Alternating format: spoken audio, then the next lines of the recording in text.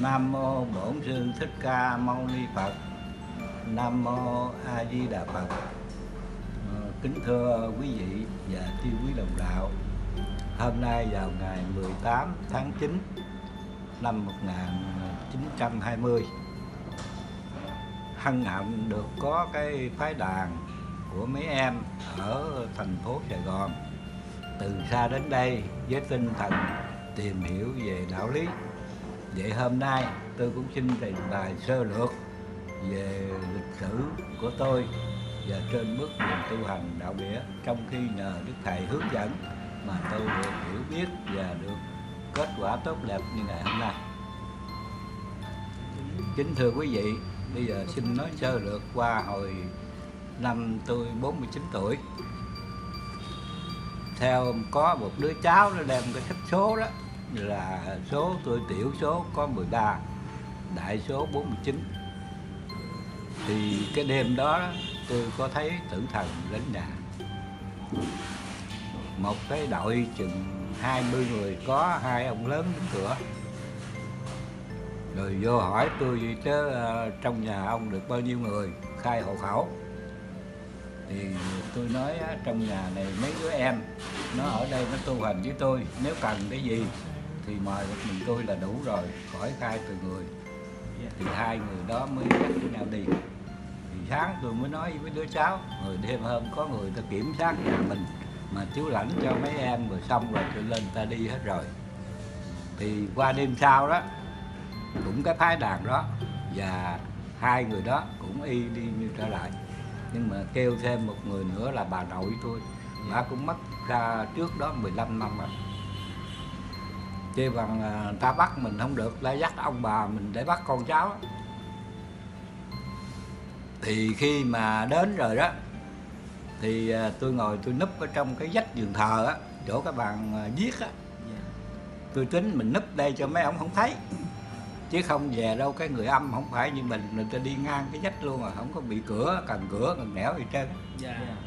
Thì đi ngang cái vách vô một người nắm cái tay bên đây với một chân một người nắm cái tay bên đây với một chân bên đây. Còn một người nữa thì nắm hai cái chân. Thì trong lúc đó mình nãy tôi nó cứng ngắc rồi không có nói chuyện được mà cũng không biết được luôn. Nhưng mà tôi nói một điều quý vị nên nhớ dạ. là không động gì được cái biết hết. Mặc dù cái thân tôi bị ba người nắm cứng ngắc như vậy nhưng mà cái biết nó vẫn biết như thường không có dính dáng gì cái biết. Cho nên chỗ quan trọng của mình tu muốn đắc đạo muốn giải thoát muốn thành phật muốn khỏi luân hồi sanh tử khỏi tử thần bắt cũng sống ngay cái biết này. Cái Dạ. chỗ này là hết sức quan trọng trong cái đạo phật đó. Dạ. Rồi cái tôi nhớ đức thầy nói lòng sáu chữ niệm không có ngất thì nạn tay cũng tác như không. Thì bắt đầu tôi niệm sáu chữ nam mô di Đà phật. Tôi cầu nguyện nhờ đức thầy đức phật giúp con trong khi con mắc nạn. Dạ. Như vậy là tôi niệm chừng 10 câu. Thì tự nhiên ba người đó cái tay rung hết trơn vậy nếu tôi không được nữa. dạ. rồi buông tôi ra. Cái nói chuyện với hai người giữ cửa rồi kéo ra đi luôn. Thì trong khi đó tôi mới mở mắt ra. Tôi nói như vậy á, thì lần này mình nhờ niệm phật thành lòng mà đức thầy với đức phật gia hộ cho nó qua được rồi. Như vậy đó là lần lượt qua được 18 năm. Dạ. Năm tôi 49 tuổi đó thì tới năm 67 tuổi. Một lần thứ hai kỳ này kéo lại nhà tôi gần năm sáu chục người luôn. Dạ. Mà có mấy người ở trong xóm tôi chết từ 5 năm 10 năm 15 năm. Có trong cái đạo huynh đó luôn. Những người đó biết tên tôi biết mặt tôi luôn. Rồi thành ra đi một đội chừng năm sáu chục người mà có hai ông lớn cũng như mặc đồ như hát bội vậy á đội mão rồi hết. Còn mấy người kia thì mặc đồ đen. Đi lại kiếm tôi á tôi ngồi ở cái ghế đằng trước đó kêu tên kêu họ tôi om sòm mà tôi nhắm mắt tôi vẫn thấy chứ không có ngủ. Tôi ngồi tôi nhắm mắt nó không có ngủ. Tôi nói á, hồi trước á một lần mắt tôi giờ niệm phật mà có phật có thầy gia hộ. Bây giờ tôi đã thấy được tự tánh rồi. Tôi sống cái tánh phật lặng trang không khởi vọng niệm. Giống y như đức phật ngồi gốc bồ đề. Yêu tinh nó không làm gì được. Bây giờ tôi cũng làm y như vậy coi mấy ông này làm sao. Thì nó đặc biệt một cái á mấy ông đi vòng vòng kiếm tôi gần một tiếng đồng hồ. Đi mà nghe gió thổi mát cái lưng luôn cái hơi mấy ông đi gió mát cái lưng luôn. Dạ. Mà không thấy tôi. Cuối cùng cái mấy ông ra hiệu với nhau cái kéo đi luôn. Thì tôi mở mắt ra. Tôi nói như vậy á lần này không bắt được tôi. Từ từ đây sắp tới không còn bắt tôi nữa. Tôi biết cái cái mối quan hệ này rồi tôi biết cái chỗ trọng yếu này rồi thì không dễ gì bắt tôi nữa đâu. Rồi tôi mở mắt ra rồi tôi đi vô bình thường. Đó như vậy đó. Bởi vì ngài thanh sĩ nói á kêu bằng cái người mà kiến tánh rồi đó tây phương ký hiệu diêm phù rút tên. Tất nhiên là cái tên mình ghi ở tây phương rồi cho nên nó cõi diêm phù này sẽ bôi tên mình không còn tên nữa. Sau này không có bắt tôi nữa. Dạ dạ. Thì đúng y chang như vậy đó thì đến cái năm mà à, ngoái đấy hen Dạ. tức là ngày mùng 5 tháng 9 hồi năm ngoái đó thì có định tây phương xuống đời. Có hai người sứ của thượng đế nghĩa là trên đầu có hào quang hai người nữ mà đẹp mặt mày sắc rỡ. Dạ. Rồi xuống nói với tôi là báo tin cho ông biết bữa mùng 9 đó bữa mùng 5 đó ừ, bữa mùng 5 đó, tháng 9 thì là ông được mãn cái duyên cõi trần mà rước về Tây Phương. Tại vì ông tu đúng cái hạnh của Như Lai. Dạ. Có di đà với thánh chúng qua rước và bên đây thì có thượng đế chính từng mây nhạc trỗi tiêu thiều và có ánh hào quang rực rỡ đưa đó ông là người tu đắc pháp chứ không phải tưởng thần bắt. Nói rành tới vậy á. Kêu luôn hai đêm. dạ thì tôi mới nghĩ rằng mình đi giảng đạo 8 năm có mấy chục ngàn người người ta nghe theo người ta tu. Mình hứa để giúp người ta tới nơi tới chốn rồi bây giờ người ta mới nửa vòng trong về thì vương sung sướng rồi bỏ cái người này làm sao. Dạ. Tôi nghĩ như vậy thì tôi mới nói với hai người sứ tôi nói nhờ hai vị tâu với công bà thượng đế và đức phật tổ xin cho tôi quản lại. Tôi làm xong bổn phận đưa những người duyên tới nơi rồi tôi mới về tây phương thầy về lập hội tôi theo thầy về luôn thì nói như vậy rồi mà không biết người ta có cho hay không? Dạ. Tôi cầu nguyện luôn hai đêm. Dạ. Thì qua cái đêm đó, tôi mới mời một số anh em đồng đạo lại đây với mấy đứa cháu tôi dặn ở nhà đặng coi có người ta rước đặng biết chứ để người ta rước bất tử đâu có ai biết. Thì cái đêm đó không có xuống rước nó đặc biệt đó mới kể từ đó đó. Thì đức thầy mới khai sáng cho tôi. Tôi vừa nói pháp được vừa trị bệnh được. Dạ. Mà vừa nâng cấp cho anh em tu hành được luôn. Dạ. Dạ mấy người tu rớt lên rớt xuống tôi xin cho là tôi không rớt. Mấy người ăn chay không nổi tôi xin cho ăn chay được. Mấy người lỡ ghiền rượu ghiền thuốc ghiền tiền tôi cũng bỏ cho được luôn. Dạ dạ. Nâng cấp lên tu 5 năm nữa 10 năm nữa mới thành tôi giúp cho tu 5 năm khỏi tới 10 năm. Cái trường hợp đó là cái ân huệ thầy cho chứ không phải tôi rồi tôi tôi làm gì là được mấy chuyện đó. Cái chuyện đó của Phật trời chứ không phải của mình. Đó rồi đến cái bữa không rước thấy không? Rồi cái một bữa đó tôi ngồi tôi nói chuyện gì nè. Tôi ngồi nói chuyện với đứa cháu trong nhà. Tôi Dạ. nói hồi đó cậu hai ông nói đó cái người mà kiến tánh rồi đó là thiên đế cũng mà triệu hồi sứ giả. Dạ. Diêm chúa cũng triệu hồi sứ giả thiên thần còn đem lễ cúng dường. Mà dạ sao chú cũng kiến tánh rồi mà sao không thấy ai cúng dường dạ. Mình nói trong nhà như nói chơi vậy thôi chứ mình đâu có nghĩ tới chuyện đó. Dạ. Mà không về nói như vậy là bữa đó có đem lễ cúng dường. Dạ. Hai vị chư thiên nghĩa là mặt mày sáng rỡ đầu có hào quang bưng một cái khay lớn vậy nè. Dạ. Bề ngang có chừng 6 tấc bề cao chừng thước. Mà bao giấy đỏ không biết cái gì ở trong dạ. Để bưng xuống để trước mặt tôi. Nói "Ờ, thưa với ông năm chúng tôi là thiên nữ ở cõi trời sắc giới. Dạ. Dân định đức ngọc hoàng thượng đế xuống làm cái lễ cúng dường chúc mừng cho ông. Dạ. là cái người kiến tánh ngộ đạo giải thoát. Dạ. Thế mới để cái mâm xuống. Thì tôi mới nói tôi nói thưa hai vị tôi ăn cơm không có được. Một ngày ăn có nửa chén cơm có khi ăn cháo. Thì làm gì mà ăn hết cái mâm lễ vật mà rất cao lớn như vậy thôi tôi xin kiến cái này lại. Về cho các tiên ở trên trịnh cõi trời dùng. Dạ. Thì cái cô đó có quậy cái cặp chúng tôi nách này dạ. Mới móc ở trong cái cặp ra một cái khăn lau dạ. Khăn bàn á. Dạ. Mới lau cái mặt tôi. Mà cái khăn đặc biệt lắm nha. Khăn lông mà nó mềm mà lao nó thơm mà nó dịu ở cõi trần không có cái đó đâu. Là cái mùi thơm nó rất là lạ thường phải không năm khi mà lao xong rồi đó mới xếp cái khăn để vô trong Dạ. túi rồi mới bắt đầu là móc ra cái hộp cái cao nó hơi lớn hơn cái hộp sữa bò mình chút cao hơn. Dạ. Thì múc ở trong hộp ra ba muỗng sữa anh chua. Dạ. Sữa chống với anh chua nó xanh cái màu trắng trắng vậy đó. Đổ vô miệng tôi uống nó cũng giống giống cái mùi anh chua vậy. dạ. Xong rồi nó mới lấy cái khăn lao trở lại một lần nữa. Rồi mới để khăn với ờ, cái hai người nói với tôi bây giờ làm cái lễ ờ, chúc mừng cho ông xong rồi. Giờ cho phép chư thiên xin kiếu rồi hai người mất hai người tôi cũng nghĩ rằng ờ, bay như ở trong phim mình để coi bay sao. Dạ. Nhưng mà biến mất rồi sao mới bay. Cái đó cũng cái cái hay. Là vì thời kỳ bây giờ mà bay mà thời cờ gì nó bắn tên lửa chết hết còn Dạ. gì. Để biến mất người ta mới bay là mới phải em dạ À, rồi như vậy đó.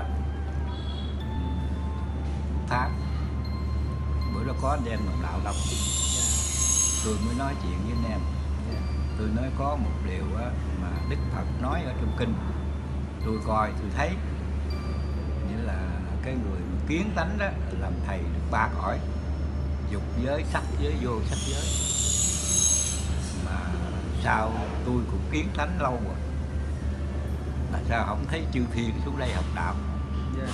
Cũng nói gì nó chơi nữa dạ cái đêm đó bỗng nhiên là xuống nhà tôi chừng 300 ông đứng cái sân trước tới này nè cái rạp trước đấy ha đụng tới bàn thờ luôn. Khích người ta. Tiên á phật gì ông năm? Gần 300 người theo mình vậy là tiên tiên á là phật ông năm. Hỏi lớn đó. tiên á là phật xuống gì ông năm? Hả? Tiên á phật ông năm. Sao? Vậy là ông nói gần 300 người xuống á là tiên á là phật cái đó là chư thiên. Dạ chư chư thiên. tức là thiên. các vị thiên đế với các thiên ở trên cõi trời xuống. Dạ dạ dạ dạ. Thì à, tôi mới hỏi. Tôi hỏi các vị đến tôi có chuyện gì không mà đông như vậy? Dạ. thì có cử hai người đại diện ra nói chuyện. Nói chuyện tôi nghe được. Dạ. Đấy à, thưa với ông năm chúng tôi là chư thiên ở cõi trời sắc giới. Sống tới 10.000 năm là sung sướng lắm. Muốn chi có nấy nhưng có một điều là cái cõi đó không có Phật ra đời dạy đạo yeah. hưởng hết phước rồi cũng xuống như thường. Có khi rớt xuống, thấp hơn cõi người cho nên bây giờ biết ông năm là cái người kiến tánh ngộ đạo, giải thoát. Cho nên xuống đây cầu pháp. Nhờ ông năm thuyết pháp cho chư thiên nghe. Đó, rồi lúc bây giờ đó, thì tôi dòm thấy đấy ha từ ở trên trển đáp xuống trên nóc nhà đáp xuống luôn nó không có cần đi cửa đi đẻo gì trên chư thiên ta đi không có đụng có dội gì trên ở ngoài vô không cần cửa nẻo đi thẳng vô luôn. Rồi mấy ông đứng giống như cái rạp hát vậy đó không cần bằng ở dưới đất. Dạ. Mà ở trên đầu ha người này trước người đứng sau cao hơn trước người đứng sau cao hơn trước mà từ đây cho tới thẳng ra đầy hết trơn luôn. Nghĩa là cái chân không cần đụng đất các chư thiên ta đứng đâu đứng chứ không phải như mình phải đụng đất đứng mới được. Có Dạ. những cái đặc biệt vậy đó rồi cuối cùng nghĩa là mấy ông vô kính lễ đàng hoàng rồi thì tôi mới thuyết pháp cho mấy ông nghe thôi giờ sẵn đây tôi thuyết pháp luôn cái đó luôn. Tôi à, mới à, thuyết cái lý mà tu thành Phật liền đó. Dạ. Bởi vì những cái lý thông thường đạo nhân làm phước làm gian để chư thiên còn thông minh hơn mình đó. dạ. Cái gì mấy ông cũng biết hết. Chỉ có cái pháp tu giải thoát khỏi luân hồi sinh tử là không biết thôi. Cho nên tôi thuyết ngay cái đó tôi nói bây giờ, chư thiên hiện tiền bây giờ, ai cũng có cái mắt đang thấy, tai đang nghe, vừa thấy vừa nghe liền hiểu biết. Thường thường, mình phải phân biệt cho rõ cái gì là đối tượng bị thấy, bị nghe của mình. Cái gì là ở trong con người mình nó thấy nó nghe. Cái tự biết ở trong con người mình nó thấy nó nghe. Cái đó là phật của mình còn cái đối tượng bị thấy bị nghe là cảnh ở bên ngoài không phải là mình. Mà cái đối tượng bị thấy bị nghe nó có hình tướng cho nên nó hư hoại, nó đã chết cả rồi. Như cái nhà, nó có hình tướng thì tôi thấy được cái nhà là cái không hình tướng của tôi là thật, bất sinh bất diệt còn cái nhà, nó đã chết rồi, ta cưa cây nó mới cất định cái nhà. Thì dạng vật ở trên đời này cũng vậy, từ trời đất núi non sông rạch gì cũng đều là vật bị thấy hết. Mà chính mình là cái đang thấy vừa thấy liền biết, vừa nghe liền biết. Cái lặng lẽ thanh tịnh, thấy nghe liền biết. Cái đó là phật. Đừng khởi một niệm gì hết, thì phật hiện tiền chứ không còn kiếm phật ở đâu hết, khỏi tu ngày nào hết. Phật vẫn phật. Cái chỗ này. Nam mô bổn sư thích ca mâu ni phật. Nam mô a di đà phật. Ờ, kính thưa quý vị và chư quý đồng đạo. Hôm nay vào ngày 18 tháng 9 năm 1920 hân hạnh được có cái phái đàn của mấy em ở thành phố Sài Gòn. Từ xa đến đây với tinh thần tìm hiểu về đạo lý. Vậy hôm nay tôi cũng xin trình bày sơ lược về lịch sử của tôi và trên bước đường tu hành đạo nghĩa trong khi nhờ đức thầy hướng dẫn mà tôi được hiểu biết và được kết quả tốt đẹp như ngày hôm nay. Kính thưa quý vị, bây giờ xin nói sơ lược qua hồi năm tôi 49 tuổi. Theo có một đứa cháu nó đem cái sách số đó, là số tôi tiểu số có 13 đại số 49 thì cái đêm đó tôi có thấy tử thần đến nhà. Một cái đội chừng 20 người có hai ông lớn đứng cửa. Rồi vô hỏi tôi chứ uh, trong nhà ông được bao nhiêu người? Khai hộ khẩu. Thì tôi nói uh, trong nhà này mấy đứa em nó ở đây nó tu hành với tôi nếu cần cái gì thì mời một mình tôi là đủ rồi khỏi khai từ người. Thì hai người đó mới dắt với nhau đi. Thì sáng tôi mới nói với đứa cháu rồi đêm hôm có người ta kiểm soát nhà mình mà chú lãnh cho mấy em rồi xong rồi tôi lên ta đi hết rồi. Thì qua đêm sau đó, cũng cái phái đàn đó và hai người đó cũng y đi như trở lại. Nhưng mà kêu thêm một người nữa là bà nội tôi. Bà cũng mất ra trước đó 15 năm rồi. Chê bằng à, ta bắt mình không được lại dắt ông bà mình để bắt con cháu. Thì khi mà đến rồi đó thì à, tôi ngồi tôi núp ở trong cái vách giường thờ á chỗ cái bàn à, viết á. Tôi tính mình núp đây cho mấy ông không thấy. Chứ không về đâu cái người âm không phải như mình người ta đi ngang cái vách luôn à không có bị cửa cần cửa cần nẻo gì trơn. Dạ. Thì đi ngang cái vách vô một người nắm cái tay bên đây với một chân một người nắm cái tay bên đây với một chân bên đây. Còn một người nữa thì nắm hai cái chân. Thì trong lúc đó mình nãy tôi nó cứng ngắc rồi không có nói chuyện được. luôn mà cũng không biết được luôn. Nhưng mà tôi nói một điều quý vị nên nhớ dạ. là không động gì được cái biết hết. Mặc dù cái thân tôi bị ba người nắm cứng ngắc như vậy nhưng mà cái biết như vẫn biết như thường không có dính dắt như cái biết. Cho nên chỗ quan trọng của mình tu muốn đắc đạo muốn giải thoát muốn thành phật muốn khỏi luân hồi sanh tử khỏi tử thần bắt cũng sống ngay cái biết này. Cái Dạ. chỗ này là hết sức quan trọng trong cái đạo phật đó. Dạ. Rồi cái tôi nhớ đức thầy nói lòng sáu chữ niệm không có ngất thì nặng tay cũng tác như không. Thì bắt đầu tôi niệm sáu chữ nam mô di phật. Tôi cầu nguyện nhờ đức thầy đức phật giúp con trong khi con mắc nạn. Như vậy là tôi niệm chừng 10 câu. Thì tự nhiên ba người đó cái tay rung hết trơn vậy. Nếu tôi không được dạ rồi buông tôi ra. Cái nói chuyện với hai người giữ cửa rồi kéo ra đi luôn. Thì trong khi đó tôi mới mở mắt ra tôi nói như vậy á thì lần này mình nhờ niệm phật thành lòng mà đức thầy với đức phật gia hộ cho nó qua được rồi. Như vậy đó là lần lượt qua được 18 năm. Dạ. Năm tôi 49 tuổi đó thì tới năm 67 tuổi. Một lần thứ hai kỳ này kéo lại nhà tôi gần năm sáu chục người luôn. Dạ. Mà có mấy người ở trong xóm tôi chết từ 5 năm 10 năm 15 năm. Có trong đạo binh đó luôn những người đó biết tên tôi biết mặt tôi luôn. Ờ, thành ra đi một đội chừng năm sáu chục người mà có hai ông lớn cũng như mặc đồ như hắc bội vậy á đội mão rồi hết còn mấy người kia thì mặc đồ đen. Đi lại kiếm tôi á tôi ngồi ở cái ghế đằng trước đó kêu tên kêu họ tôi om sòm. Mà tôi nhắm mắt tôi vẫn thấy chứ không có ngủ. Tôi ngồi tôi nhắm mắt nó không có ngủ tôi nói á, hồi trước á một lần mắt tôi giờ niệm phật mà có phật có thầy gia hộ. Bây giờ tôi đã thấy được tự tánh rồi. Tôi sống cái tánh phật lặng trang không khởi vọng niệm. Giống y như đức phật ngồi gốc bồ đề yêu tinh nó không làm gì được. Bây giờ tôi cũng làm y như vậy. Coi mấy ông này làm sao? Thì nó đặc biệt một cái á mấy ông đi vòng vòng kiếm tôi gần một tiếng đồng hồ. Đi mà nghe gió thổi mát cái lưng luôn đó cái hơi mấy ông đi gió mát cái lưng luôn. Dạ. Mà không thấy tôi. Cuối cùng cái mấy ông ra hiệu với nhau cái kéo đi luôn. Thì tôi mở mắt ra. Tôi nói như vậy á lần này không bắt được tôi.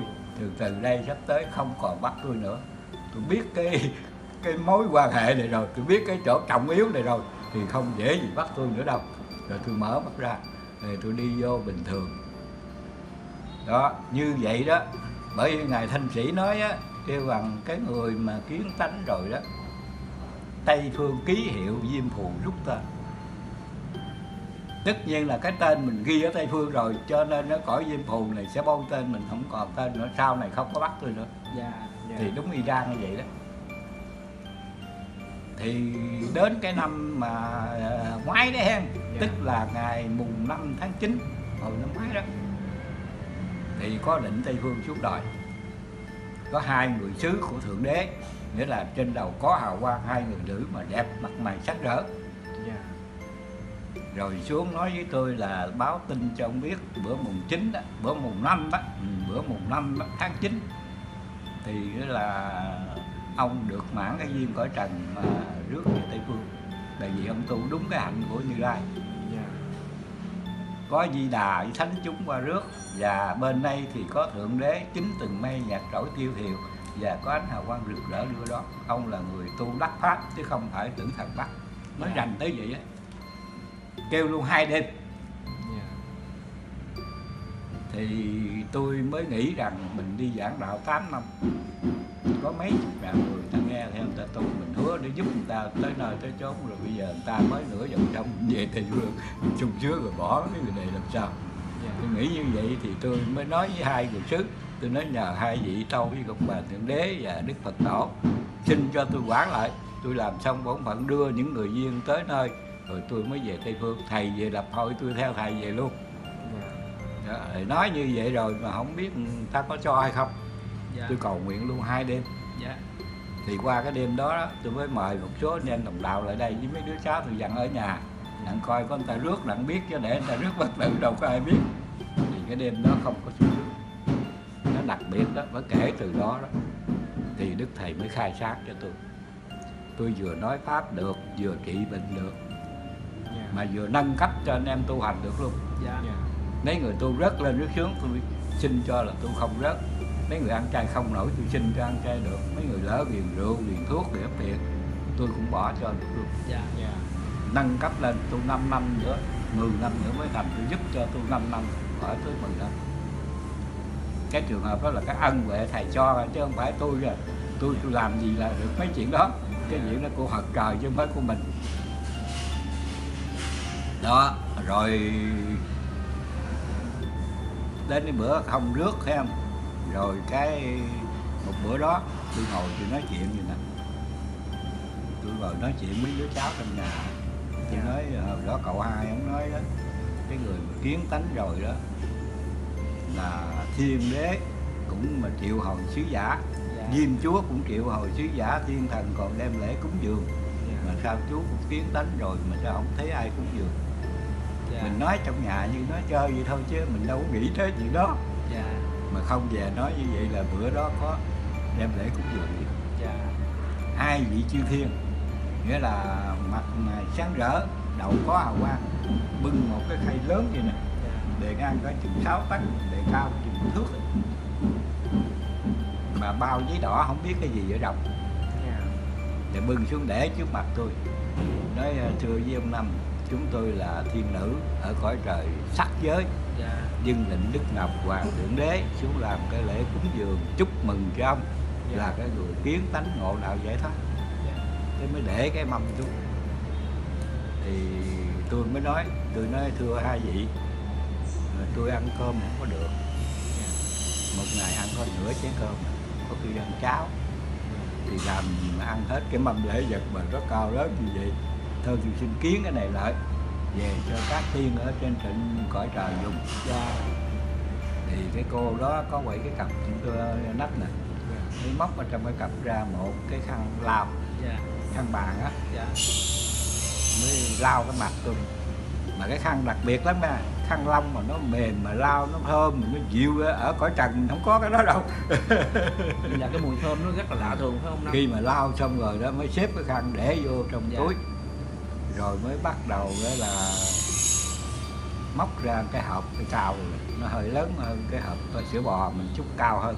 Dạ. Thì múc ở trong hộp ra ba muỗng sữa anh chua. Dạ. Sữa giống như anh chua nó xanh cái màu trắng trắng vậy đó. Đổ vô miệng tôi uống nó cũng giống giống cái mùi anh chua vậy. dạ. Xong rồi nó mới lấy cái khăn lao trở lại một lần nữa. Rồi mới để khăn với ờ, cái ờ, muỗng với cái lon nó vô cặp hai người nói với tôi bây giờ làm cái lễ ờ, chúc mừng cho ông xong rồi. Giờ cho phép chư thiên xin kiếu rồi hai người biến biến mất hai người tôi cũng nghĩ rằng ờ, bay như ở trong phim mình để coi bay sao. Dạ. Nhưng mà biến mất rồi sao mới bay. Cái đó cũng cái cái hay. Là vì thời kỳ bây giờ mà bay mà thời cờ gì nó bắn tên lửa chết hết còn Dạ. gì. Biến mất người ta mới bay là mới phải không? Dạ. Rồi như vậy đó tháng. Bữa đó có anh em đồng đạo đông. Dạ. Tôi mới nói chuyện với anh em. Dạ. Tôi nói có một điều á, mà đức phật nói ở trong kinh. Tôi coi tôi thấy. Nghĩa là cái người mà kiến tánh đó làm thầy được ba cõi. Dục giới sắc giới vô sắc giới. Mà sao tôi cũng kiến tánh lâu rồi? Mà sao không thấy chư thiên xuống đây học đạo?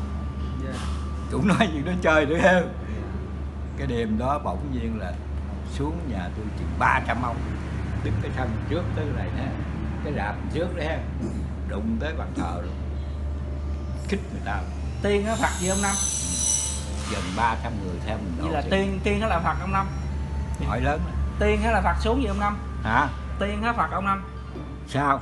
Vậy là ông nói gần 300 người xuống đó là tiên hay là phật cái đó là chư thiên. Dạ chư chư thiên tức là Chư thiên. Các vị thiên đế với các thiên ở trên cõi trời xuống. Dạ dạ dạ dạ. Thì à, tôi mới hỏi. Tôi hỏi các vị đến tôi có chuyện gì không mà đông như vậy? Dạ. thì có cử hai người đại diện ra nói chuyện. Nói chuyện tôi nghe được. Dạ. Đấy à, thưa với ông năm chúng tôi là chư thiên ở cõi trời sắc giới sống tới 10.000 năm là sung sướng lắm muốn chi có nấy nhưng có một điều là cái cõi đó không có Phật ra đời dạy đạo dạ hưởng hết phước rồi cũng xuống như thường, có khi rớt xuống, thấp hơn cõi người. Cho nên bây giờ biết ông năm là cái người kiến tánh ngộ đạo, giải thoát. Cho nên xuống đây cầu pháp. Nhờ ông năm thiết pháp cho chư thiên nghe. Đó, rồi lúc bây giờ đó, thì tôi dòm thấy đấy ha từ ở trên trển đáp xuống trên nóc nhà đáp xuống luôn nó không có cần đi cửa đi đẻo gì trên chư thiên ta đi không có đụng có dội gì trên ở ngoài vô không cần cửa nẻo đi thẳng vô luôn. Rồi mấy ông đứng giống như cái rạp hát vậy đó không cần bằng ở dưới đất. Dạ. Mà ở trên đầu ha người này trước người đứng sau cao hơn trước người đứng sau cao hơn trước mà từ đây cho tới thẳng đầy hết trơn luôn. Nghĩa là cái chân không cần đụng đất các chư thiên ta đứng đâu đứng chứ không phải như mình phải đụng đất đứng mới được. Có Dạ. những cái đặc biệt vậy đó rồi cuối cùng nghĩa là mấy ông vô kỉnh lễ đàng hoàng rồi thì tôi mới thuyết pháp cho mấy ông nghe thôi giờ sẵn đây tôi thuyết pháp luôn cái đó luôn. Tôi à, mới à, thuyết cái lý mà tu thành Phật liền đó. Dạ. Bởi vì những cái lý thông thường đạo nhân làm phước làm gian để chư thiên còn thông minh hơn mình đó. dạ. Cái gì mấy ông cũng biết hết. Chỉ có cái pháp tu giải thoát khỏi luân hồi sinh tử là không biết thôi. Cho nên tôi thuyết ngay cái đó tôi nói bây giờ, chư thiên hiện tiền bây giờ, ai cũng có cái mắt đang thấy, tai đang nghe, vừa thấy vừa nghe liền hiểu biết.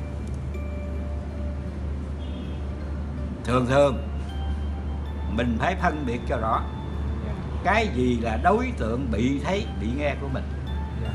Cái gì là ở trong con người mình nó thấy nó nghe. Cái tự biết ở trong con người mình nó thấy nó nghe. Cái đó là phật của mình còn cái đối tượng bị thấy bị nghe là cảnh ở bên ngoài, không phải là mình. Mà cái đối tượng bị thấy bị nghe, nó có hình tướng cho nên nó hư hoại, nó đã chết cả rồi. Như cái nhà, nó có hình tướng thì tôi thấy được cái nhà là cái không hình tướng của tôi là thật, bất sinh bất diệt còn cái nhà, nó đã chết rồi, ta cưa cây nó mới cất định cái nhà. Thì dạng vật có trên đời này cũng vậy, từ trời đất, núi non, sông, rạch gì cũng đều là vật bị thấy hết. Mà chính mình là cái đang thấy vừa thấy liền biết, vừa nghe liền biết. Cái lặng lẽ thanh tịnh, thấy nghe liền biết. Cái đó là phật. Đừng khởi một niệm gì hết, thì phật hiện tiền chứ không còn kiếm phật ở đâu hết, khỏi tu ngày nào hết. Phật vẫn phật. Cái chỗ này. Nam mô bổn sư thích ca mâu ni phật. Nam mô a di đà phật. Ờ, kính thưa quý vị và chư quý đồng đạo. Hôm nay vào ngày 18 tháng 9 năm 1920 hân hạnh được có cái phái đàn của mấy em ở thành phố Sài Gòn. Từ xa đến đây với tinh thần tìm hiểu về đạo lý. Vậy hôm nay tôi cũng xin trình bày sơ lược về lịch sử của tôi và trên bước đường tu hành đạo nghĩa trong khi nhờ Đức Thầy hướng dẫn mà tôi được hiểu biết và được kết quả tốt đẹp như ngày hôm nay. Kính thưa quý vị, bây giờ xin nói sơ lược qua hồi năm tôi 49 tuổi.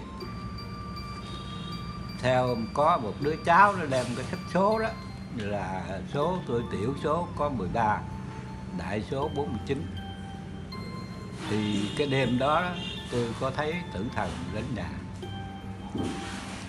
một cái đội chừng 20 người có hai ông lớn đứng cửa. Rồi vô hỏi tôi vậy chứ ờ, trong nhà ông được bao nhiêu người? Khai hộ khẩu. Thì tôi nói á, trong nhà này mấy đứa em nó ở đây nó tu hành với tôi nếu cần cái gì thì mời một mình tôi là đủ rồi khỏi khai từ người. Thì hai người đó mới dắt nhau đi. Thì sáng tôi mới nói với đứa cháu rồi đêm hôm có người ta kiểm soát nhà mình mà chú lãnh cho mấy em rồi xong rồi tôi lên ta đi hết rồi. Thì qua đêm sau đó, cũng cái phái đàn đó và hai người đó cũng y đi như trở lại. Nhưng mà kêu thêm một người nữa là bà nội tôi. Bà cũng mất ra trước đó 15 năm rồi. Chê bằng à, ta bắt mình không được lại dắt ông bà mình để bắt con cháu. Thì khi mà đến rồi đó thì à, tôi ngồi tôi núp ở trong cái vách giường thờ á chỗ cái bàn à, viết á. Tôi tính mình núp đây cho mấy ông không thấy. Chứ không về đâu cái người âm không phải như mình người ta đi ngang cái vách luôn à không có bị cửa cần cửa cần nẻo gì trơn. Dạ. Thì đi ngang cái vách vô một người nắm cái tay bên đây với một chân một người nắm cái tay bên đây với một chân bên đây. Còn một người nữa thì nắm hai cái chân. Thì trong lúc đó mình nãy tôi nó cứng ngắc rồi không có nói chuyện được mà cũng không biết được luôn. Nhưng mà tôi nói một điều quý vị nên nhớ dạ. là không động gì được cái biết hết. Mặc dù cái thân tôi bị ba người nắm cứng ngắc như vậy nhưng mà cái biết nó vẫn biết như thường không có dính dắt như cái biết. Cho nên chỗ quan trọng của mình tu muốn đắc đạo muốn giải thoát muốn thành phật muốn khỏi luân hồi sanh tử khỏi tử thần bắt cũng sống ngay cái biết này. Cái Dạ. chỗ này là hết sức quan trọng trong cái đạo phật đó. Dạ. Rồi cái tôi nhớ đức thầy nói lòng sáu chữ niệm không có ngất thì nạn tai cũng tác như không. Thì bắt đầu tôi niệm sáu chữ nam mô di phật. Tôi cầu nguyện nhờ đức thầy đức phật giúp con trong khi con mắc nạn. Như vậy là tôi niệm chừng 10 câu. Thì tự nhiên ba người đó cái tay rung hết trơn. Vậy. nếu tôi không được dạ rồi buông tôi ra. Cái nói chuyện với hai người giữ cửa rồi kéo ra đi luôn. Thì trong khi đó tôi mới mở mắt ra tôi nói như vậy á, thì lần này mình nhờ niệm phật thành đồng mà đức thầy với đức phật gia hộ cho nó qua được rồi. Như vậy đó là lần lượt qua được 18 năm. Dạ. Năm tôi 49 tuổi đó thì tới năm 67 tuổi. Một lần thứ hai. Kỳ này kéo lại nhà tôi gần năm sáu chục người luôn. Dạ. Mà có mấy người ở trong xóm tôi chết từ 5 năm 10 năm 15 năm. Có trong đạo huynh đó luôn những người đó biết tên tôi biết mặt tôi luôn. Như là cái người ảo đó. Ờ, thành ra đi một đội chừng năm sáu chục người mà có hai ông lớn cũng như mặc đồ như hát bội vậy á đội mão rồi hết còn mấy người kia thì mặc đồ đen. Đi lại kiếm tôi á tôi ngồi ở cái ghế đằng trước đó kêu tên kêu họ tôi om sòm. Mà tôi nhắm mắt tôi vẫn thấy chứ không có ngủ. Tôi ngồi tôi nhắm mắt nó không có ngủ tôi nói á, hồi trước á một lần mắt tôi giờ niệm phật mà có phật có thầy gia hộ. Bây giờ tôi đã thấy được tự tánh rồi. Tôi sống cái tánh phật lặng trang không khởi vọng niệm. Giống y như đức phật ngồi gốc bồ đề yêu tinh nó không làm gì được. Bây giờ tôi cũng làm y như vậy. Coi mấy ông này làm sao? Thì nó đặc biệt một cái á mấy ông đi vòng vòng kiếm tôi gần một tiếng đồng hồ. Đi mà nghe gió thổi mát cái lưng luôn đó cái hơi mấy ông đi gió cái lưng luôn. Dạ. Mà không thấy tôi. Cuối cùng cái mấy ông ra hiệu với nhau cái kéo đi luôn. Thì tôi mở mắt ra. Tôi nói như vậy á lần này không bắt được tôi. Từ từ đây sắp tới không còn bắt tôi nữa.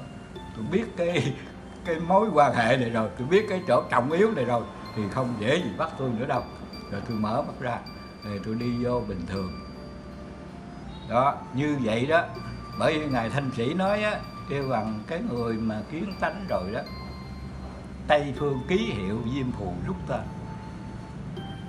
Tất nhiên là cái tên mình ghi ở tây phương rồi cho nên nó cõi diêm phù này sẽ bôi tên mình không còn tên nữa sau này không có bắt tôi nữa.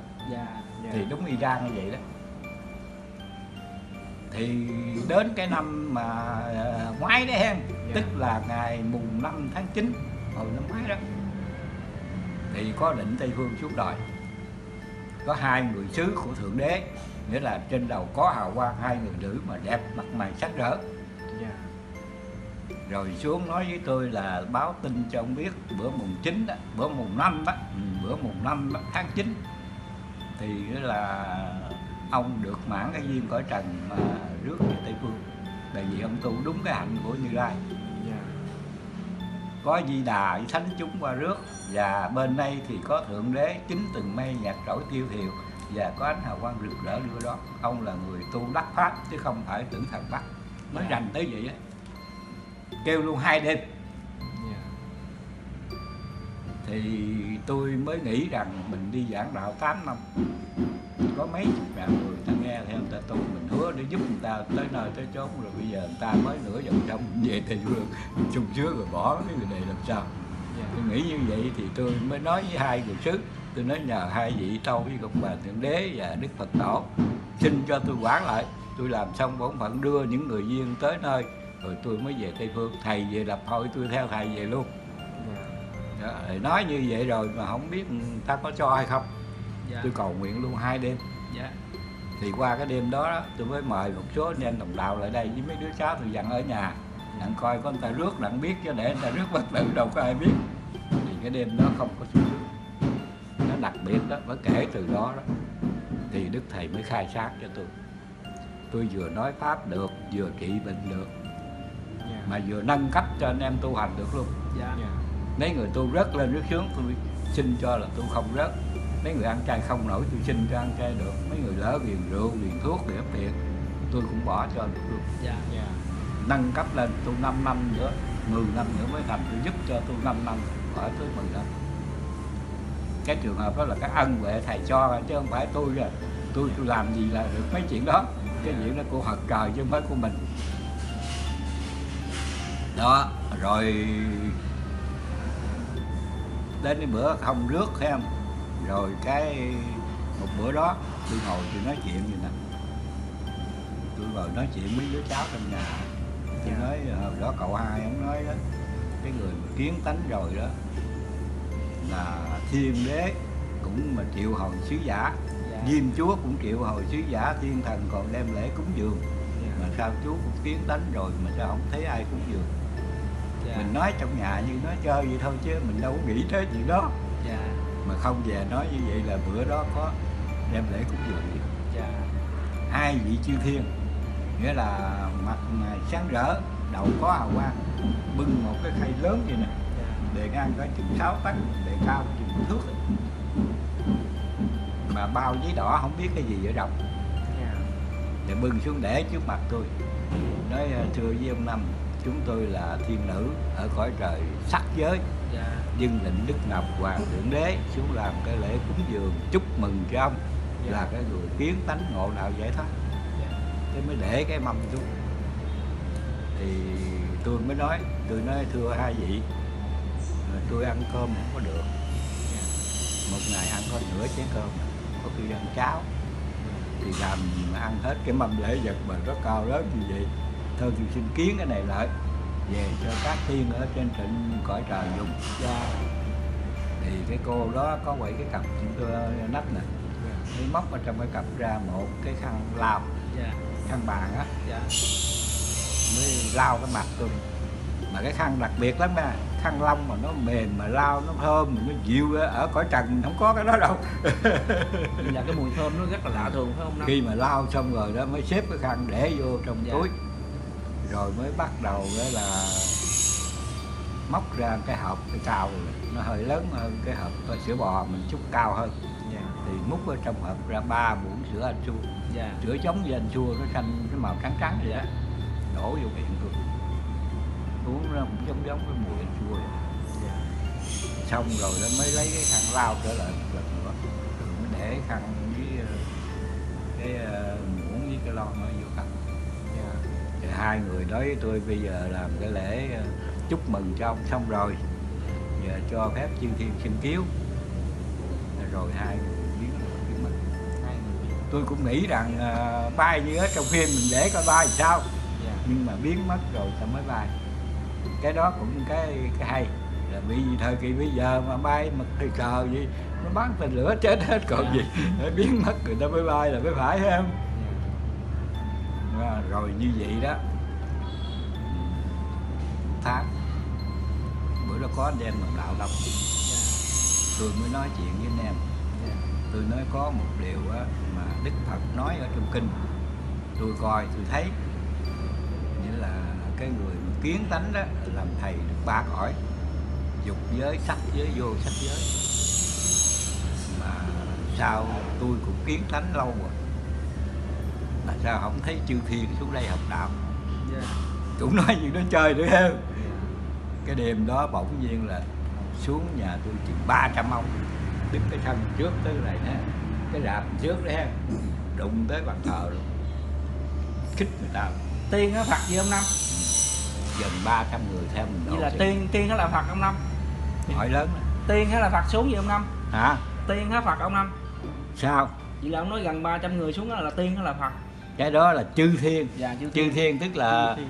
các vị thiên đế với các thiên ở trên cõi trời xuống. Dạ dạ dạ dạ. Thì à, tôi mới hỏi.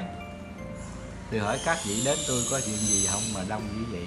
Dạ. thì có cử hai người đại diện ra nói chuyện. Nói chuyện tôi nghe được. Dạ. Đấy là thưa với ông năm chúng tôi là chư thiên ở cõi trời sắc giới.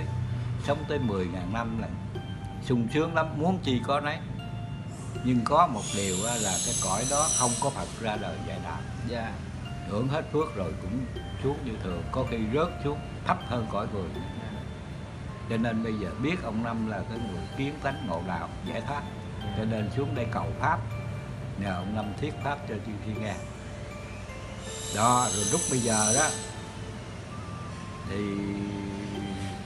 tôi dòm thấy đấy ha từ ở trên trển đáp xuống trên nóc nhà đáp xuống luôn nó không có cần đi cửa đi đẻo gì trên chư thiên ta đi không có đụng có dội gì trên ở ngoài vô không cần cửa nẻo đi thẳng vô luôn.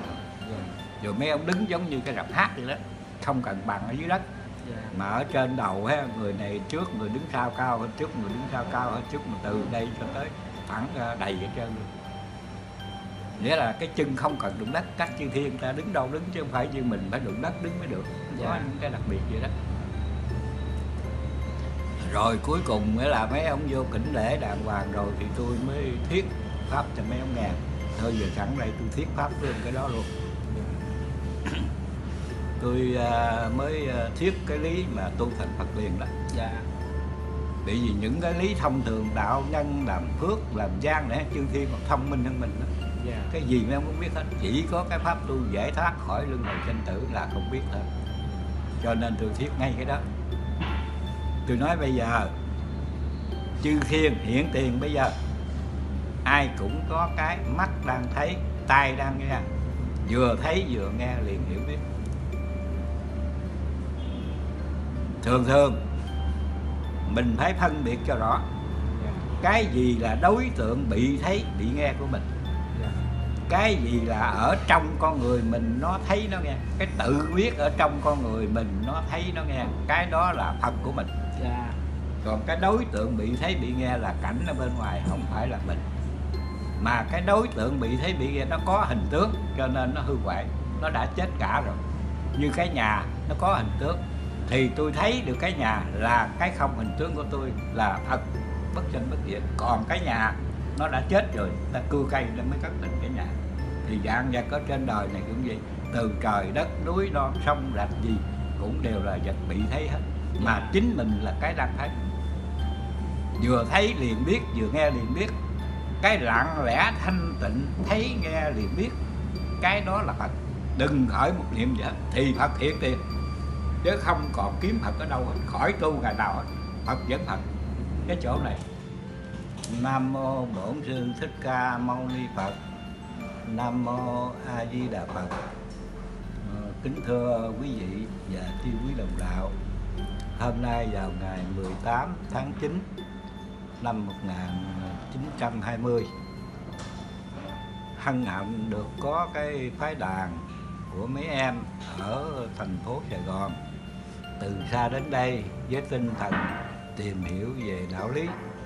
Vậy hôm nay tôi cũng xin trình bày sơ lược về lịch sử của tôi và trên bước đường tu hành đạo nghĩa trong khi nhờ đức thầy hướng dẫn mà tôi được hiểu biết và được kết quả tốt đẹp như ngày hôm nay. Kính thưa quý vị, bây giờ xin nói sơ lược qua hồi năm tôi 49 tuổi. Theo có một đứa cháu nó đem cái sách số đó, là số tôi, tiểu số có 13 đại số 49 thì cái đêm đó, tôi có thấy tử thần đến nhà một cái đội chừng 20 người có hai ông lớn đứng cửa. Rồi vô hỏi tôi gì chứ ờ, trong nhà ông được bao nhiêu người? Khai hộ khẩu. Thì tôi nói trong nhà này mấy đứa em, nó ở đây nó tu hành với tôi, nếu cần cái gì thì mời một mình tôi là đủ rồi, khỏi khai từ người. Thì hai người đó mới dắt với nhau đi. Thì sáng tôi mới nói với đứa cháu, rồi đêm hôm có người ta kiểm soát nhà mình mà chú lãnh cho mấy em rồi xong rồi tôi lên ta đi hết rồi. Thì qua đêm sau đó, cũng cái phái đàn đó và hai người đó cũng y đi như trở lại. Nhưng mà kêu thêm một người nữa là bà nội tôi. Bà cũng mất ra trước đó 15 năm rồi. Chứ bằng à, ta bắt mình không được lại dắt ông bà mình để bắt con cháu. Thì khi mà đến rồi đó thì à, tôi ngồi tôi núp ở trong cái vách giường thờ á chỗ cái bàn à, viết á. Tôi tính mình núp đây cho mấy ông không thấy. Chứ không về đâu cái người âm không phải như mình người ta đi ngang cái vách luôn à không có bị cửa cần cửa cần nẻo gì trơn. Dạ. Thì đi ngang cái vách vô một người nắm cái tay bên đây với một chân một người nắm cái tay bên đây với một chân bên đây. Còn một người nữa thì nắm hai cái chân. Thì trong lúc đó mình nãy tôi nó cứng ngắc rồi không có nói chuyện được. luôn mà cũng không biết được luôn. Nhưng mà tôi nói một điều quý vị nên nhớ dạ. là không động gì được cái biết hết. Mặc dù cái thân tôi bị ba người nắm cứng ngắc như vậy nhưng mà cái biết nó vẫn biết như thường không có dính dắt như cái biết. Cho nên chỗ quan trọng của mình tu muốn đắc đạo muốn giải thoát muốn thành phật muốn khỏi luân hồi sanh tử khỏi tử thần bắt cũng sống ngay cái biết này. Cái Dạ. chỗ này là hết sức quan trọng trong cái đạo phật đó. Dạ. Rồi cái tôi nhớ đức thầy nói lòng sáu chữ niệm không có ngất thì nặng tay cũng tác như không. Thì bắt đầu tôi niệm sáu chữ nam mô di Đà phật. Tôi cầu nguyện nhờ đức thầy đức phật giúp con trong khi con mắc nạn. Như vậy là tôi niệm chừng 10 câu. Thì tự nhiên ba người đó cái tay rung hết trơn vậy nếu tôi không được dạ rồi buông tôi ra. Cái nói chuyện với hai người giữ cửa rồi kéo ra đi luôn. Thì trong khi đó tôi mới mở mắt ra tôi nói như vậy á, thì lần này mình nhờ niệm phật thành đồng mà đức thầy với đức phật gia hộ cho nó qua được rồi. Như vậy đó là lần lượt qua được 18 năm. Dạ. Năm tôi 49 tuổi đó thì tới năm 67 tuổi.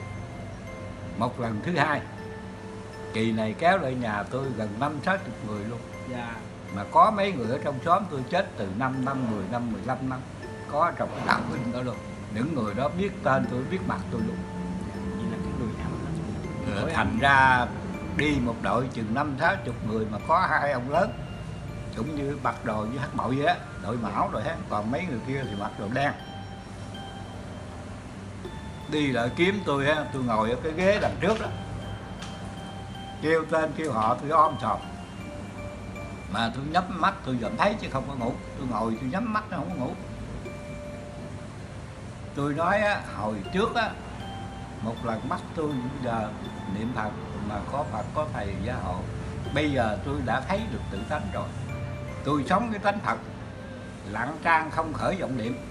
Giống y như đức phật ngồi gốc bồ đề yêu tinh nó không làm gì được. Bây giờ tôi cũng làm y như vậy coi mấy ông này làm sao. Thì nó đặc biệt một cái á mấy ông đi vòng vòng kiếm tôi gần một tiếng đồng hồ đi mà nghe gió thổi mát cái lưng luôn. Cái hơi mấy ông đi gió mát cái lưng luôn. Dạ. Mà không thấy tôi. Cuối cùng cái mấy ông ra hiệu với nhau cái kéo đi luôn. Thì tôi mở mắt ra.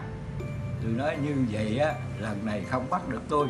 Từ từ đây sắp tới không còn bắt tôi nữa. Tôi biết cái cái mối quan hệ này rồi. Tôi biết cái chỗ trọng yếu này rồi. Thì không dễ gì bắt tôi nữa đâu. Rồi tôi mở mắt ra. Rồi tôi đi vô bình thường đó như vậy đó. Bởi vì ngài thanh sĩ nói á kêu bằng cái người mà kiến tánh rồi đó tây phương ký hiệu diêm phù rút tên. Tất nhiên là cái tên mình ghi ở tây phương rồi cho nên nó cõi diêm phù này sẽ bôi tên mình không còn tên nữa. Sau này không có bắt tôi nữa. Dạ dạ. Thì đúng y ra như vậy đó. Thì đến cái năm mà à, ngoái đấy hen tức là ngày mùng 5 tháng 9 hồi năm ngoái đó thì có định tây phương xuống đời. Có hai người sứ của thượng đế nghĩa là trên đầu có hào quang hai người nữ mà đẹp mặt mày sắc rỡ. Dạ. Rồi xuống nói với tôi là báo tin cho ông biết bữa mùng 9 đó bữa mùng 5 đó ừ, bữa mùng 5 đó, tháng 9 thì là ông được mãn cái duyên cõi trần mà rước về tây phương. Tại vì ông tu đúng cái hạnh của như lai có di đà với thánh chúng qua rước. Và bên đây thì có thượng đế chính từng mây nhạc trỗi tiêu thiều và có ánh hào quang rực rỡ đưa đó. Ông là người tu đắc pháp chứ không phải tưởng thần bắt. Mới rành tới vậy á. Kêu luôn hai đêm. dạ thì tôi mới nghĩ rằng mình đi giảng đạo 8 năm có mấy chục ngàn người ta nghe theo người ta tu. Mình hứa để giúp người ta tới nơi tới chốn rồi bây giờ người ta mới nửa vòng trong về tây phương sung sướng rồi bỏ cái người này làm sao. Dạ. Tôi nghĩ như vậy thì tôi mới nói với hai người sứ. Tôi nói nhờ hai vị tâu với công bà thượng đế và đức phật tổ xin cho tôi quản lại. Tôi làm xong bổn phận đưa những người duyên tới nơi rồi tôi mới về tây phương. Thầy về lập hội tôi theo thầy về luôn đó, nói như vậy rồi mà không biết người ta có cho hay không? Dạ. Tôi cầu nguyện luôn hai đêm. Dạ. Thì qua cái đêm đó, đó tôi mới mời một số anh em đồng đạo lại đây với mấy đứa cháu tôi dặn ở nhà. Đặng coi có người ta rước đặng biết chứ để người ta rước bất tử đâu có ai biết. Thì cái đêm đó không có xuống rước nó đặc biệt đó mới kể từ đó đó. Thì đức thầy mới khai sáng cho tôi. Tôi vừa nói pháp được vừa trị bệnh được. Dạ. Mà vừa nâng cấp cho anh em tu hành được luôn. Dạ mấy người tu rớt lên rớt xuống tôi xin cho là tôi không rớt. Mấy người ăn chay không nổi tôi xin cho ăn chay được. Mấy người lỡ ghiền rượu ghiền thuốc để tiền tôi cũng bỏ cho được luôn. Dạ dạ. Nâng cấp lên tu 5 năm nữa 10 năm nữa mới thành tôi giúp cho tu 5 năm khỏi tới 10 năm. Cái trường hợp đó là cái ân huệ thầy cho chứ không phải tôi rồi tôi tôi làm gì là được mấy chuyện đó. Cái chuyện đó của Phật trời chứ không phải của mình. Đó rồi đến cái bữa không rước thấy không? Rồi cái một bữa đó tôi ngồi tôi nói chuyện gì nè. Tôi ngồi nói chuyện với đứa cháu trong nhà. Tôi Dạ. nói hồi đó cậu hai ông nói đó cái người mà kiến tánh rồi đó là thiên đế cũng mà triệu hồi sứ giả. Dạ. Diêm chúa cũng triệu hồi sứ giả thiên thần còn đem lễ cúng dường.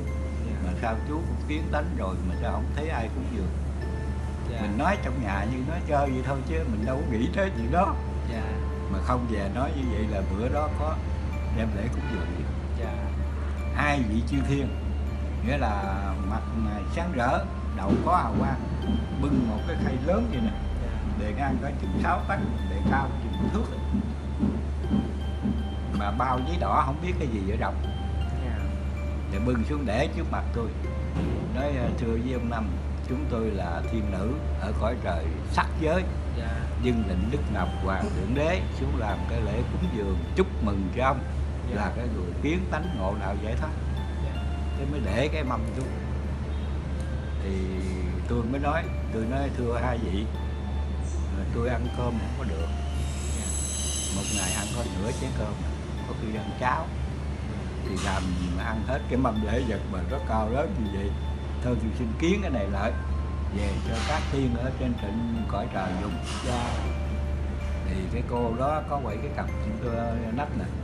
Mới móc ở trong cái cặp ra một cái khăn lau. Dạ. Khăn bàn á. Dạ. Mới lau cái mặt tôi. Mà cái khăn đặc biệt lắm nha. Khăn lông mà nó mềm mà lau nó thơm nó dịu ở cõi trần không có cái đó đâu. Là cái mùi thơm nó rất là lạ thường phải không năm khi mà lau xong rồi đó mới xếp cái khăn để vô trong Dạ. túi rồi mới bắt đầu đó là móc ra cái hộp cái cao nó hơi lớn hơn cái hộp sữa bò mình chút cao hơn. Dạ. Thì múc ở trong hộp ra ba muỗng sữa anh chua. Dạ. Sữa giống như anh chua nó xanh cái màu trắng trắng vậy đó. Đổ vô miệng tôi uống nó cũng giống giống cái mùi anh chua vậy. dạ. Xong rồi nó mới lấy cái khăn lau trở lại một lần nữa. Rồi mới để khăn với ờ, cái hai người nói với tôi bây giờ làm cái lễ ờ, chúc mừng cho ông xong rồi. Giờ cho phép chư thiên xin kiếu rồi hai người biến biến người tôi cũng nghĩ rằng ờ, bay như ở trong phim mình để coi bay sao. Dạ. Nhưng mà biến mất rồi sao mới bay cái đó cũng cái cái hay. Là vì thời kỳ bây giờ mà bay mà thời cờ gì nó bắn tên lửa chết hết. Còn Dạ. gì Để biến mất người ta mới bay là mới phải không? À, rồi như vậy đó. Tháng. Bữa đó có anh em đồng đạo đông dạ. Tôi mới nói chuyện với anh em. Dạ. Tôi nói có một điều mà đức phật nói ở trong kinh. Tôi coi tôi thấy.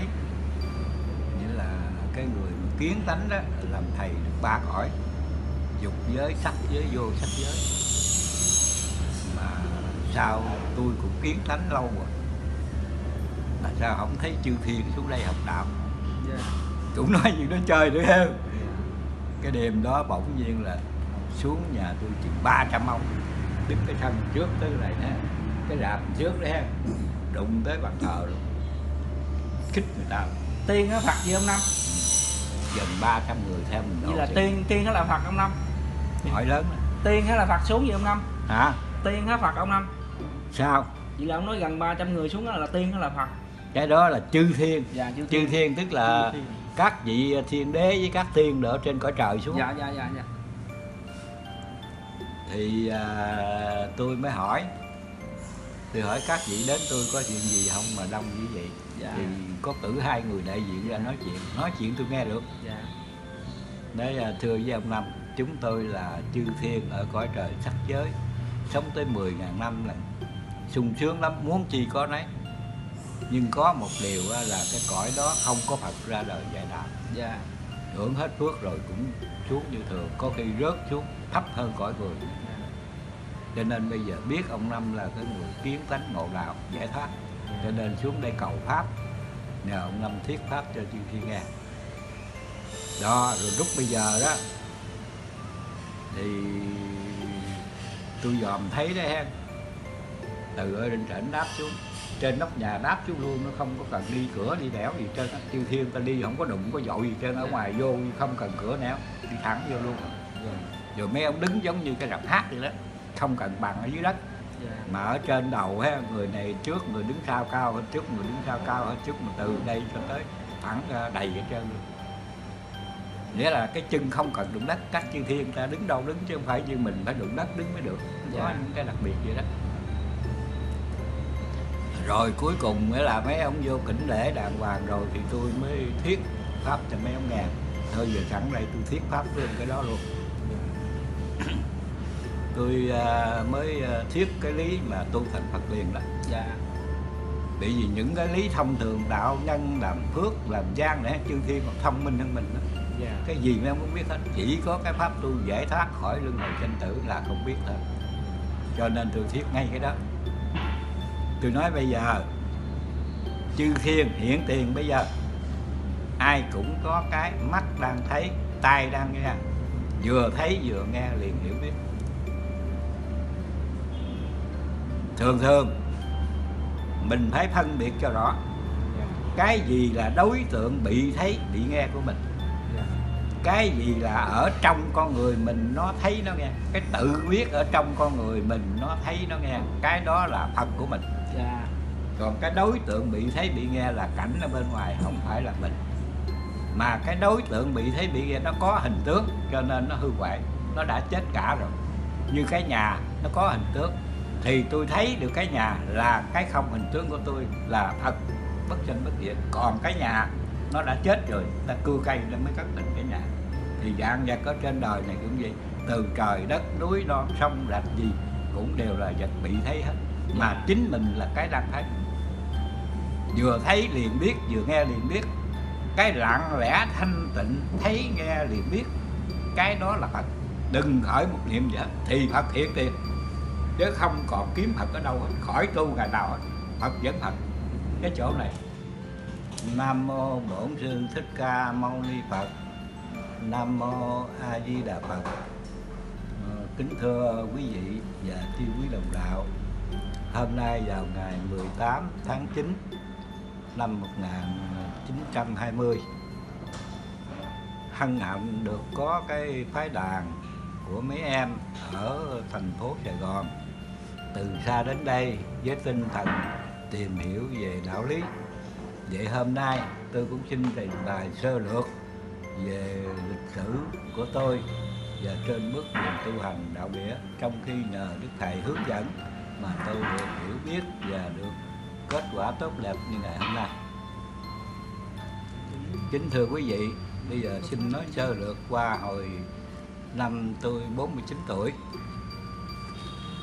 Theo có một đứa cháu nó đem cái sách số đó là số tôi tiểu số có 13 đại số 49 thì cái đêm đó, đó tôi có thấy tử thần đến nhà.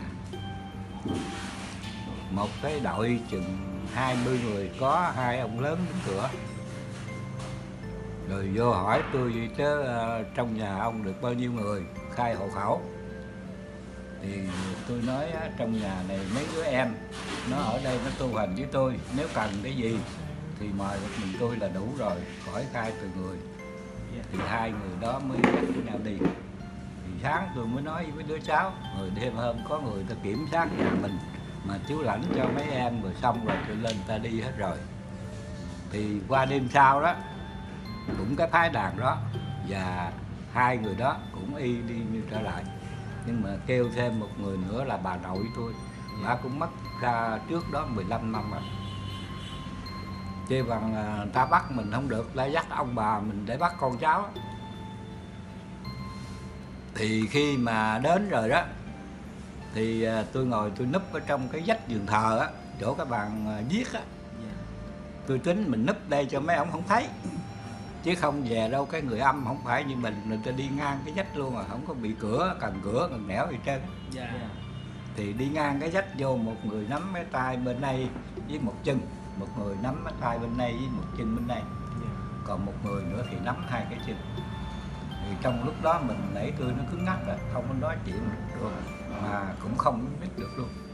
Nhưng mà tôi nói một điều quý vị nên nhớ dạ. là không động gì được cái biết hết. Mặc dù cái thân tôi bị ba người nắm cứng ngắc như vậy nhưng mà cái biết nó vẫn biết như thường không có dính dắt như cái biết. Cho nên chỗ quan trọng của mình tu muốn đắc đạo muốn giải thoát muốn thành phật muốn khỏi luân hồi sanh tử khỏi tử thần bắt cũng sống ngay cái biết này. Cái Dạ. chỗ này là hết sức quan trọng trong cái đạo phật đó. Dạ. Rồi cái tôi nhớ đức thầy nói lòng sáu chữ niệm không có ngất thì nặng tay cũng tác như không. Thì bắt đầu tôi niệm sáu chữ nam mô di phật. Tôi cầu nguyện nhờ đức thầy đức phật giúp con trong khi con mắc nạn. Như vậy là tôi niệm chừng 10 câu. Thì tự nhiên ba người đó cái tay rung hết trơn vậy nếu tôi không được. Dạ rồi buông tôi ra. Cái nói chuyện với hai người giữ cửa rồi kéo ra đi luôn. Thì trong khi đó tôi mới mở mắt ra tôi nói như vậy á, thì lần này mình nhờ niệm phật thành đồng mà đức thầy với đức phật gia hộ cho nó qua được rồi. Như vậy đó là lần lượt qua được 18 năm. Dạ. Năm tôi 49 tuổi đó thì tới năm 67 tuổi. Một lần thứ hai kỳ này kéo lại nhà tôi gần năm sáu chục người luôn. Dạ. Mà có mấy người ở trong xóm tôi chết từ 5 năm 10 năm 15 năm. Có trong đạo binh đó luôn những người đó biết tên tôi biết mặt tôi luôn. Như Rồi thành ra đi một đội chừng năm sáu chục người mà có hai ông lớn cũng như mặc đồ với hắc mậu vậy á đội mão rồi hết. Còn mấy người kia thì mặc đồ đen. Đi lại kiếm tôi á tôi ngồi ở cái ghế đằng trước đó. Kêu tên kêu họ tôi om sòm mà tôi nhắm mắt tôi vẫn thấy chứ không có ngủ. Tôi ngồi tôi nhắm mắt nó không có ngủ tôi nói á, hồi trước á một lần mắt tôi giờ niệm phật mà có phật có thầy gia hộ. Bây giờ tôi đã thấy được tự tánh rồi. Tôi sống cái tánh phật lặng trang không khởi vọng niệm. Giống y như đức phật ngồi gốc bồ đề yêu tinh nó không làm gì được. Bây giờ tôi cũng làm y như vậy. Coi mấy ông này làm sao? Thì nó đặc biệt một cái á mấy ông đi vòng vòng kiếm tôi gần một tiếng đồng hồ. Đi mà nghe gió thổi mát cái lưng luôn đó cái hơi mấy ông đi gió cái lưng luôn. Dạ. Mà không thấy tôi. Cuối cùng cái mấy ông ra hiệu với nhau cái kéo đi luôn. Thì tôi mở mắt ra. Tôi nói như vậy á lần này không bắt được tôi. Từ từ đây sắp tới không còn bắt tôi nữa. Tôi biết cái cái mối quan hệ này rồi. Tôi biết cái chỗ trọng yếu này rồi. Thì không dễ gì bắt tôi nữa đâu. Rồi tôi mở mắt ra. Rồi tôi đi vô bình thường. Đó như vậy đó bởi vì ngài thanh sĩ nói á kêu bằng cái người mà kiến tánh rồi đó tây phương ký hiệu diêm phù rút tên. Tất nhiên là cái tên mình ghi ở tây phương rồi cho nên nó cõi diêm phù này sẽ bôi tên mình không còn tên nữa sau này không có bắt tôi nữa. Dạ dạ. Thì đúng y ra như vậy đó. Thì đến cái năm mà à, ngoái đấy hen tức là ngày mùng 5 tháng 9 hồi năm ngoái đó thì có định tây phương xuống đòi có hai người sứ của thượng đế nghĩa là trên đầu có hào quang hai người nữ mà đẹp mặt mày sắc rỡ. Dạ. Rồi xuống nói với tôi là báo tin cho ông biết bữa mùng 9 đó bữa mùng 5 đó ừ, bữa mùng 5 đó, tháng 9 thì là ông được mãn cái duyên cõi trần mà rước về tây phương. Tại vì ông tu đúng cái hạnh của như lai có di đà với thánh chúng qua rước. Và bên đây thì có thượng đế chính từng mây nhạc trỗi tiêu thiều. Và có ánh hào quang rực rỡ đưa đó ông là người tu đắc pháp chứ không phải tử thần bắt. Nói Dạ. rành tới vậy á. Kêu luôn hai đêm thì tôi mới nghĩ rằng mình đi giảng đạo 8 năm có mấy chục ngàn người ta nghe theo người ta tu mình hứa để giúp người ta tới nơi tới chốn rồi bây giờ người ta mới nửa vòng trong về thì phương sung sướng rồi bỏ cái người này làm sao. Dạ. Tôi nghĩ như vậy thì tôi mới nói với hai người sứ tôi nói nhờ hai vị tâu với ông bà thượng đế và đức phật tổ xin cho tôi quản lại. Tôi làm xong bổn phận đưa những người duyên tới nơi rồi tôi mới về tây phương. Thầy về lập hội tôi theo thầy về luôn đó, thì nói như vậy rồi mà không biết người ta có cho hay không? Dạ. Tôi cầu nguyện luôn hai đêm. Dạ. Thì qua cái đêm đó, đó tôi mới mời một số anh em đồng đạo lại đây với mấy đứa cháu tôi dặn ở nhà đặng coi có người ta rước đặng biết chứ để người ta rước bất tử đâu có ai biết. Thì cái đêm đó không có xuống rước nó đặc biệt đó mới kể từ đó đó. Thì đức thầy mới khai sáng cho tôi. Tôi vừa nói pháp được vừa trị bệnh được. Dạ. Mà vừa nâng cấp cho anh em tu hành được luôn. Dạ mấy người tu rớt lên rất sướng tôi xin cho là tôi không rớt. Mấy người ăn chay không nổi tôi xin cho ăn chay được. Mấy người lỡ ghiền rượu ghiền thuốc để tiền tôi cũng bỏ cho được luôn. Dạ dạ. Nâng cấp lên tu 5 năm nữa 10 năm nữa mới thành tôi giúp cho tôi 5 năm khỏi tới 10 năm. Cái trường hợp đó là cái ân huệ thầy cho chứ không phải tôi rồi tôi tôi làm gì là được mấy chuyện đó. Cái chuyện đó của Phật trời chứ không phải của mình. Đó rồi đến cái bữa không rước thấy không? Rồi cái một bữa đó tôi ngồi tôi nói chuyện gì nè. Tôi ngồi nói chuyện với đứa cháu trong nhà. Tôi nói hồi đó cậu hai ông nói đó cái người mà kiến tánh rồi đó là thiên đế cũng mà triệu hồi sứ giả. Dạ. Diêm chúa cũng triệu hồi sứ giả thiên thần còn đem lễ cúng dường. Mà dạ sao chú cũng kiến tánh rồi mà sao không thấy ai cúng dường dạ. Mình nói trong nhà như nói chơi vậy thôi chứ mình đâu có nghĩ tới chuyện đó. Dạ. Mà không về nói như vậy là bữa đó có đem lễ cúng dường. Dạ. Hai vị chư thiên nghĩa là mặt sáng rỡ đầu có hào quang bưng một cái khay lớn vậy nè. Dạ. Bề ngang có chừng 6 tấc bề cao chừng thước. Mà bao giấy đỏ không biết cái gì ở trong dạ. Để bưng xuống để trước mặt tôi. Nói ờ, thưa với ông năm chúng tôi là thiên nữ ở cõi trời sắc giới. Dạ. Dân định đức ngọc hoàng thượng đế xuống làm cái lễ cúng dường chúc mừng cho ông Dạ. là cái người kiến tánh ngộ đạo giải thoát. Dạ. Thế mới để cái mâm xuống. Thì tôi mới nói tôi nói thưa hai vị tôi ăn cơm không có được. Dạ. Một ngày ăn có nửa chén cơm có khi ăn cháo. Thì làm ăn hết cái mâm lễ vật mà rất cao lớn như vậy thôi tôi xin kiến cái này lại. Về cho các tiên ở trên trịnh cõi trời dùng dạ thì cái cô đó có quậy cái cặp chúng tôi nách nè. Đi móc ở trong cái cặp ra một cái khăn lau. Dạ. Khăn bàn á. Dạ. Mới lau cái mặt tôi. Mà cái khăn đặc biệt lắm nha. Khăn lông mà nó mềm mà lau nó thơm nó dịu ở cõi trần không có cái đó đâu. Là cái mùi thơm nó rất là lạ thường phải không khi mà lau xong rồi đó mới xếp cái khăn để vô trong Dạ. túi rồi mới bắt đầu đó là móc ra cái hộp cái cao nó hơi lớn hơn cái hộp sữa bò mình chút cao hơn. Dạ. Thì múc ở trong hộp ra ba muỗng sữa anh xua dạ. Sữa giống như anh xua nó xanh cái màu trắng trắng vậy đó. Đổ vô miệng tôi uống ra cũng giống giống cái mùi anh xua vậy. dạ. Xong rồi nó mới lấy cái khăn lau trở lại một lần nữa. Rồi mới để khăn với ờ, cái ờ, muỗng với cái lon nó hai người nói với tôi bây giờ làm cái lễ ờ, chúc mừng cho ông xong rồi. Giờ cho phép chư thiên xin cứu rồi hai người biến biến mất hai người tôi cũng nghĩ rằng ờ, bay như ở trong phim mình để coi bay sao. Dạ. Nhưng mà biến mất rồi sao mới bay. Cái đó cũng cái cái hay. Là vì thời kỳ bây giờ mà bay mà thời cờ gì nó bắn tên lửa chết hết còn Dạ. gì. Để biến mất người ta mới bay là mới phải em dạ. Rồi như vậy đó tháng. Bữa đó có anh em đồng đạo đọc, tôi mới nói chuyện với anh em. Tôi nói có một điều mà đức phật nói ở trong kinh. Tôi coi tôi thấy. Như là cái người mà kiến tánh đó làm thầy được ba cõi. Dục giới sắc giới vô sắc giới.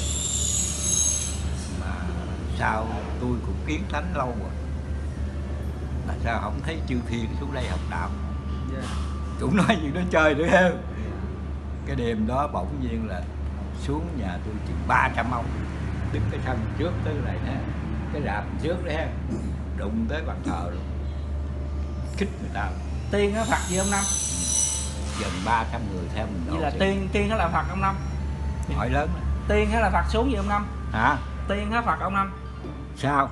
Vậy là ông nói gần 300 người xuống đó là tiên hay là phật cái đó là chư thiên. Dạ chư chư thiên tức là Chư thiên.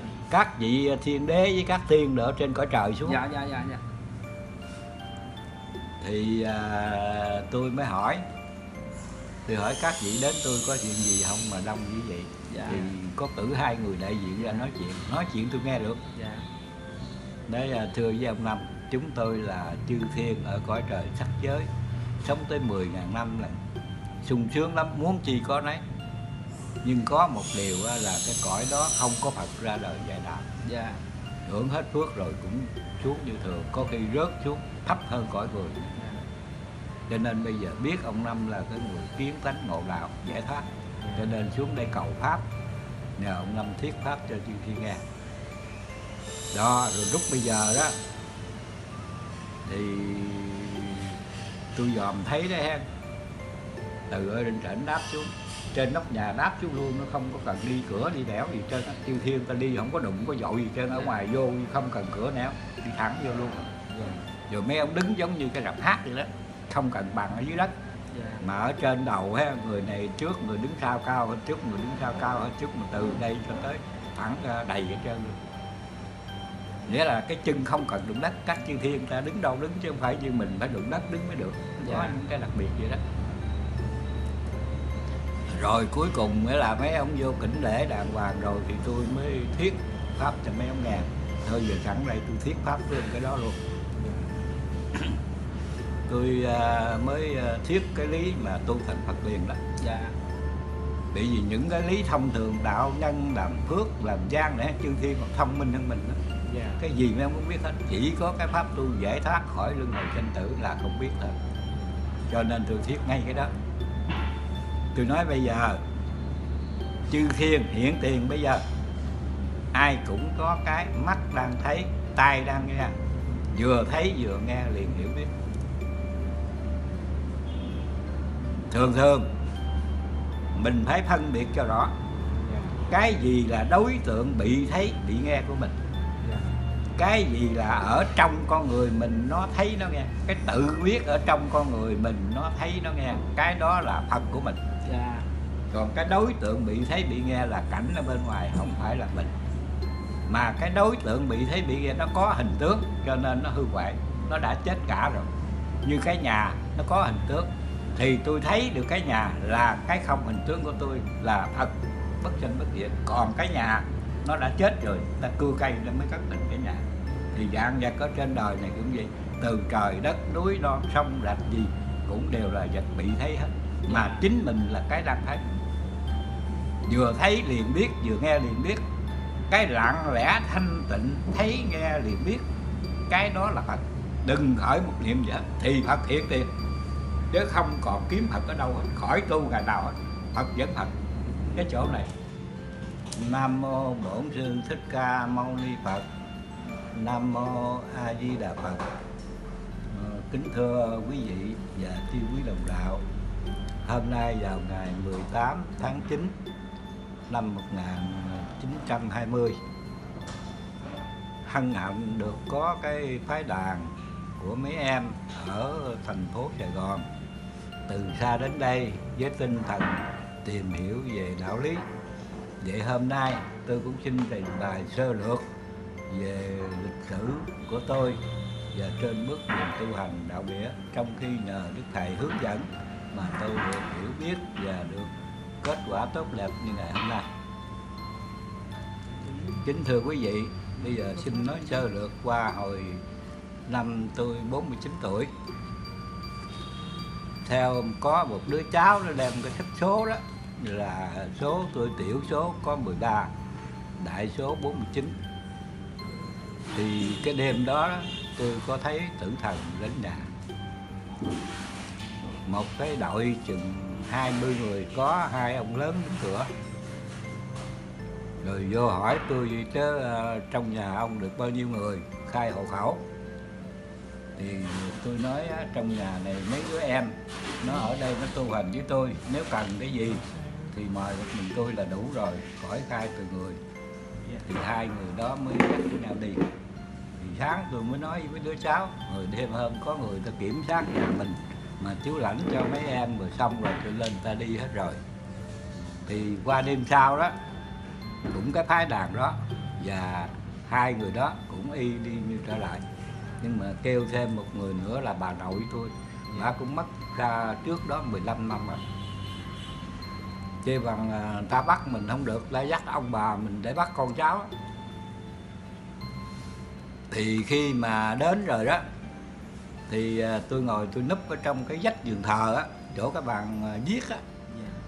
Tôi tính mình núp đây cho mấy ông không thấy. Chứ không về đâu cái người âm không phải như mình người ta đi ngang cái vách luôn à không có bị cửa cần cửa cần nẻo gì trơn. Dạ.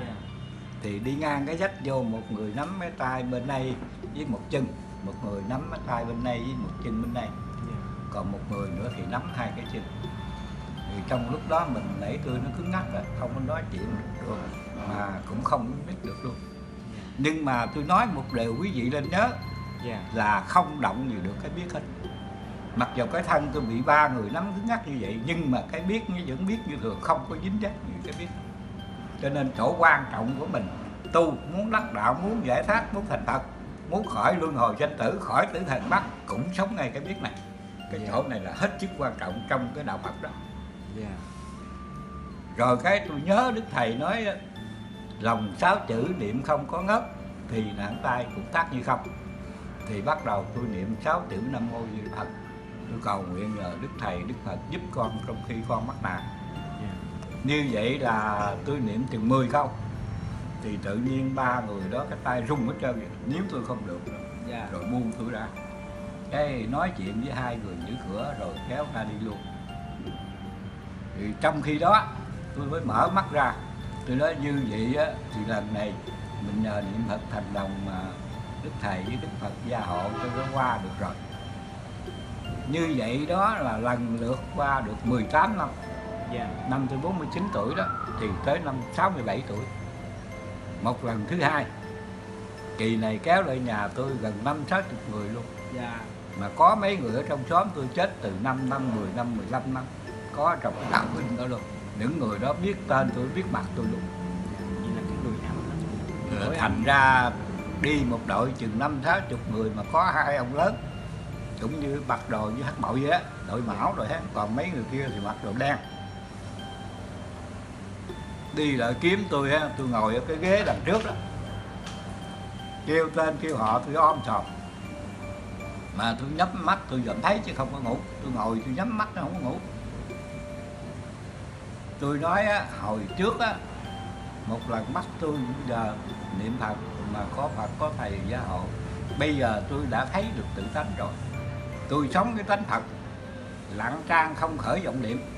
Giống y như đức phật ngồi gốc bồ đề yêu tinh nó không làm gì được. Bây giờ tôi cũng làm y như vậy. Coi mấy ông này làm sao? Thì nó đặc biệt một cái á mấy ông đi vòng vòng kiếm tôi gần một tiếng đồng hồ. Đi mà nghe gió thổi mát cái lưng luôn đó cái hơi mấy ông đi gió mát cái lưng luôn. Dạ. Mà không thấy tôi. Cuối cùng cái mấy ông ra hiệu với nhau cái ông kéo đi luôn. Thì tôi mở mắt ra. Tôi nói như vậy á lần này không bắt được tôi. Từ từ đây sắp tới không còn bắt tôi nữa. Tôi biết cái cái mối quan hệ này rồi tôi biết cái chỗ trọng yếu này rồi thì không dễ gì bắt tôi nữa đâu. Rồi tôi mở mắt ra rồi tôi đi vô bình thường. Đó như vậy đó bởi vì ngài thanh sĩ nói á kêu bằng cái người mà kiến tánh rồi đó tây phương ký hiệu diêm phù rút tên. Tất nhiên là cái tên mình ghi ở tây phương rồi cho nên nó cõi diêm phù này sẽ bôi tên mình không còn tên nữa sau này không có bắt tôi nữa. Dạ dạ. Thì đúng y chang như vậy đó. Thì đến cái năm mà à, ngoái đấy hen tức là ngày mùng 5 tháng 9 hồi năm ngoái đó thì có định tây phương xuống đời. Có hai người sứ của thượng đế nghĩa là trên đầu có hào quang hai người nữ mà đẹp mặt mày sắc rỡ dạ. Rồi xuống nói với tôi là báo tin cho ông biết bữa mùng 9 đó, bữa mùng 5 đó, ừ, bữa mùng 5 đó, tháng 9 thì là ông được mãn cái duyên cõi trần mà rước về Tây Phương. Tại vì ông tu đúng cái hạnh của Như Lai có di đà với thánh chúng qua rước. Và bên đây thì có thượng đế chính từng mây nhạc trỗi tiêu thiều. Và có ánh hào quang rực rỡ đưa đó ông là người tu đắc pháp chứ không phải tử thần bắt. Nói Dạ. rành tới vậy á. Kêu luôn hai đêm. Dạ. Thì tôi mới nghĩ rằng mình đi giảng đạo 8 năm có mấy chục ngàn người ta nghe theo người ta tu mình hứa để giúp người ta tới nơi tới chốn. Rồi bây giờ người ta mới nửa vòng trong về thì phương sung sướng rồi bỏ cái người này làm sao? Dạ. Tôi nghĩ như vậy thì tôi mới nói với hai người sứ tôi nói nhờ hai vị tâu với công bà thượng đế và đức phật tổ xin cho tôi quản lại. Tôi làm xong bổn phận đưa những người duyên tới nơi rồi tôi mới về tây phương. Thầy về lập hội tôi theo thầy về luôn. Dạ. Đó, thì nói như vậy rồi mà không biết người ta có cho hay không dạ. Tôi cầu nguyện luôn hai đêm. Dạ. Thì qua cái đêm đó, đó tôi mới mời một số anh em đồng đạo lại đây với mấy đứa cháu tôi dặn ở nhà. Đặng coi có người ta rước đặng biết chứ để người ta rước bất tử đâu có ai biết. Thì cái đêm đó không có xuống rước nó đặc biệt đó mới kể từ đó đó. Thì đức thầy mới khai sáng cho tôi. Tôi vừa nói pháp được vừa trị bệnh được. Dạ. Mà vừa nâng cấp cho anh em tu hành được luôn. Dạ. Dạ. Mấy người tu rớt lên rớt xuống tôi xin cho là tu không rớt mấy người ăn chay không nổi tôi xin cho ăn chay được. Mấy người lỡ ghiền rượu ghiền thuốc thì ấp tiện tôi cũng bỏ cho được luôn. Dạ dạ. Nâng cấp lên tu 5 năm nữa 10 năm nữa mới thành tôi giúp cho tu 5 năm khỏi tới 10 năm. Cái trường hợp đó là cái ân huệ thầy cho chứ không phải tôi rồi tôi, tôi làm gì là được mấy chuyện đó. Cái chuyện đó của Phật trời chứ không phải của mình. Đó rồi. Đến cái bữa không rước thấy không rồi cái một bữa đó tôi ngồi tôi nói chuyện vậy nè. Tôi ngồi nói chuyện với đứa cháu trong nhà. Tôi Dạ. nói hồi đó cậu hai ông nói đó cái người mà kiến tánh rồi đó là thiên đế cũng mà triệu hồi sứ giả. Dạ. Diêm chúa cũng triệu hồi sứ giả thiên thần còn đem lễ cúng dường. Mà sao chú cũng kiến tánh rồi mà sao không thấy ai cúng dường? Dạ. Mình nói trong nhà như nói chơi vậy thôi chứ mình đâu có nghĩ tới chuyện đó. Dạ mà không về nói như vậy là bữa đó có đem lễ cúng dường. Gì dạ. Hai vị chư thiên nghĩa là mặt sáng rỡ đầu có hào quang bưng một cái khay lớn vậy nè. Dạ. Bề ngang có chừng 6 tấc bề cao chừng thước. Mà bao giấy đỏ không biết cái gì ở đâu. Dạ. Để bưng xuống để trước mặt tôi. Nói thưa với ông năm chúng tôi là thiên nữ ở cõi trời sắc giới. Dạ dân lệnh đức ngọc hoàng thượng đế xuống làm cái lễ cúng dường chúc mừng cho ông là cái người kiến tánh ngộ đạo giải thoát. Dạ. Thế mới để cái mâm xuống. Thì tôi mới nói tôi nói thưa hai vị ờ, tôi ăn cơm không có được. Một ngày ăn có nửa chén cơm có khi ăn cháo. Thì làm mà ăn hết cái mâm lễ vật mà rất cao lớn như vậy. Thôi tôi xin kiến cái này lại về cho các tiên ở trên trịnh cõi trời dùng. Dạ. Thì cái cô đó có quậy cái cặp chúng tôi nách nè. Mới móc ở trong cái cặp ra một cái khăn lau. Dạ. Khăn bàn á. Dạ. Mới lau cái mặt tôi. Mà cái khăn đặc biệt lắm nha. Khăn lông mà nó mềm mà lau nó thơm nó dịu ở cõi trần không có cái đó đâu. Là cái mùi thơm nó rất là lạ thường phải không khi mà lau xong rồi đó mới xếp cái khăn để vô trong Dạ. túi rồi mới bắt đầu là móc ra cái hộp cái cao nó hơi lớn hơn cái hộp sữa bò mình chút cao hơn. Dạ. Thì múc ở trong hộp ra ba muỗng sữa anh chua. Dạ. Sữa giống với anh chua nó xanh cái màu trắng trắng vậy đó. Đổ vô miệng tôi uống nó cũng giống giống cái mùi anh chua vậy. dạ. Xong rồi nó mới lấy cái khăn lau trở lại một lần nữa.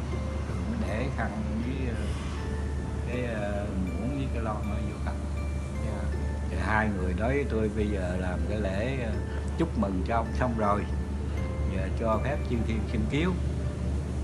Rồi hai người biến biến mất hai người biết. Tôi cũng nghĩ rằng ờ, bay như ở trong phim mình để coi bay sao. Dạ. Nhưng mà biến mất rồi sao mới bay. Cái đó cũng cái cái hay. Là vì thời kỳ bây giờ mà bay mà thời cờ gì nó bắn tên lửa chết hết còn Dạ. gì. Biến mất người ta mới bay là mới phải em dạ à, rồi như vậy đó. Tháng. Bữa đó có anh em đồng đạo đông dạ. Tôi mới nói chuyện với anh em. Dạ. Tôi nói có một điều mà đức phật nói ở trong kinh. Tôi coi tôi thấy. Nghĩa là cái người mà kiến tánh đó làm thầy được ba cõi. Dục giới sắc giới vô sắc giới. Mà sao tôi cũng kiến tánh lâu rồi mà sao không thấy chư thiên xuống đây học đạo? Dạ. Cũng nói như nó chơi nữa ha cái đêm đó bỗng nhiên là xuống nhà tôi chừng 300 ông đứng cái sân trước tới này nè cái rạp trước đấy ha đụng tới bàn thờ luôn. Khích người ta. Tiên á phật gì ông năm? Gần 300 người theo mình vậy là xuống. tiên tiên á là phật ông năm. Hỏi lớn tiên á là phật xuống gì ông năm? Hả? Tiên á phật ông năm. Sao? Vậy là ông nói gần 300 người xuống là tiên á là phật cái đó là chư thiên. Dạ chư chư thiên. tức là thiên. các vị thiên đế với các thiên ở trên cõi trời xuống. Dạ dạ dạ dạ. Thì à, tôi mới hỏi. Tôi hỏi các vị đến tôi có chuyện gì không mà đông như vậy? Dạ. thì có cử hai người đại diện ra nói chuyện. Nói chuyện tôi nghe được. Dạ. Đấy là thưa với ông năm chúng tôi là chư thiên ở cõi trời sắc giới. Sống tới 10.000 năm lần sung sướng lắm. Muốn chi có nấy nhưng có một điều là cái cõi đó không có Phật ra đời dạy đạo dạ. Hưởng hết phước rồi cũng xuống như thường có khi rớt xuống thấp hơn cõi người. Cho nên bây giờ biết ông năm là cái người kiến tánh ngộ đạo giải thoát. Cho nên xuống đây cầu pháp. Nhờ ông năm thiết pháp cho chư thiên nghe đó rồi lúc bây giờ đó thì tôi dòm thấy đấy ha. Từ ở trên trển đáp xuống trên nóc nhà đáp xuống luôn nó không có cần đi cửa đi đẻo gì trên chư thiên ta đi không có đụng có dội gì trên ở ngoài vô không cần cửa néo đi thẳng vô luôn. Rồi mấy ông đứng giống như cái rạp hát vậy đó không cần bằng ở dưới đất. Mà ở trên đầu ha người này trước người đứng sau cao hơn trước người đứng sau cao hơn trước mà từ đây cho tới thẳng ra đầy ở trên luôn.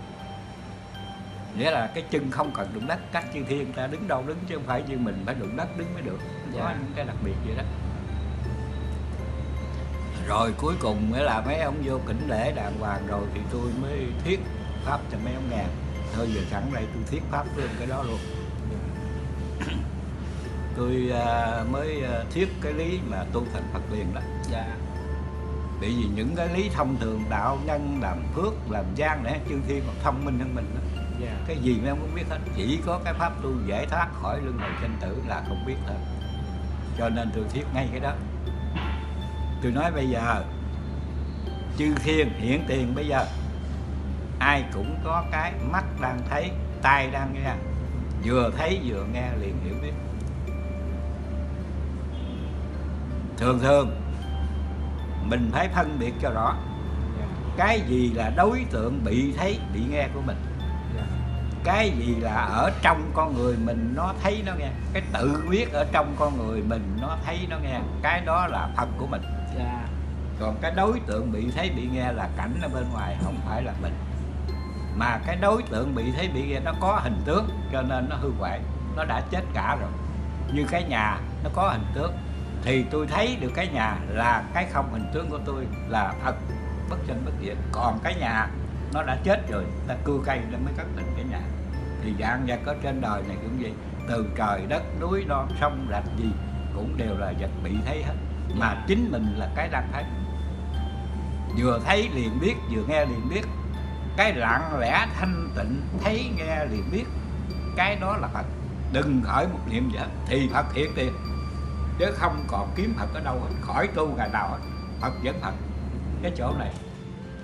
Nam mô bổn sư thích ca mâu ni phật. Nam mô a di đà phật.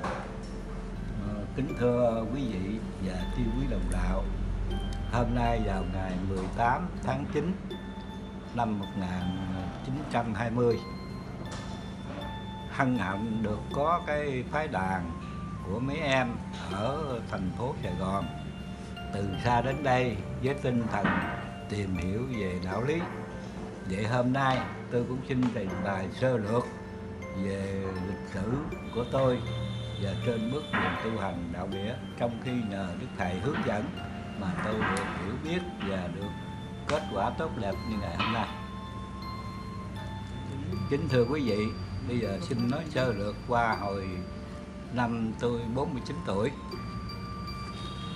Theo có một đứa cháu nó đem cái sách số đó là số tôi tiểu số có 13 đại số 49 thì cái đêm đó, đó tôi có thấy tử thần đến nhà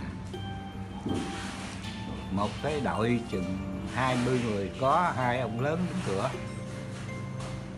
Rồi vô hỏi tôi vậy chứ ờ, trong nhà ông được bao nhiêu người? Khai hộ khẩu.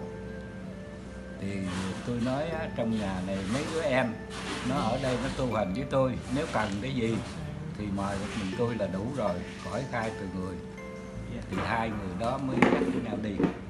Thì sáng tôi mới nói với đứa cháu, rồi đêm hôm có người ta kiểm soát nhà mình mà chú lãnh cho mấy em rồi xong rồi tôi lên ta đi hết rồi. Thì qua đêm sau đó, cũng cái phái đàn đó và hai người đó cũng y đi như trở lại. Nhưng mà kêu thêm một người nữa là bà nội tôi. Bà cũng mất ra trước đó 15 năm rồi. Chê bằng à, ta bắt mình không được lại dắt ông bà mình để bắt con cháu. Thì khi mà đến rồi đó thì à, tôi ngồi tôi núp ở trong cái vách giường thờ á chỗ cái bàn à, viết á. Tôi tính mình núp đây cho mấy ông không thấy. Chứ không về đâu cái người âm không phải như mình người ta đi ngang cái dách luôn à không có bị cửa cần cửa cần nẻo gì trơn. Dạ. Thì đi ngang cái dách vô một người nắm cái tay bên đây với một chân một người nắm cái tay bên đây với một chân bên đây. Dạ. Còn một người nữa thì nắm hai cái chân. Thì trong lúc đó mình nãy tôi nó cứng ngắc rồi không có nói chuyện được mà cũng không biết được luôn. Nhưng mà tôi nói một điều quý vị nên nhớ dạ. là không động gì được cái biết hết. Mặc dù cái thân tôi bị ba người nắm cứng ngắc như vậy nhưng mà cái biết nó vẫn biết như thường không có dính dắt như cái biết. Cho nên chỗ quan trọng của mình tu muốn đắc đạo muốn giải thoát muốn thành phật muốn khỏi luân hồi sanh tử khỏi tử thần bắt cũng sống ngay cái biết này. Cái Dạ. chỗ này là hết sức quan trọng trong cái đạo Phật đó. Dạ. Rồi cái tôi nhớ đức thầy nói lòng sáu chữ niệm không có ngất thì nạn tay cũng tác như không. Thì bắt đầu tôi niệm sáu chữ nam mô di Đà phật. Tôi cầu nguyện nhờ đức thầy đức phật giúp con trong khi con mắc nạn. Như vậy là tôi niệm chừng 10 câu. Thì tự nhiên ba người đó cái tay rung hết trơn vậy nếu tôi không được rồi buông tôi ra.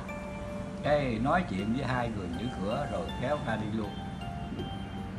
Thì trong khi đó tôi mới mở mắt ra tôi nói như vậy á thì lần này mình nhờ niệm phật thành lòng mà đức thầy với đức phật gia hộ cho nó qua được rồi.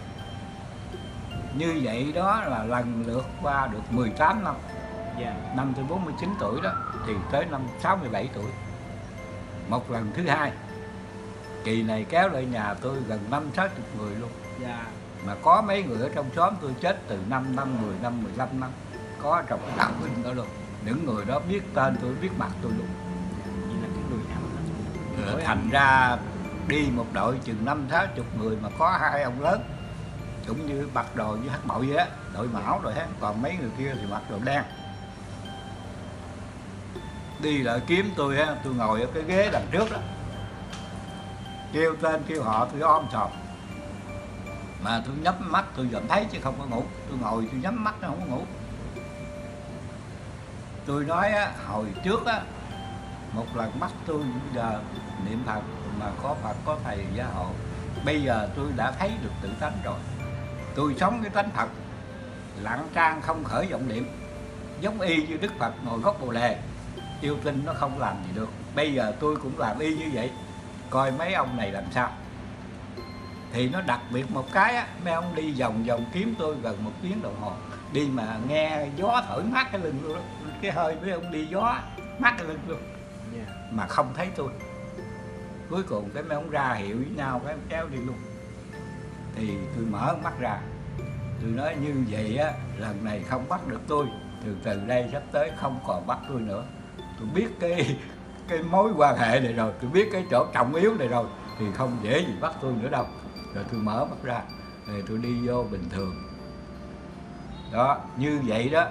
Bởi vì ngài thanh sĩ nói á kêu bằng cái người mà kiến tánh rồi đó tây phương ký hiệu diêm phù rút tên. Tất nhiên là cái tên mình ghi ở tây phương rồi cho nên nó cõi diêm phù này sẽ bôi tên mình không còn tên nữa. Sau này không có bắt tôi nữa. Dạ dạ. Thì đúng y ra như vậy đó. Thì đến cái năm mà à, ngoái đấy hen tức là ngày mùng 5 tháng 9 hồi năm ngoái đó thì có định tây phương xuống đời. Có hai người sứ của thượng đế nghĩa là trên đầu có hào quang hai người nữ mà đẹp mặt mày sắc rỡ. Dạ. Rồi xuống nói với tôi là báo tin cho ông biết bữa mùng 9 đó bữa mùng 5 đó ừ, bữa mùng 5 đó, tháng 9 thì là ông được mãn cái duyên cõi trần mà rước về tây phương. Tại vì ông tu đúng cái hạnh của như lai có di đà với thánh chúng qua rước. Và bên đây thì có thượng đế chính từng mây nhạc trỗi tiêu thiều và có ánh hào quang rực rỡ đưa đó ông là người tu đắc pháp chứ không phải tử thần bắt. Nói Dạ. rành tới vậy á. Kêu luôn hai đêm thì tôi mới nghĩ rằng mình đi giảng đạo 8 năm có mấy chục ngàn người ta nghe theo người ta tu mình hứa để giúp người ta tới nơi tới chốn. Rồi bây giờ người ta mới nửa dòng sông về tây phương sung sướng rồi bỏ cái người này làm sao? Dạ. Tôi nghĩ như vậy thì tôi mới nói với hai người sứ tôi nói nhờ hai vị tâu với cục bà thượng đế và đức phật tổ xin cho tôi quản lại. Tôi làm xong bổn phận đưa những người duyên tới nơi rồi tôi mới về tây phương. Thầy về lập hội tôi theo thầy về luôn Đó, nói như vậy rồi mà không biết người ta có cho hay không? Dạ. Tôi cầu nguyện luôn hai đêm. Dạ. Thì qua cái đêm đó, đó tôi mới mời một số anh em đồng đạo lại đây với mấy đứa cháu tôi dặn ở nhà. Đặng coi có người ta rước đặng biết chứ để người ta rước bất tử đâu có ai biết. Thì cái đêm đó không có xuống rước nó đặc biệt đó mới kể từ đó đó. Thì đức thầy mới khai sáng cho tôi. Tôi vừa nói pháp được vừa trị bệnh được. Dạ. Mà vừa nâng cấp cho anh em tu hành được luôn. Dạ mấy người tu rớt lên rớt xuống tôi xin cho là tôi không rớt. Mấy người ăn chay không nổi tôi xin cho ăn chay được. Mấy người lỡ ghiền rượu ghiền thuốc ép thiệt tôi cũng bỏ cho được luôn. Dạ dạ. Nâng cấp lên tu 5 năm nữa 10 năm nữa mới thành tôi giúp cho tu 5 năm khỏi tới 10 năm. Cái trường hợp đó là cái ân huệ thầy cho chứ không phải tôi rồi tôi tôi làm gì là được mấy chuyện đó. Cái chuyện đó của Phật trời chứ không phải của mình. Đó rồi đến cái bữa không rước thấy không? Rồi cái một bữa đó tôi ngồi tôi nói chuyện gì nè. Tôi ngồi nói chuyện với đứa cháu trong nhà. Tôi nói hồi đó cậu hai ông nói đó. Cái người mà kiến tánh rồi đó là thiên đế cũng mà triệu hồi sứ giả. Dạ. Diêm chúa cũng triệu hồi sứ giả thiên thần còn đem lễ cúng dường. Mà sao chú cũng kiến tánh rồi mà sao không thấy ai cúng dường dạ. Mình nói trong nhà như nói chơi vậy thôi chứ mình đâu có nghĩ tới chuyện đó. Dạ. Mà không về nói như vậy là bữa đó có đem lễ cúng dường. Dạ. Hai vị chư thiên nghĩa là mặt mà sáng rỡ đầu có hào quang bưng một cái khay lớn vậy nè. Bề ngang có chừng 6 tấc bề cao chừng thước. Mà bao giấy đỏ không biết cái gì ở trong dạ. Thì bưng xuống để trước mặt tôi. Nói thưa với ông năm chúng tôi là thiên nữ ở cõi trời sắc giới. Dạ. Dân định đức ngọc hoàng thượng đế xuống làm cái lễ cúng dường chúc mừng cho ông. Dạ. là cái người kiến tánh ngộ giải thoát. Dạ. Thế mới để cái mâm xuống. Thì tôi mới nói tôi nói thưa hai vị tôi ăn cơm không có được. Một ngày ăn có nửa chén cơm có khi ăn cháo. Thì làm ăn hết cái mâm lễ vật mà rất cao lớn như vậy thôi tôi xin kiến cái này lại. Về cho các tiên ở trên trịnh cõi trời dùng dạ thì cái cô đó có quậy cái cặp chúng tôi nắp nè. Mới móc ở trong cái cặp ra một cái khăn lao dạ. Khăn bàn á. Dạ. Mới lau cái mặt tôi. Mà cái khăn đặc biệt lắm nha. Khăn lông mà nó mềm mà lau nó thơm mà nó dịu ở cõi trần không có cái đó đâu. Dạ cái mùi thơm nó rất là lạ thường phải không năm khi mà lau xong rồi đó mới xếp cái khăn để vô trong Dạ. túi rồi mới bắt đầu là móc ra cái hộp cái cao nó hơi lớn hơn cái hộp có sữa bò mình chút cao hơn. Dạ. Thì múc ở trong hộp ra ba muỗng sữa anh chua. Dạ. Sữa giống như anh chua nó xanh cái màu trắng trắng vậy đó đổ vô miệng tôi uống nó cũng giống giống cái mùi anh chua vậy. dạ. Xong rồi nó mới lấy cái khăn lau trở lại một lần nữa. Rồi mới để khăn với ờ, cái hai người nói với tôi bây giờ làm cái lễ ờ, chúc mừng cho ông xong rồi. Giờ cho phép chư thiên xin cứu. Rồi hai người biến biến mất. Hai người tôi cũng nghĩ rằng ờ, bay như ở trong phim mình để coi bay làm sao. Dạ. Nhưng mà biến mất rồi ta mới bay. Cái đó cũng cái cái hay. Là vì thời kỳ bây giờ mà bay mà thời cờ gì nó bắn tên lửa chết hết còn Dạ. gì. Để biến mất người ta mới bay là mới phải không À, rồi như vậy đó. Tháng. Bữa đó có anh em đồng đạo đông. Tôi mới nói chuyện với anh em. Tôi nói có một điều á, mà đức phật nói ở trong kinh. Tôi coi tôi thấy. Nghĩa là cái người kiến tánh đó làm thầy được ba cõi. Dục giới sắc giới vô sắc giới. Mà sao tôi cũng kiến tánh lâu rồi? Mà sao không thấy chư thiên xuống đây học đạo? Dạ cũng nói như nó chơi nữa ha cái đêm đó bỗng nhiên là xuống nhà tôi chừng 300 ông đứng cái thân trước tới này nè cái rạp trước đấy đụng tới bàn thờ luôn. Khích người ta tiên hay phật gì ông năm? Gần 300 người theo mình vậy là độ tiên tiên hay là phật ông năm. Hỏi lớn đó. tiên hay là phật xuống gì ông năm? Hả? Tiên hay phật ông năm. Sao? Vậy là ông nói gần 300 người xuống đó là tiên hay là phật cái đó là chư thiên. Dạ chư chư thiên. tức là thiên. các vị thiên đế với các thiên ở trên cõi trời xuống. Dạ dạ dạ dạ. Thì à, tôi mới hỏi. Tôi hỏi các vị đến tôi có chuyện gì không mà đông như vậy? Dạ. thì có cử hai người đại diện ra nói chuyện. Nói chuyện tôi nghe được. Dạ. Đấy à, thưa với ông Năm chúng tôi là chư thiên ở cõi trời sắc giới.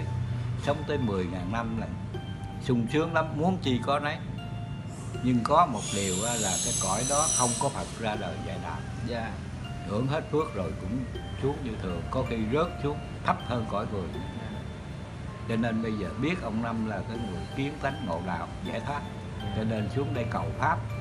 Nhờ ông Năm thuyết pháp cho chư thiên nghe. Đó rồi lúc bây giờ đó thì tôi dòm thấy đấy hen, từ ở trên trển đáp xuống trên nóc nhà đáp xuống luôn nó không có cần đi cửa đi đẻo gì trên chư thiên ta đi không có đụng có dội gì trên ở ngoài vô không cần cửa nẻo đi thẳng vô luôn. Rồi mấy ông đứng giống như cái rạp hát vậy đó không cần bằng ở dưới đất. Dạ. Mà ở trên đầu ha người này trước người đứng sau cao hơn trước người đứng sau cao hơn trước mà từ đây cho tới thẳng ra đầy ở trơn luôn. Nghĩa là cái chân không cần đụng đất các chư thiên ta đứng đâu đứng chứ không phải như mình phải đụng đất đứng mới được. Có Dạ. những cái đặc biệt vậy đó rồi cuối cùng nghĩa là mấy ông vô kính lễ đàng hoàng rồi thì tôi mới thuyết pháp cho mấy ông nghe thôi giờ sẵn đây tôi thuyết pháp luôn cái đó luôn. Tôi à, mới à, thuyết cái lý mà tu thành Phật liền đó. Dạ. Bởi vì những cái lý thông thường đạo nhân làm phước làm gian để chư thiên còn thông minh hơn mình đó. dạ. Cái gì mấy ông cũng biết hết. Chỉ có cái pháp tu giải thoát khỏi luân hồi sinh tử là không biết thôi. Cho nên tôi thuyết ngay cái đó tôi nói bây giờ, chư thiên hiện tiền bây giờ, ai cũng có cái mắt đang thấy, tai đang nghe. Vừa thấy vừa nghe liền hiểu biết. Thường thường, mình phải phân biệt cho rõ cái gì là đối tượng bị thấy, bị nghe của mình. Cái gì là ở trong con người mình nó thấy nó nghe. Cái tự biết ở trong con người mình nó thấy nó nghe. Cái đó là phật của mình ra còn cái đối tượng bị thấy bị nghe là cảnh ở bên ngoài không phải là mình. Mà cái đối tượng bị thấy bị nghe nó có hình tướng cho nên nó hư hoại, nó đã chết cả rồi. Như cái nhà, nó có hình tướng thì tôi thấy được cái nhà là cái không hình tướng của tôi là thật. Bất sinh bất diệt. Còn cái nhà, nó đã chết rồi, ta cưa cây nó mới cất định cái nhà. Thì dạng vật có trên đời này cũng vậy. Từ trời đất, núi non, sông, rạch gì cũng đều là vật bị thấy hết mà chính mình là cái đang thấy. Vừa thấy liền biết, vừa nghe liền biết. Cái lặng lẽ thanh tịnh, thấy nghe liền biết. Cái đó là phật. Đừng khởi một niệm gì hết, thì phật hiện tiền chứ không còn kiếm phật ở đâu hết, khỏi tu ngày nào hết. Phật vẫn phật. Cái chỗ này. Nam mô bổn sư thích ca mâu ni phật. Nam mô a di đà phật. Ờ, kính thưa quý vị và chư quý đồng đạo hôm nay vào ngày 18 tháng 9 năm 1920 hân hạnh được có cái phái đoàn của mấy em ở thành phố Sài Gòn từ xa đến đây với tinh thần tìm hiểu về đạo lý. Vậy hôm nay tôi cũng xin trình bày sơ lược về lịch sử của tôi và trên bước đường tu hành đạo nghĩa trong khi nhờ đức thầy hướng dẫn mà tôi được hiểu biết và được kết quả tốt đẹp như ngày hôm nay. Kính thưa quý vị, bây giờ xin nói sơ lược qua hồi năm tôi 49 tuổi. Theo có một đứa cháu nó đem cái sách số đó, là số tôi tiểu số có 13 đại số 49 thì cái đêm đó, tôi có thấy tử thần đến nhà một cái đội chừng 20 người có hai ông lớn đứng cửa. Rồi vô hỏi tôi chứ ờ, trong nhà ông được bao nhiêu người? Khai hộ khẩu. Thì tôi nói á, trong nhà này mấy đứa em nó ở đây nó tu hành với tôi nếu cần cái gì thì mời một mình tôi là đủ rồi khỏi khai từ người. Thì hai người đó mới dắt với nhau đi. Thì sáng tôi mới nói với đứa cháu rồi đêm hôm có người ta kiểm soát nhà mình mà chú lãnh cho mấy em rồi xong rồi tôi lên ta đi hết rồi. Thì qua đêm sau đó, cũng cái phái đàn đó và hai người đó cũng y đi như trở lại. Nhưng mà kêu thêm một người nữa là bà nội tôi. Bà cũng mất ra trước đó 15 năm rồi. Chê bằng à, ta bắt mình không được lại dắt ông bà mình để bắt con cháu. Thì khi mà đến rồi đó thì à, tôi ngồi tôi núp ở trong cái vách giường thờ á chỗ cái bàn à, viết á. Dạ. Tôi tính mình núp đây cho mấy ông không thấy. Chứ không về đâu cái người âm không phải như mình người ta đi ngang cái vách luôn à không có bị cửa cần cửa cần nẻo gì trơn. Dạ. Thì đi ngang cái vách vô một người nắm cái tay bên đây với một chân một người nắm cái tay bên đây với một chân bên đây. Dạ. Còn một người nữa thì nắm hai cái chân. Thì trong lúc đó mình nãy tôi nó cứng ngắc rồi không có nói chuyện được mà cũng không biết được luôn.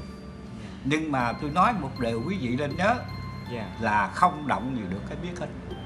Mặc dù cái thân tôi bị ba người nắm cứng ngắc như vậy nhưng mà cái biết nó vẫn biết như thường không có dính dáng gì cái biết. Cho nên chỗ quan trọng của mình tu muốn đắc đạo muốn giải thoát muốn thành phật muốn khỏi luân hồi sanh tử khỏi tử thần bắt cũng sống ngay cái biết này.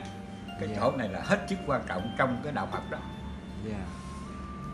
Rồi cái tôi nhớ đức thầy nói lòng sáu chữ niệm không có ngất thì nạn tay cũng tác như không. Thì bắt đầu tôi niệm sáu chữ nam mô di Đà phật. Tôi cầu nguyện nhờ đức thầy đức phật giúp con trong khi con mắc nạn. Như vậy là tôi niệm chừng 10 câu. Thì tự nhiên ba người đó cái tay rung hết trơn vậy nếu tôi không được. Nữa. dạ rồi buông tôi ra. Cái nói chuyện với hai người giữ cửa rồi kéo ra đi luôn. Thì trong khi đó tôi mới mở mắt ra tôi nói như vậy á, thì lần này mình nhờ niệm phật thành đồng mà đức thầy với đức phật gia hộ cho nó qua được rồi. Như vậy đó là lần lượt qua được 18 năm. Dạ. Năm tôi 49 tuổi đó thì tới năm 67 tuổi. Một lần thứ hai. Kỳ này kéo lại nhà tôi gần năm sáu chục người luôn. Dạ. Mà có mấy người ở trong xóm tôi chết từ 5 năm 10 năm 15 năm. Có trong cái đạo huynh đó luôn những người đó biết tên tôi biết mặt tôi luôn. Ờ, thành ra đi một đội chừng năm sáu chục người mà có hai ông lớn cũng như mặc đồ với hát bội vậy á đội mão rồi hết. Còn mấy người kia thì mặc đồ đen. Đi lại kiếm tôi á tôi ngồi ở cái ghế đằng trước đó. Kêu tên kêu họ tôi om sòm mà tôi nhắm mắt tôi vẫn thấy chứ không có ngủ. Tôi ngồi tôi nhắm mắt nó không có ngủ tôi nói á, hồi trước á một lần mắt tôi giờ niệm phật mà có phật có thầy gia hộ. Bây giờ tôi đã thấy được tự tánh rồi. Tôi sống cái tánh phật lặng trang không khởi vọng niệm. Giống y như đức phật ngồi gốc bồ đề yêu tinh nó không làm gì được. Bây giờ tôi cũng làm y như vậy. Coi mấy ông này làm sao? Thì nó đặc biệt một cái á mấy ông đi vòng vòng kiếm tôi gần một tiếng đồng hồ. Đi mà nghe gió thổi mát cái lưng luôn đó cái hơi mấy ông đi gió cái lưng luôn. Dạ. Mà không thấy tôi. Cuối cùng cái mấy ông ra hiệu với nhau cái kéo đi luôn. Thì tôi mở mắt ra. Tôi nói như vậy á lần này không bắt được tôi. Từ từ đây sắp tới không còn bắt tôi nữa. Tôi biết cái cái mối quan hệ này rồi. Tôi biết cái chỗ trọng yếu này rồi. Thì không dễ gì bắt tôi nữa đâu. Rồi tôi mở mắt ra. Rồi tôi đi vô bình thường. Đó như vậy đó bởi vì ngài thanh sĩ nói á kêu bằng cái người mà kiến tánh rồi đó tây phương ký hiệu diêm phù rút tên. Tất nhiên là cái tên mình ghi ở tây phương rồi cho nên nó cõi diêm phù này sẽ bôi tên mình không còn tên nữa. Sau này không có bắt tôi nữa. Dạ dạ. Thì đúng y ra như vậy đó. Thì đến cái năm mà à, ngoái đấy hen Dạ. tức là ngày mùng 5 tháng 9 hồi năm ngoái đó thì có định tây phương xuống đời. Có hai người sứ của thượng đế nghĩa là trên đầu có hào quang hai người nữ mà đẹp mặt mày sắc rỡ. Dạ. Rồi xuống nói với tôi là báo tin cho ông biết bữa mùng 9 đó bữa mùng 5 đó ừ, bữa mùng 5 đó, tháng 9 thì nghĩa là ông được mãn cái duyên cõi trần mà rước về Tây Phương. Tại vì ông tu đúng cái hạnh của Như Lai có di đà với thánh chúng qua rước. Và bên đây thì có thượng đế chính từng mây nhạc trỗi tiêu thiều. Và có ánh hào quang rực rỡ đưa đó ông là người tu đắc pháp chứ không phải tử thần bắt. Nói Dạ. rành tới vậy á. Kêu luôn hai đêm thì tôi mới nghĩ rằng mình đi giảng đạo 8 năm có mấy chục ngàn người ta nghe theo người ta tu. Mình hứa để giúp người ta tới nơi tới chốn rồi bây giờ người ta mới nửa dòng sông về tây phương sung sướng rồi bỏ cái người này làm sao. Dạ. Tôi nghĩ như vậy thì tôi mới nói với hai người sứ tôi nói nhờ hai vị tâu với công bà thượng đế và đức phật tổ xin cho tôi quản lại. Tôi làm xong bổn phận đưa những người duyên tới nơi rồi tôi mới về tây phương. Thầy về lập hội tôi theo thầy về luôn dạ. Nói như vậy rồi mà không biết người ta có cho hay không? Dạ. Tôi cầu nguyện luôn hai đêm. Dạ. Thì qua cái đêm đó, đó tôi mới mời một số anh em đồng đạo lại đây với mấy đứa cháu tôi dặn ở nhà đặng coi có người ta rước đặng biết chứ để người ta rước bất tử đâu có ai biết. Thì cái đêm đó không có xuống rước nó đặc biệt đó mới kể từ đó đó. Thì đức thầy mới khai sáng cho tôi. Tôi vừa nói pháp được vừa trị bệnh được. Dạ. Mà vừa nâng cấp cho anh em tu hành được luôn. Dạ mấy người tu rớt lên rớt xuống tôi xin cho là tôi không rớt. Mấy người ăn chay không nổi tôi xin cho ăn chay được. Mấy người lỡ ghiền rượu ghiền thuốc ghiền tiền tôi cũng bỏ cho được luôn. Dạ dạ. Nâng cấp lên tu 5 năm nữa 10 năm nữa mới thành tôi giúp cho tu 5 năm khỏi tới 10 năm. Cái trường hợp đó là cái ân huệ thầy cho chứ không phải tôi à tôi tôi làm gì là được mấy chuyện đó. Cái chuyện đó của Phật trời chứ không phải của mình. Đó rồi đến cái bữa không rước thấy không? Rồi cái một bữa đó tôi ngồi tôi nói chuyện gì nè. Tôi ngồi nói chuyện với đứa cháu trong nhà.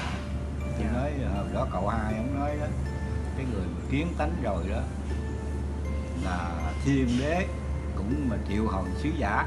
Dạ. Diêm chúa cũng triệu hồi sứ giả thiên thần còn đem lễ cúng dường. Mà sao chú cũng kiến tánh rồi mà sao không thấy ai cúng dường? dạ mình nói trong nhà như nói chơi vậy thôi chứ mình đâu có nghĩ tới chuyện đó. Dạ. Mà không về nói như vậy là bữa đó có đem lễ cúng dường. Dạ. Hai vị chư thiên nghĩa là mặt mày sáng rỡ đầu có hào quang bưng một cái khay lớn vậy nè. Dạ. Bề ngang có chừng 6 tấc bề cao chừng thước.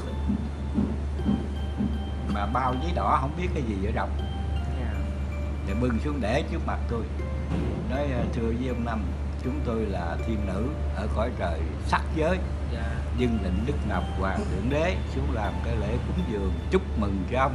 Dạ. là cái người kiến tánh ngộ đạo giải thoát. Dạ. Thế mới để cái mâm xuống. Thì tôi mới nói tôi nói thưa hai vị tôi ăn cơm không có được.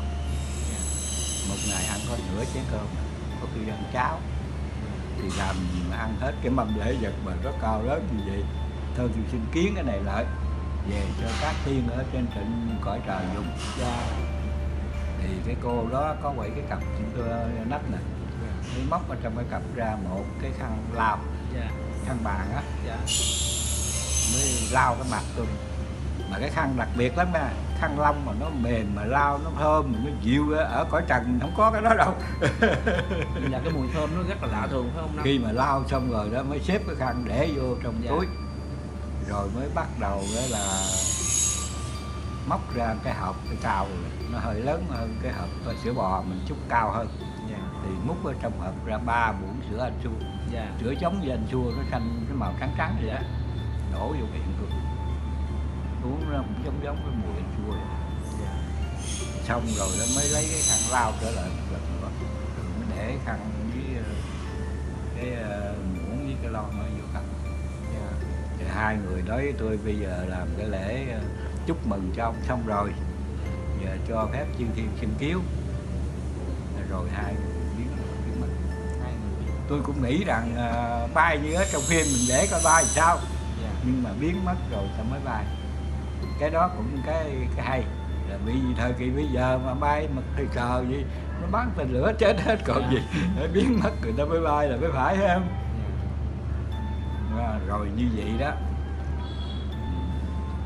Tháng bữa đó có anh em đồng đạo đông tôi mới nói chuyện với anh em. Tôi nói có một điều á, mà đức phật nói ở trong kinh. Tôi coi tôi thấy. Nghĩa là cái người mà kiến tánh đó làm thầy được ba cõi. Dục giới sắc giới vô sắc giới. Mà sao tôi cũng kiến tánh lâu rồi? Mà sao không thấy chư thiên xuống đây học đạo? Dạ. Cũng nói gì nó chơi nữa ha cái đêm đó bỗng nhiên là xuống nhà tôi chừng 300 ông đứng cái thân trước tới này nè cái rạp trước đấy ha đụng tới bàn thờ luôn. Khích người ta. Tiên á phật gì ông năm? Gần 300 người theo mình vậy là tiên tiên á là phật ông năm. Hỏi lớn đó. tiên á là phật xuống gì ông năm? Hả? Tiên á phật ông năm. Sao?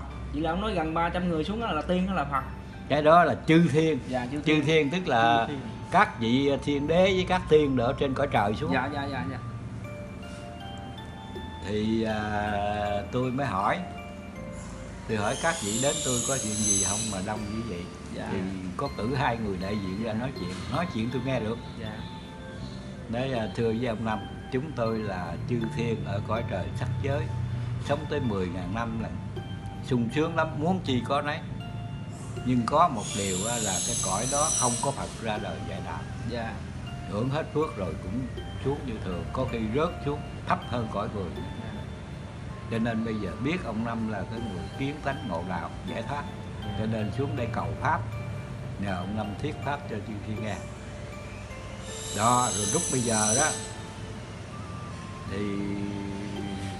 tôi dòm thấy đấy ha từ ở trên trển đáp xuống trên nóc nhà đáp xuống luôn nó không có cần đi cửa đi đẻo gì trên chư thiên ta đi không có đụng có dội gì trên ở ngoài vô không cần cửa nẻo đi thẳng vô luôn. Rồi mấy ông đứng giống như cái rạp hát vậy đó không cần bằng ở dưới đất. Dạ. Mà ở trên đầu ha người này trước người đứng sau cao hơn trước người đứng sau cao hơn trước mà từ đây cho tới thẳng ra đầy ở trơn luôn. Nghĩa là cái chân không cần đụng đất các chư thiên ta đứng đâu đứng chứ không phải như mình phải đụng đất đứng mới được. Có Dạ. những cái đặc biệt vậy đó rồi cuối cùng nghĩa là mấy ông vô kính lễ đàng hoàng rồi thì tôi mới thuyết pháp cho mấy ông nghe thôi giờ sẵn đây tôi thuyết pháp luôn cái đó luôn. Tôi à, mới à, thuyết cái lý mà tu thành Phật liền đó. Dạ. Bởi vì những cái lý thông thường đạo nhân làm phước làm gian để chư thiên còn thông minh hơn mình đó. dạ. Cái gì mấy ông cũng biết hết. Chỉ có cái pháp tu giải thoát khỏi luân hồi sinh tử là không biết thôi. Cho nên tôi thuyết ngay cái đó tôi nói bây giờ, chư thiên hiện tiền bây giờ, ai cũng có cái mắt đang thấy, tai đang nghe, vừa thấy vừa nghe liền hiểu biết. Thường thường, mình phải phân biệt cho rõ, cái gì là đối tượng bị thấy, bị nghe của mình. Cái gì là ở trong con người mình nó thấy nó nghe, cái tự biết ở trong con người mình nó thấy nó nghe, cái đó là phật của mình còn cái đối tượng bị thấy bị nghe là cảnh ở bên ngoài không phải là mình. Mà cái đối tượng bị thấy bị nghe nó có hình tướng cho nên nó hư hoại, nó đã chết cả rồi. Như cái nhà, nó có hình tướng thì tôi thấy được cái nhà là cái không hình tướng của tôi là thật, bất sinh bất diệt còn cái nhà, nó đã chết rồi, ta cưa cây nó mới cất định cái nhà. Thì dạng vật ở trên đời này cũng vậy, từ trời đất núi non sông rạch gì cũng đều là vật bị thấy hết.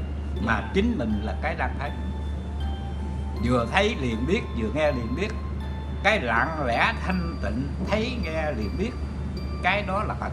Đừng khởi một niệm gì hết, thì phật hiện tiền chứ không còn kiếm phật ở đâu hết, khỏi tu ngày nào hết, phật vẫn phật. Cái chỗ này. Nam mô bổn sư thích ca mâu ni phật.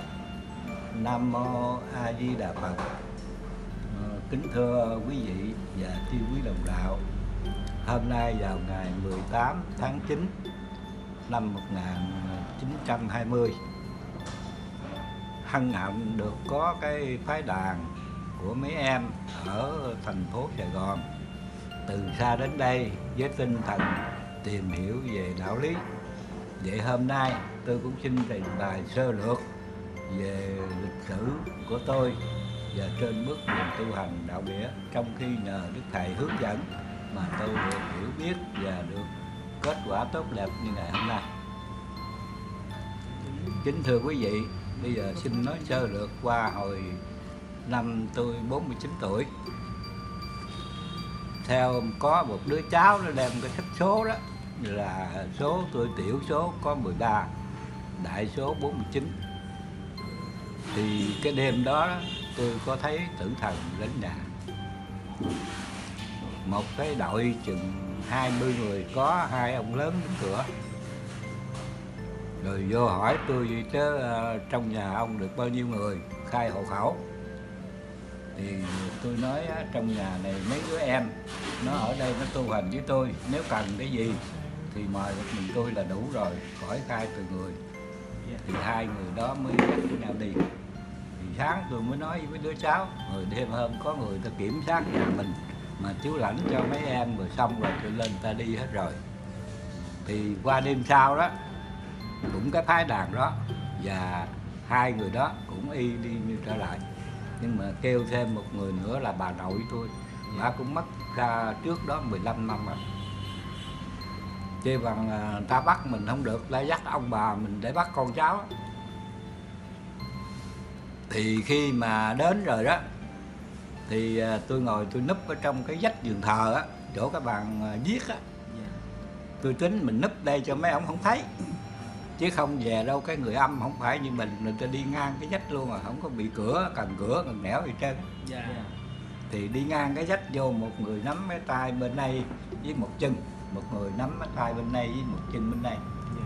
còn một người nữa thì nắm hai cái chân. Thì trong lúc đó mình nãy tôi nó cứng ngắc rồi không có nói chuyện được. luôn mà cũng không biết được luôn nhưng mà tôi nói một điều quý vị nên nhớ Dạ. là không động gì được cái biết hết mặc dù cái thân tôi bị ba người nắm cứng ngắc như vậy nhưng mà cái biết nó vẫn biết như thường không có dính dắt gì cái biết cho nên chỗ quan trọng của mình tu muốn đắc đạo muốn giải thoát muốn thành phật muốn khỏi luân hồi sanh tử khỏi tử thần bắt cũng sống ngay cái biết này cái Dạ. chỗ này là hết sức quan trọng trong cái đạo phật đó Dạ. rồi cái tôi nhớ đức thầy nói lòng sáu chữ niệm không có ngất thì nặng tay cũng tác như không. Thì bắt đầu tôi niệm sáu chữ nam mô di phật. Tôi cầu nguyện nhờ đức thầy đức phật giúp con trong khi con mắc nạn. Như vậy là tôi niệm chừng 10 câu. Thì tự nhiên ba người đó cái tay rung hết trơn vậy. Nếu tôi không được Dạ. rồi buông tôi ra. Cái nói chuyện với hai người giữ cửa rồi kéo ra đi luôn. Thì trong khi đó tôi mới mở mắt ra tôi nói như vậy á thì lần này mình nhờ niệm phật thành lòng mà đức thầy với đức phật gia hộ cho nó qua được rồi. Như vậy đó là lần lượt qua được 18 năm. Dạ. năm tôi 49 tuổi đó thì tới năm 67 tuổi. Một lần thứ hai kỳ này kéo lại nhà tôi gần năm sáu chục người luôn. Dạ. mà có mấy người ở trong xóm tôi chết từ 5 năm 10 năm 15 năm có trong đạo binh đó luôn những người đó biết tên tôi biết mặt tôi luôn. Đối thành ra đi một đội chừng năm sáu chục người mà có hai ông lớn cũng như mặc đồ như hắc bội vậy á đội mão rồi hết. Còn mấy người kia thì mặc đồ đen.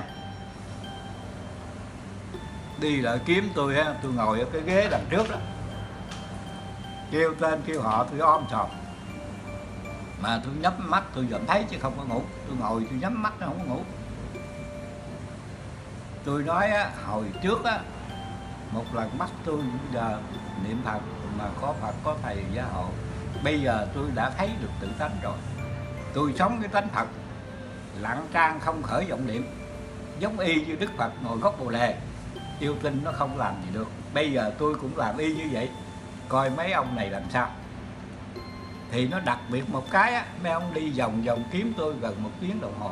Đi mà nghe gió thổi mát cái lưng luôn đó cái hơi mấy ông đi gió mát cái lưng luôn. Dạ. mà không thấy tôi. Cuối cùng cái mấy ông ra hiệu với nhau cái kéo đi luôn. Thì tôi mở mắt ra. Tôi nói như vậy á lần này không bắt được tôi. Từ từ đây sắp tới không còn bắt tôi nữa. Tôi biết cái cái mối quan hệ này rồi tôi biết cái chỗ trọng yếu này rồi thì không dễ gì bắt tôi nữa đâu. Rồi tôi mở mắt ra rồi tôi đi vô bình thường. Đó như vậy đó bởi vì ngài thanh sĩ nói á kêu bằng cái người mà kiến tánh rồi đó tây phương ký hiệu diêm phù rút tên tất nhiên là cái tên mình ghi ở tây phương rồi cho nên nó cõi diêm phù này sẽ bôi tên mình không còn tên nữa sau này không có bắt tôi nữa Dạ. Dạ. thì đúng y ra như vậy đó thì đến cái năm mà à, ngoái đấy hen tức là ngày mùng 5 tháng 9 hồi năm ngoái đó thì có định tây phương xuống đời. Có hai người sứ của thượng đế nghĩa là trên đầu có hào quang hai người nữ mà đẹp mặt mày sắc rỡ. Dạ. rồi xuống nói với tôi là báo tin cho ông biết bữa mùng 9 đó bữa mùng 5 đó ừ, bữa mùng 5 đó, tháng 9 thì là ông được mãn cái duyên cõi trần mà rước về tây phương. Tại vì ông tu đúng cái hạnh của như lai có di đà với thánh chúng qua rước. Và bên đây thì có thượng đế chính từng mây nhạc trỗi tiêu thiều và có ánh hào quang rực rỡ đưa đó ông là người tu đắc pháp chứ không phải tưởng thần bắt. Nói rành tới vậy á kêu luôn hai đêm. Dạ. Thì tôi mới nghĩ rằng mình đi giảng đạo 8 năm có mấy chục ngàn người ta nghe theo người ta tu mình hứa để giúp người ta tới nơi tới chốn. Rồi bây giờ người ta mới nửa vòng trong về tây phương sung sướng rồi bỏ cái người này làm sao? Dạ. Tôi nghĩ như vậy thì tôi mới nói với hai người sứ tôi nói nhờ hai vị tâu với công bà thượng đế và đức phật tổ xin cho tôi quản lại. Tôi làm xong bổn phận đưa những người duyên tới nơi rồi tôi mới về tây phương thầy về lập hội tôi theo thầy về luôn. Dạ. Đó, thì nói như vậy rồi mà không biết người ta có cho hay không dạ. Tôi cầu nguyện luôn hai đêm. Dạ. Thì qua cái đêm đó, đó tôi mới mời một số anh em đồng đạo lại đây với mấy đứa cháu tôi dặn ở nhà. Đặng coi có người ta rước đặng biết chứ để người ta rước bất tử đâu có ai biết. Thì cái đêm đó không có xuống rước nó đặc biệt đó mới kể từ đó đó thì đức thầy mới khai sáng cho tôi. Tôi vừa nói pháp được vừa trị bệnh được dạ. mà vừa nâng cấp cho anh em tu hành được luôn. Dạ. Mấy người tu rớt lên rớt xuống tôi xin cho là tôi không rớt mấy người ăn chay không nổi tôi xin cho ăn chay được. Mấy người lỡ viền rượu viền thuốc ép tiền tôi cũng bỏ cho được luôn. Dạ dạ. Nâng cấp lên tu 5 năm nữa 10 năm nữa mới thành tôi giúp cho tu 5 năm khỏi tới 10 năm. Cái trường hợp đó là cái ân huệ thầy cho chứ không phải tôi rồi tôi tôi làm gì là được mấy chuyện đó. Cái chuyện đó của Phật trời chứ không phải của mình. Đó rồi. Đến cái bữa không rước thấy không rồi cái một bữa đó tôi ngồi tôi nói chuyện gì nè. Tôi ngồi nói chuyện với đứa cháu trong nhà. Tôi nói hồi đó cậu hai ông nói đó cái người mà kiến tánh rồi đó là thiên đế cũng mà triệu hồi sứ giả. Dạ. Diêm chúa cũng triệu hồi sứ giả thiên thần còn đem lễ cúng dường. Mà sao chúa cũng kiến tánh rồi mà sao không thấy ai cúng dường? Dạ. Mình nói trong nhà như nói chơi vậy thôi chứ mình đâu có nghĩ tới chuyện đó. Dạ mà không về nói như vậy là bữa đó có đem lễ cúng dường dạ. Hai vị chư thiên nghĩa là mặt sáng rỡ đầu có hào quang bưng một cái khay lớn vậy nè. Dạ. Bề ngang có chừng 6 tấc bề cao chừng thước. Mà bao giấy đỏ không biết cái gì ở trong. Dạ. Để bưng xuống để trước mặt tôi. Nói thưa với ông năm chúng tôi là thiên nữ ở cõi trời sắc giới. Dạ dân lệnh đức ngọc hoàng thượng đế xuống làm cái lễ cúng dường chúc mừng cho ông là cái người kiến tánh ngộ đạo giải thoát. Dạ. Thế mới để cái mâm xuống. Thì tôi mới nói tôi nói thưa hai vị tôi ăn cơm không có được. Một ngày ăn có nửa chén cơm có khi ăn cháo. Thì làm gì mà ăn hết cái mâm lễ vật mà rất cao lớn như vậy. Thôi tôi xin kiến cái này lại về cho các tiên ở trên trịnh cõi trời dùng. Dạ.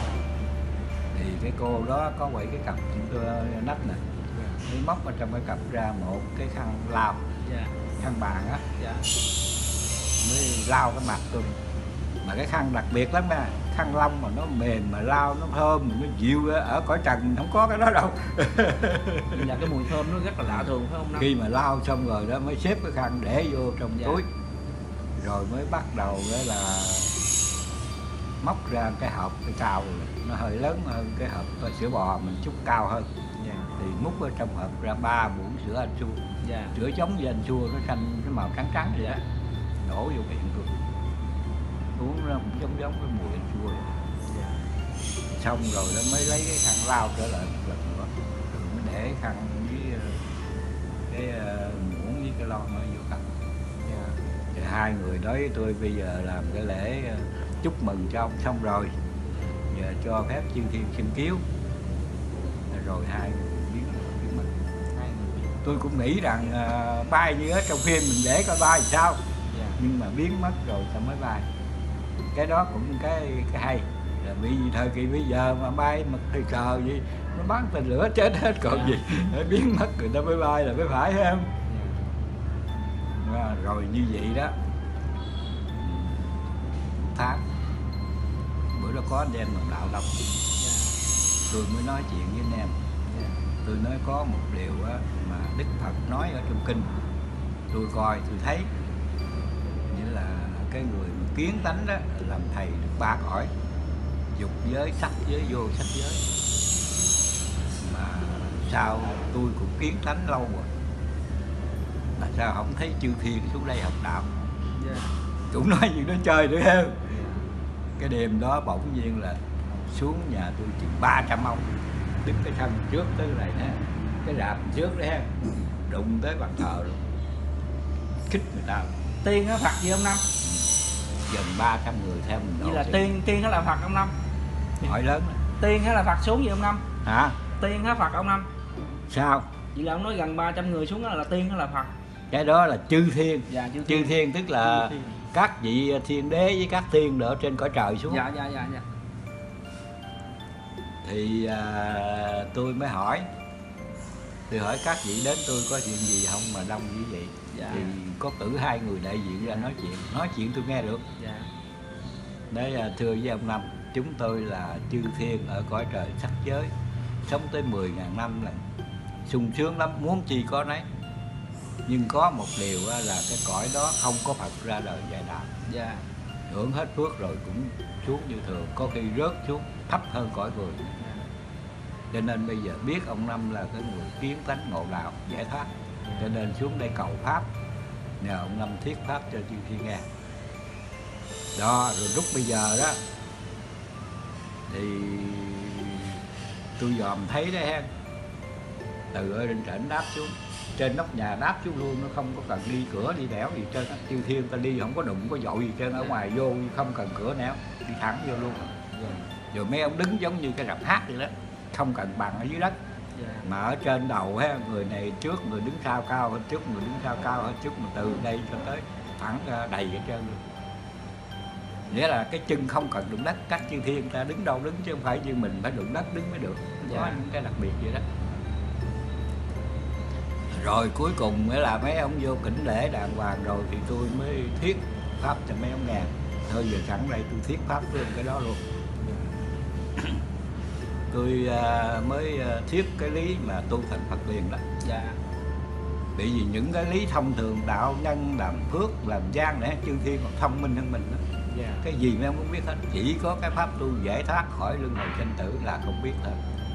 Cho nên tôi thuyết ngay cái đó tôi nói bây giờ, chư thiên hiện tiền bây giờ, ai cũng có cái mắt đang thấy, tai đang nghe. Vừa thấy vừa nghe liền hiểu biết. Thường thường, mình phải phân biệt cho rõ cái gì là đối tượng bị thấy, bị nghe của mình. Cái gì là ở trong con người mình nó thấy nó nghe. Cái tự biết ở trong con người mình nó thấy nó nghe. Cái đó là phật của mình dạ. Còn cái đối tượng bị thấy bị nghe là cảnh ở bên ngoài, không phải là mình.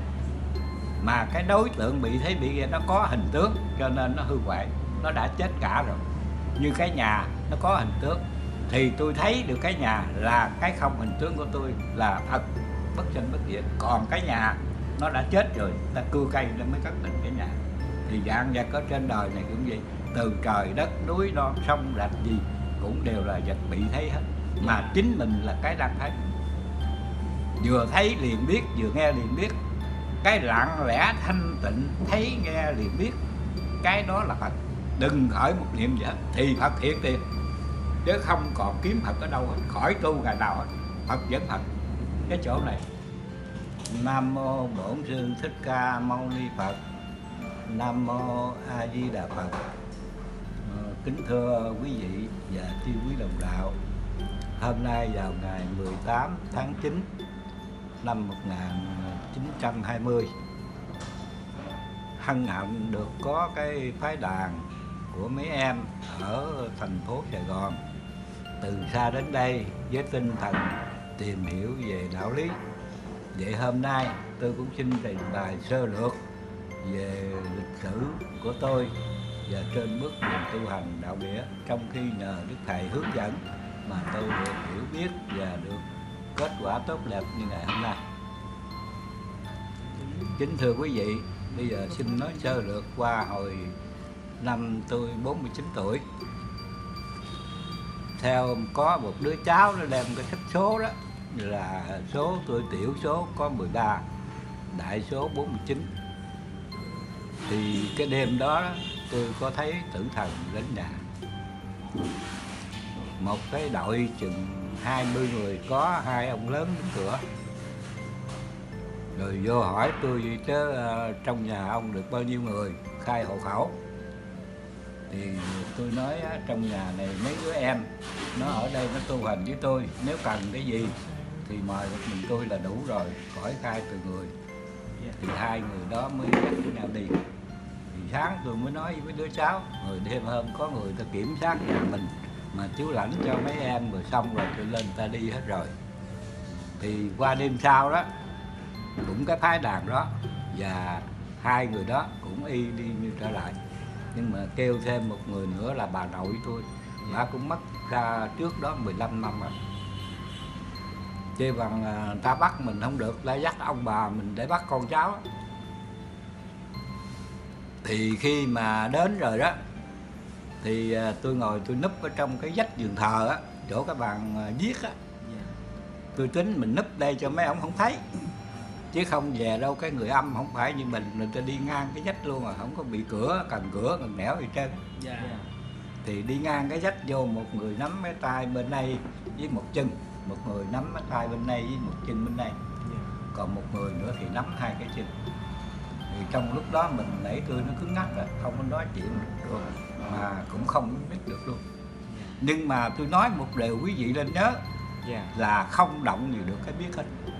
Mặc dù cái thân tôi bị ba người nắm cứng ngắc như vậy nhưng mà cái biết nó vẫn biết như thường không có dính dắt gì cái biết.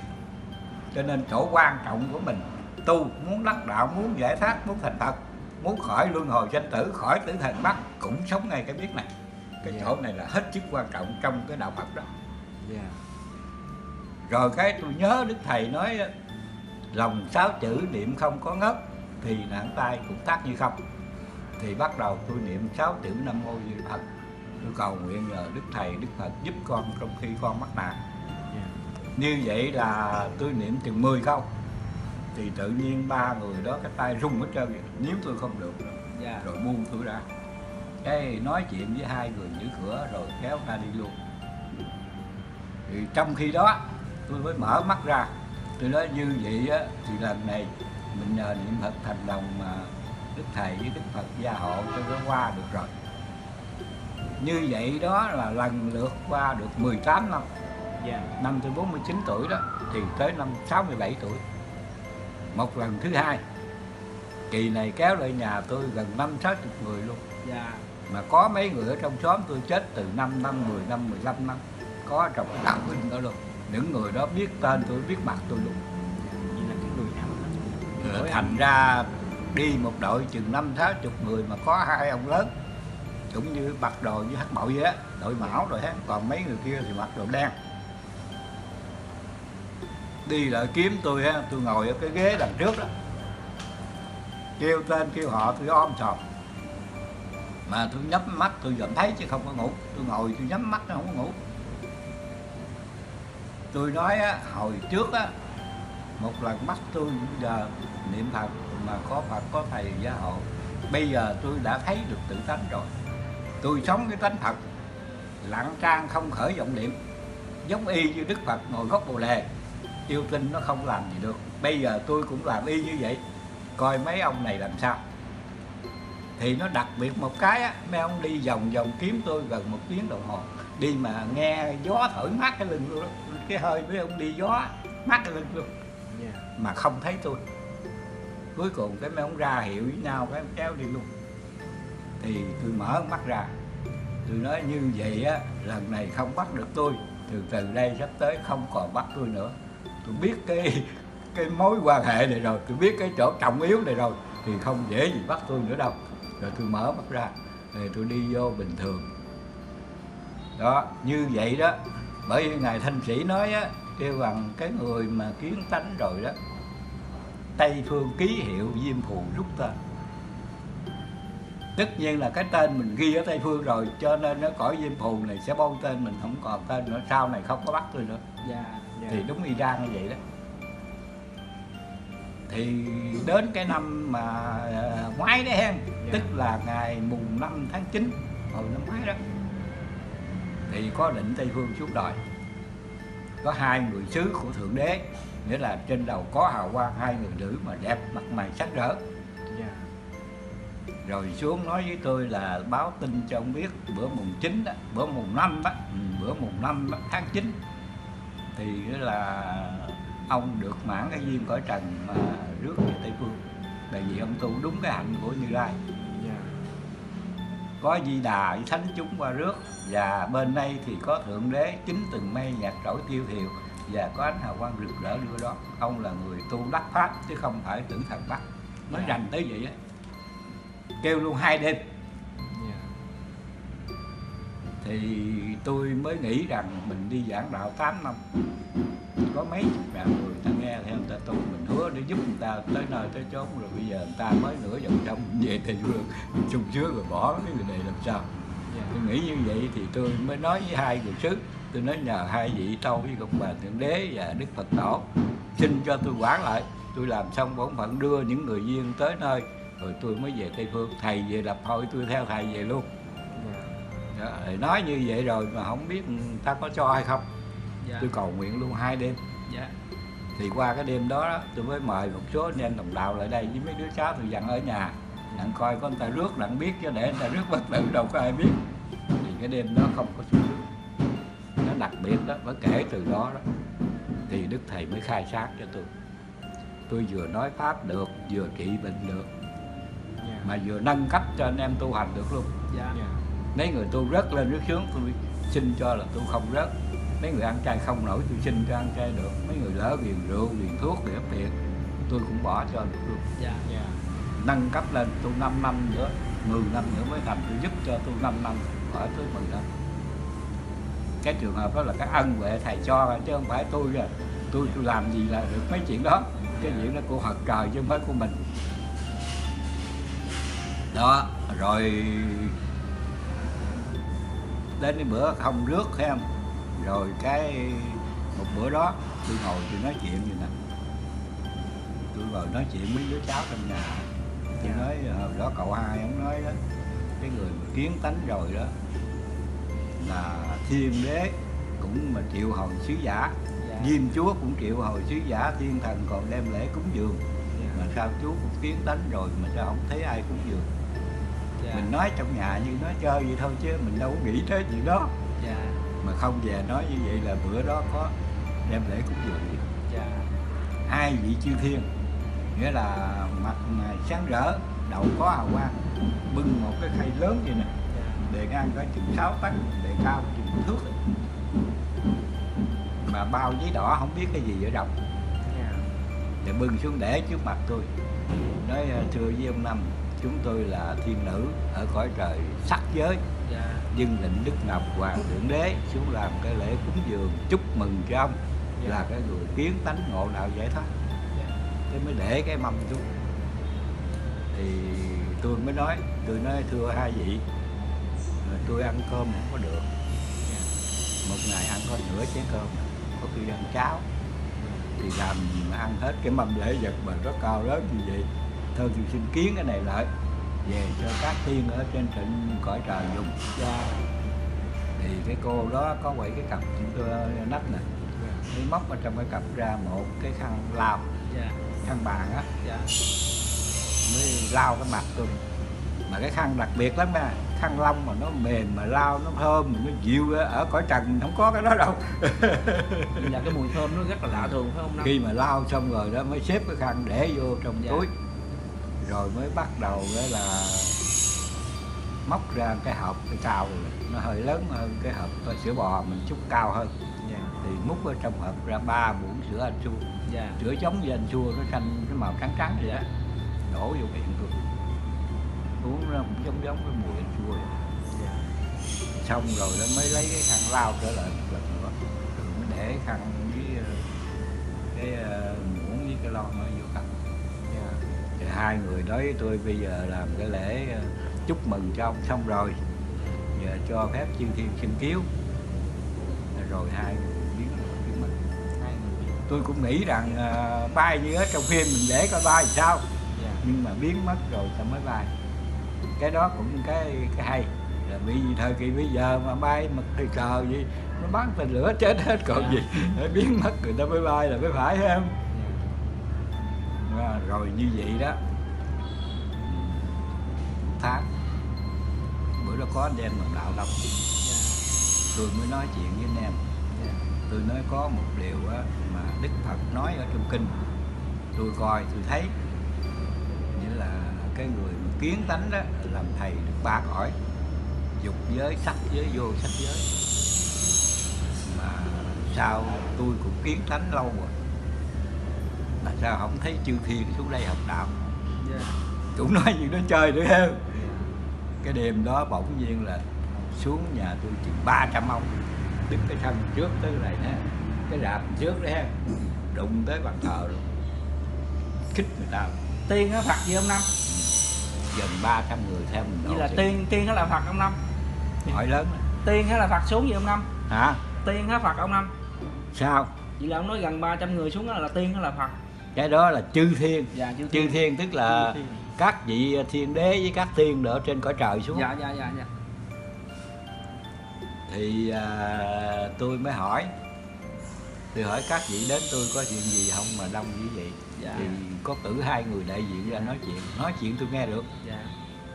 Đấy à, thưa với ông năm chúng tôi là chư thiên ở cõi trời sắc giới. Sống tới 10.000 năm là sung sướng lắm. Muốn chi có nấy nhưng có một điều là cái cõi đó không có Phật ra đời dạy đạo. Dạ hưởng hết phước rồi cũng xuống như thường, có khi rớt xuống, thấp hơn cõi người. Cho nên bây giờ biết ông năm là cái người kiến tánh ngộ đạo, giải thoát. Cho nên xuống đây cầu pháp. Nhờ ông năm thuyết pháp cho chư thiên nghe. Đó, rồi lúc bây giờ đó, thì tôi dòm thấy đấy hen. Từ ở trên trển đáp xuống trên nóc nhà đáp xuống luôn nó không có cần đi cửa đi đẻo gì trên chư thiên ta đi không có đụng có dội gì trên ở ngoài vô không cần cửa nẻo đi thẳng vô luôn. Rồi mấy ông đứng giống như cái rạp hát vậy đó không cần bằng ở dưới đất. Dạ. Mà ở trên đầu ha người này trước người đứng sau cao hơn trước người đứng sau cao hơn trước mà từ đây cho tới thẳng ra đầy ở trên luôn. Nghĩa là cái chân không cần đụng đất các chư thiên ta đứng đâu đứng chứ không phải như mình phải đụng đất đứng mới được. Có Dạ. những cái đặc biệt vậy đó rồi cuối cùng nghĩa là mấy ông vô kính lễ đàng hoàng rồi thì tôi mới thuyết pháp cho mấy ông nghe thôi giờ sẵn đây tôi thuyết pháp luôn cái đó luôn. Tôi à, mới à, thuyết cái lý mà tu thành Phật liền đó. Dạ. Bởi vì những cái lý thông thường đạo nhân làm phước làm gian để chư thiên còn thông minh hơn mình đó. dạ. Cái gì mấy ông cũng biết hết. Chỉ có cái pháp tu giải thoát khỏi luân hồi sinh tử là không biết thôi. Cho nên tôi thuyết ngay cái đó tôi nói bây giờ, chư thiên hiện tiền bây giờ, ai cũng có cái mắt đang thấy, tai đang nghe, vừa thấy vừa nghe liền hiểu biết. Thường thường, mình phải phân biệt cho rõ cái gì là đối tượng bị thấy, bị nghe của mình. Cái gì là ở trong con người mình nó thấy nó nghe. Cái tự biết ở trong con người mình nó thấy nó nghe. Cái đó là phật của mình còn cái đối tượng bị thấy bị nghe là cảnh ở bên ngoài không phải là mình. Mà cái đối tượng bị thấy bị nghe nó có hình tướng cho nên nó hư hoại, nó đã chết cả rồi. Như cái nhà, nó có hình tướng thì tôi thấy được cái nhà là cái không hình tướng của tôi là thật, bất sinh bất diệt. Còn cái nhà, nó đã chết rồi, ta cưa cây nó mới cất định cái nhà. Thì dạng vật ở trên đời này cũng vậy, từ trời đất núi non sông rạch gì cũng đều là vật bị thấy hết. Mà chính mình là cái đang thấy vừa thấy liền biết, vừa nghe liền biết. Cái lặng lẽ thanh tịnh, thấy nghe liền biết. Cái đó là phật.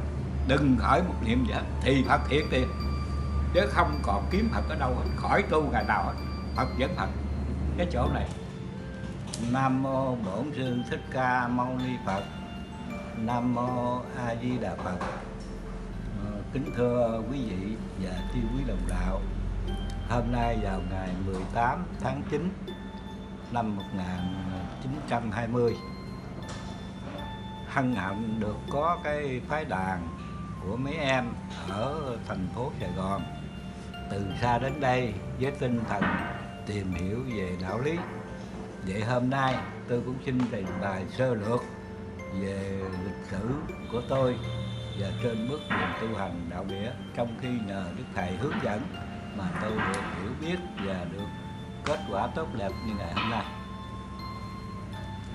Kính thưa quý vị, bây giờ xin nói sơ lược qua hồi năm tôi 49 tuổi. Theo có một đứa cháu nó đem cái sách số đó, là số tôi, tiểu số có 13 đại số 49 thì cái đêm đó, tôi có thấy tử thần đến nhà. Một cái đội chừng 20 người có hai ông lớn đứng cửa. Rồi vô hỏi tôi gì chứ ờ, trong nhà ông được bao nhiêu người khai hộ khẩu? Thì tôi nói á, trong nhà này mấy đứa em nó ở đây nó tu hành với tôi nếu cần cái gì thì mời một mình tôi là đủ rồi khỏi khai từ người. Thì hai người đó mới dắt với nhau đi. Thì sáng tôi mới nói với đứa cháu rồi đêm hôm có người ta kiểm soát nhà mình mà chú lãnh cho mấy em rồi xong rồi tôi lên ta đi hết rồi. Thì qua đêm sau đó, cũng cái phái đàn đó và hai người đó cũng y đi như trở lại. Nhưng mà kêu thêm một người nữa là bà nội tôi. Bà cũng mất ra trước đó 15 năm rồi. Chê bằng à, ta bắt mình không được lại dắt ông bà mình để bắt con cháu. Thì khi mà đến rồi đó thì à, tôi ngồi tôi núp ở trong cái vách giường thờ á chỗ cái bàn à, viết á. Tôi tính mình núp đây cho mấy ông không thấy. Chứ không về đâu cái người âm không phải như mình người ta đi ngang cái vách luôn à không có bị cửa cần cửa cần nẻo gì trơn. Dạ. Thì đi ngang cái vách vô một người nắm cái tay bên đây với một chân một người nắm cái tay bên đây với một chân bên đây. Còn một người nữa thì nắm hai cái chân. Thì trong lúc đó mình nãy tôi nó cứng ngắc rồi không có nói chuyện được. luôn mà cũng không biết được luôn. Nhưng mà tôi nói một điều quý vị nên nhớ dạ. là không động gì được cái biết hết. Mặc dù cái thân tôi bị ba người nắm cứng ngắc như vậy nhưng mà cái biết nó vẫn biết như thường không có dính dắt như cái biết. Cho nên chỗ quan trọng của mình tu muốn đắc đạo muốn giải thoát muốn thành phật muốn khỏi luân hồi sanh tử khỏi tử thần bắt cũng sống ngay cái biết này. Cái Dạ. chỗ này là hết sức quan trọng trong cái đạo phật đó. Dạ. Rồi cái tôi nhớ đức thầy nói lòng sáu chữ niệm không có ngất thì nặng tay cũng tác như không.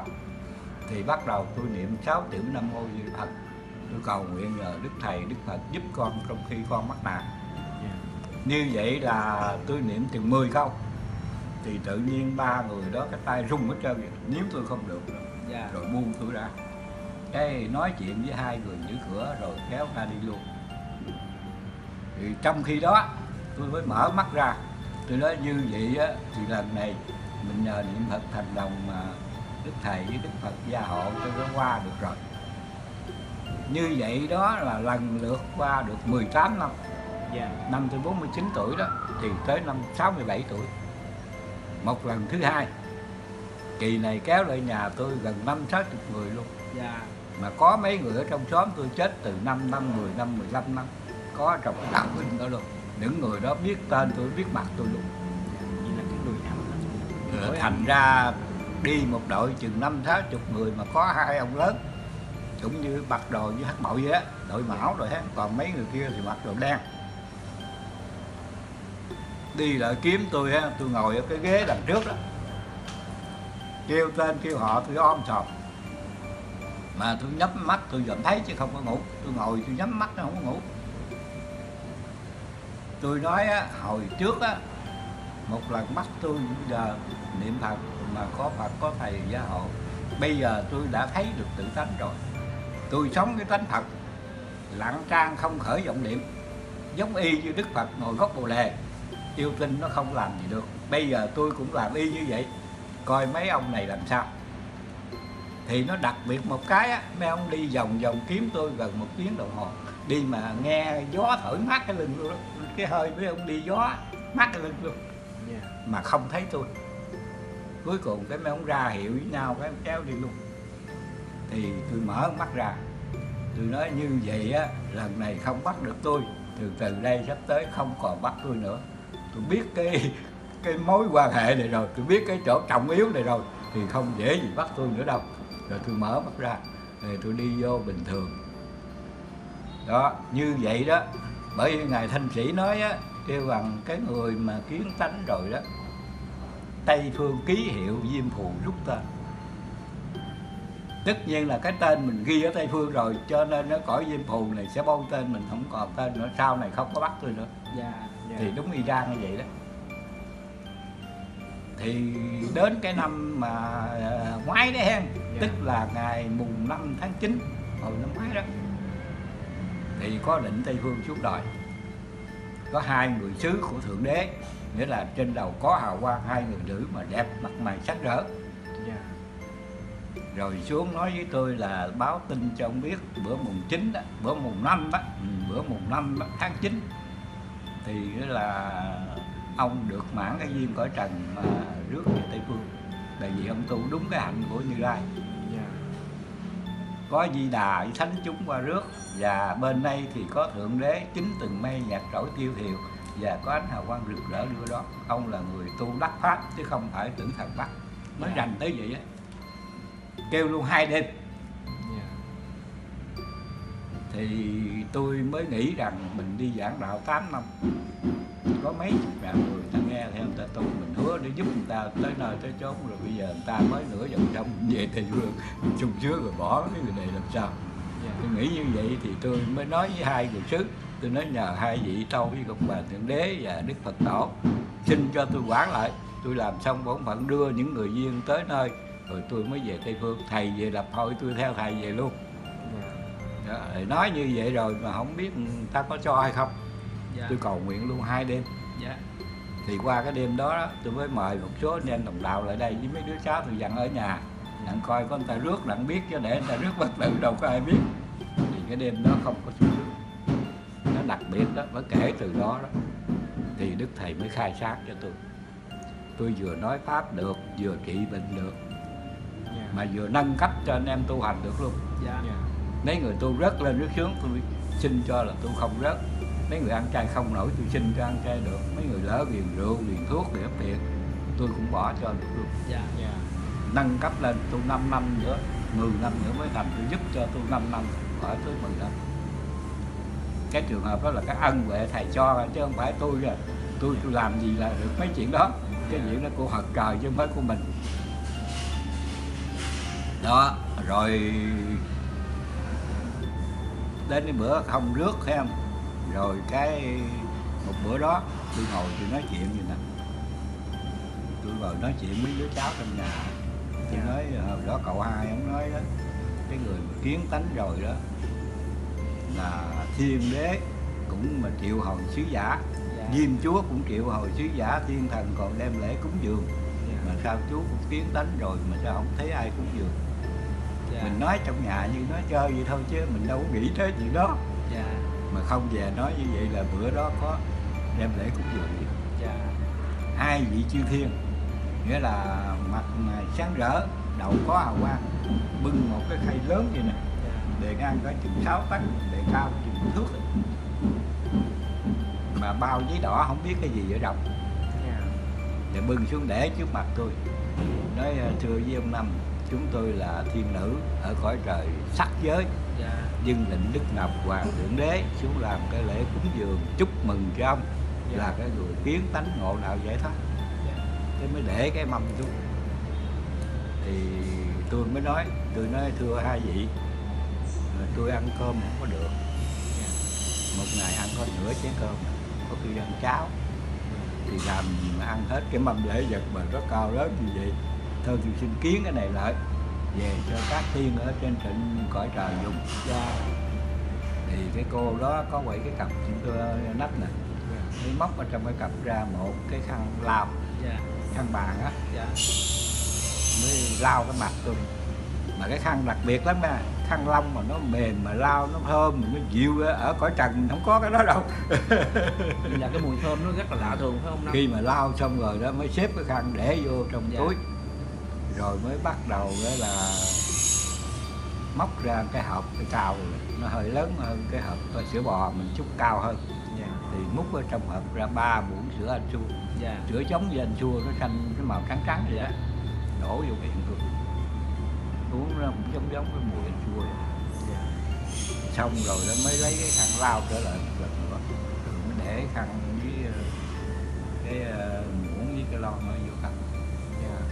hai người nói với tôi bây giờ làm cái lễ ờ, chúc mừng cho ông xong rồi. Giờ cho phép chư thiên xin kiếu. Rồi hai người biến biến mất hai người biết tôi cũng nghĩ rằng ờ, bay như ở trong phim mình để coi bay sao. Dạ. Nhưng mà biến mất rồi sao mới bay cái đó cũng cái cái hay. Là vì thời kỳ bây giờ mà bay mà thời cờ gì? Nó bắn tên lửa chết hết còn Dạ. gì. Để biến mất người ta mới bay là mới phải không? Dạ. À, rồi như vậy đó tháng. Bữa đó có anh em đồng đạo dạ. Tôi mới nói chuyện với anh em. Dạ. Tôi nói có một điều á, mà đức phật nói ở trong kinh. Tôi coi tôi thấy. Nghĩa là cái người mà kiến tánh đó làm thầy được ba cõi. Dục giới sắc giới vô sắc giới. Mà sao tôi cũng kiến tánh lâu rồi? Mà sao không thấy chư thiên xuống đây học đạo?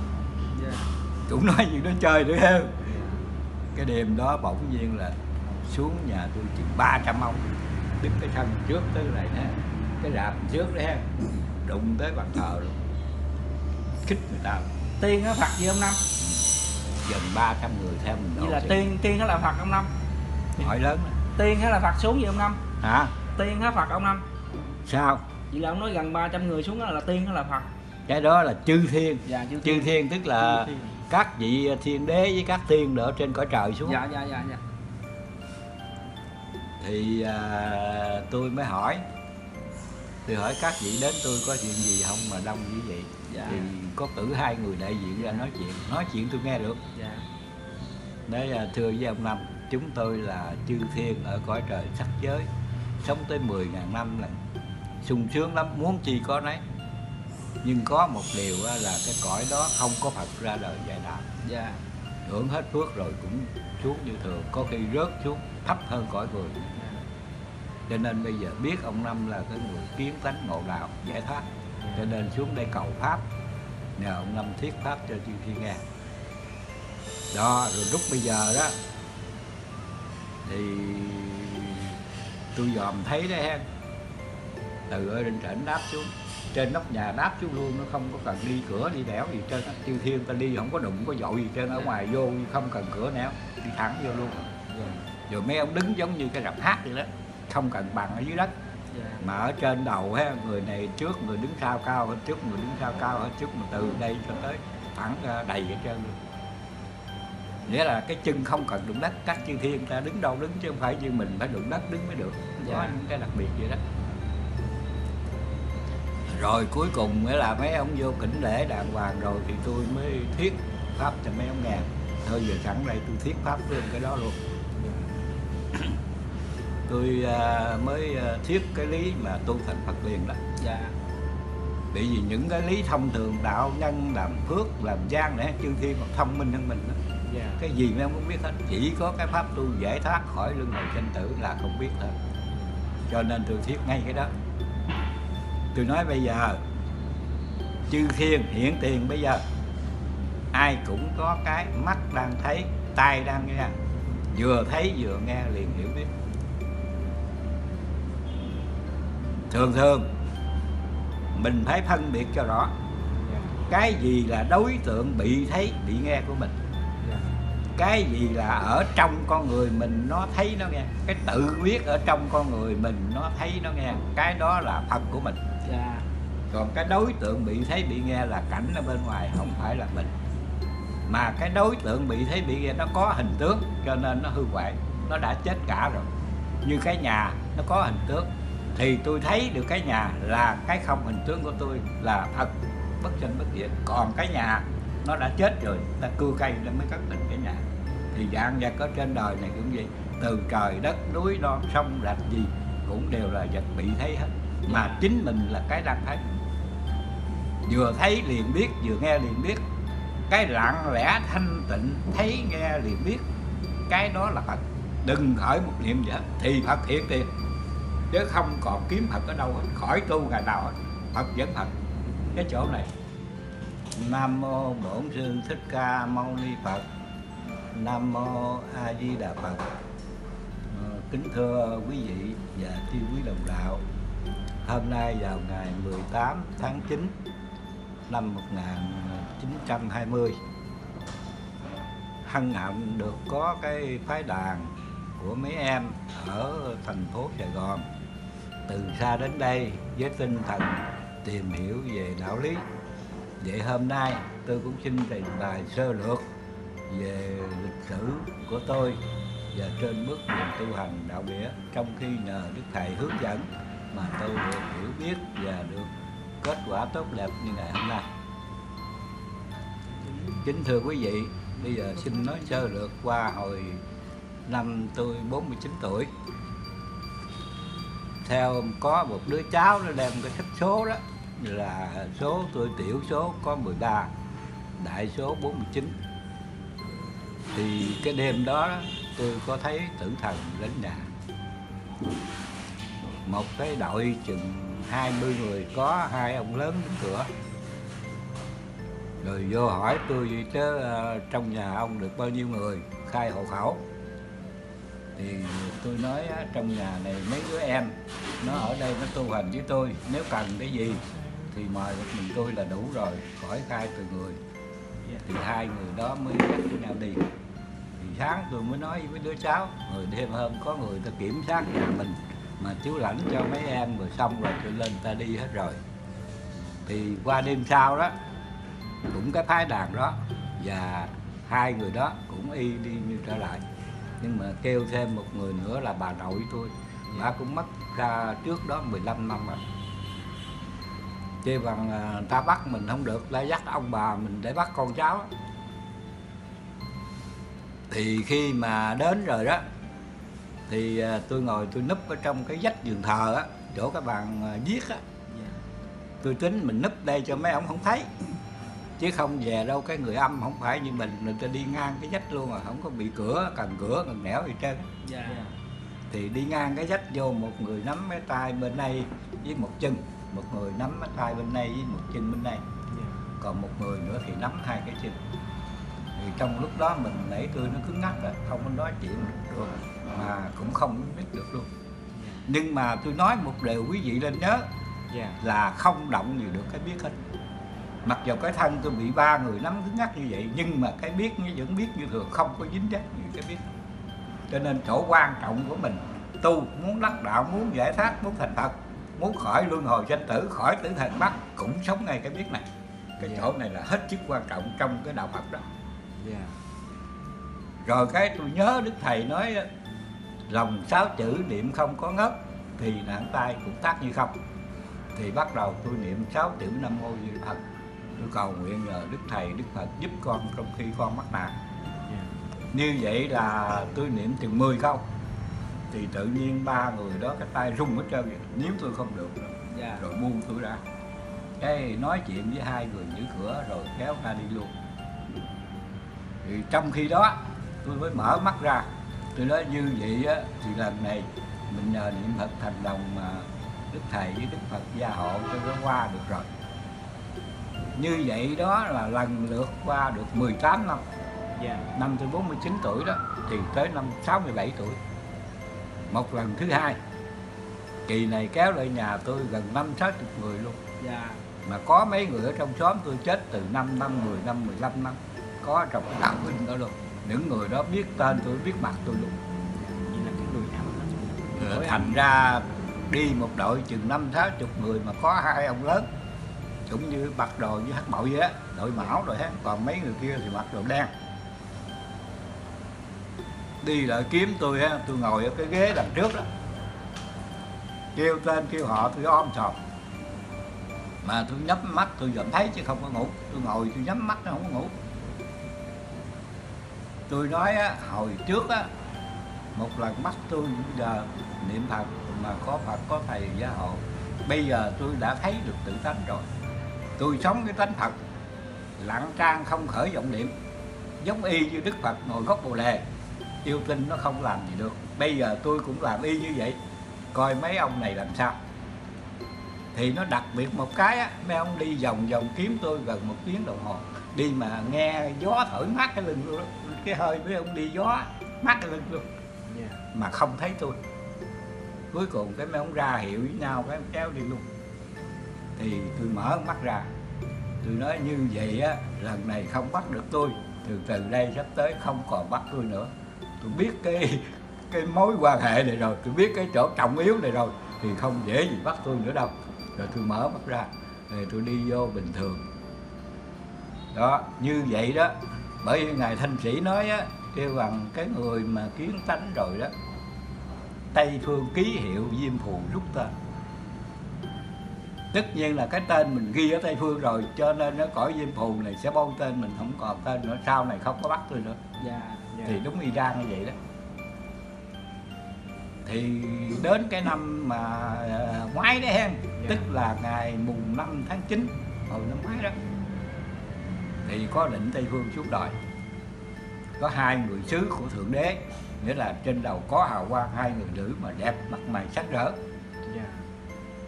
Rồi xuống nói với tôi là báo tin cho ông biết bữa mùng 9 đó bữa mùng 5 đó ừ, bữa mùng 5 đó, tháng 9 thì là ông được mãn cái duyên cõi trần mà rước về tây phương.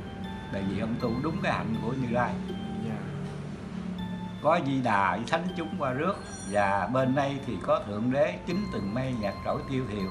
Và có ánh hào quang rực rỡ đưa đó ông là người tu đắc pháp chứ không phải tử thần bắt. Nói Dạ. rành tới vậy á. Kêu luôn hai đêm. Dạ.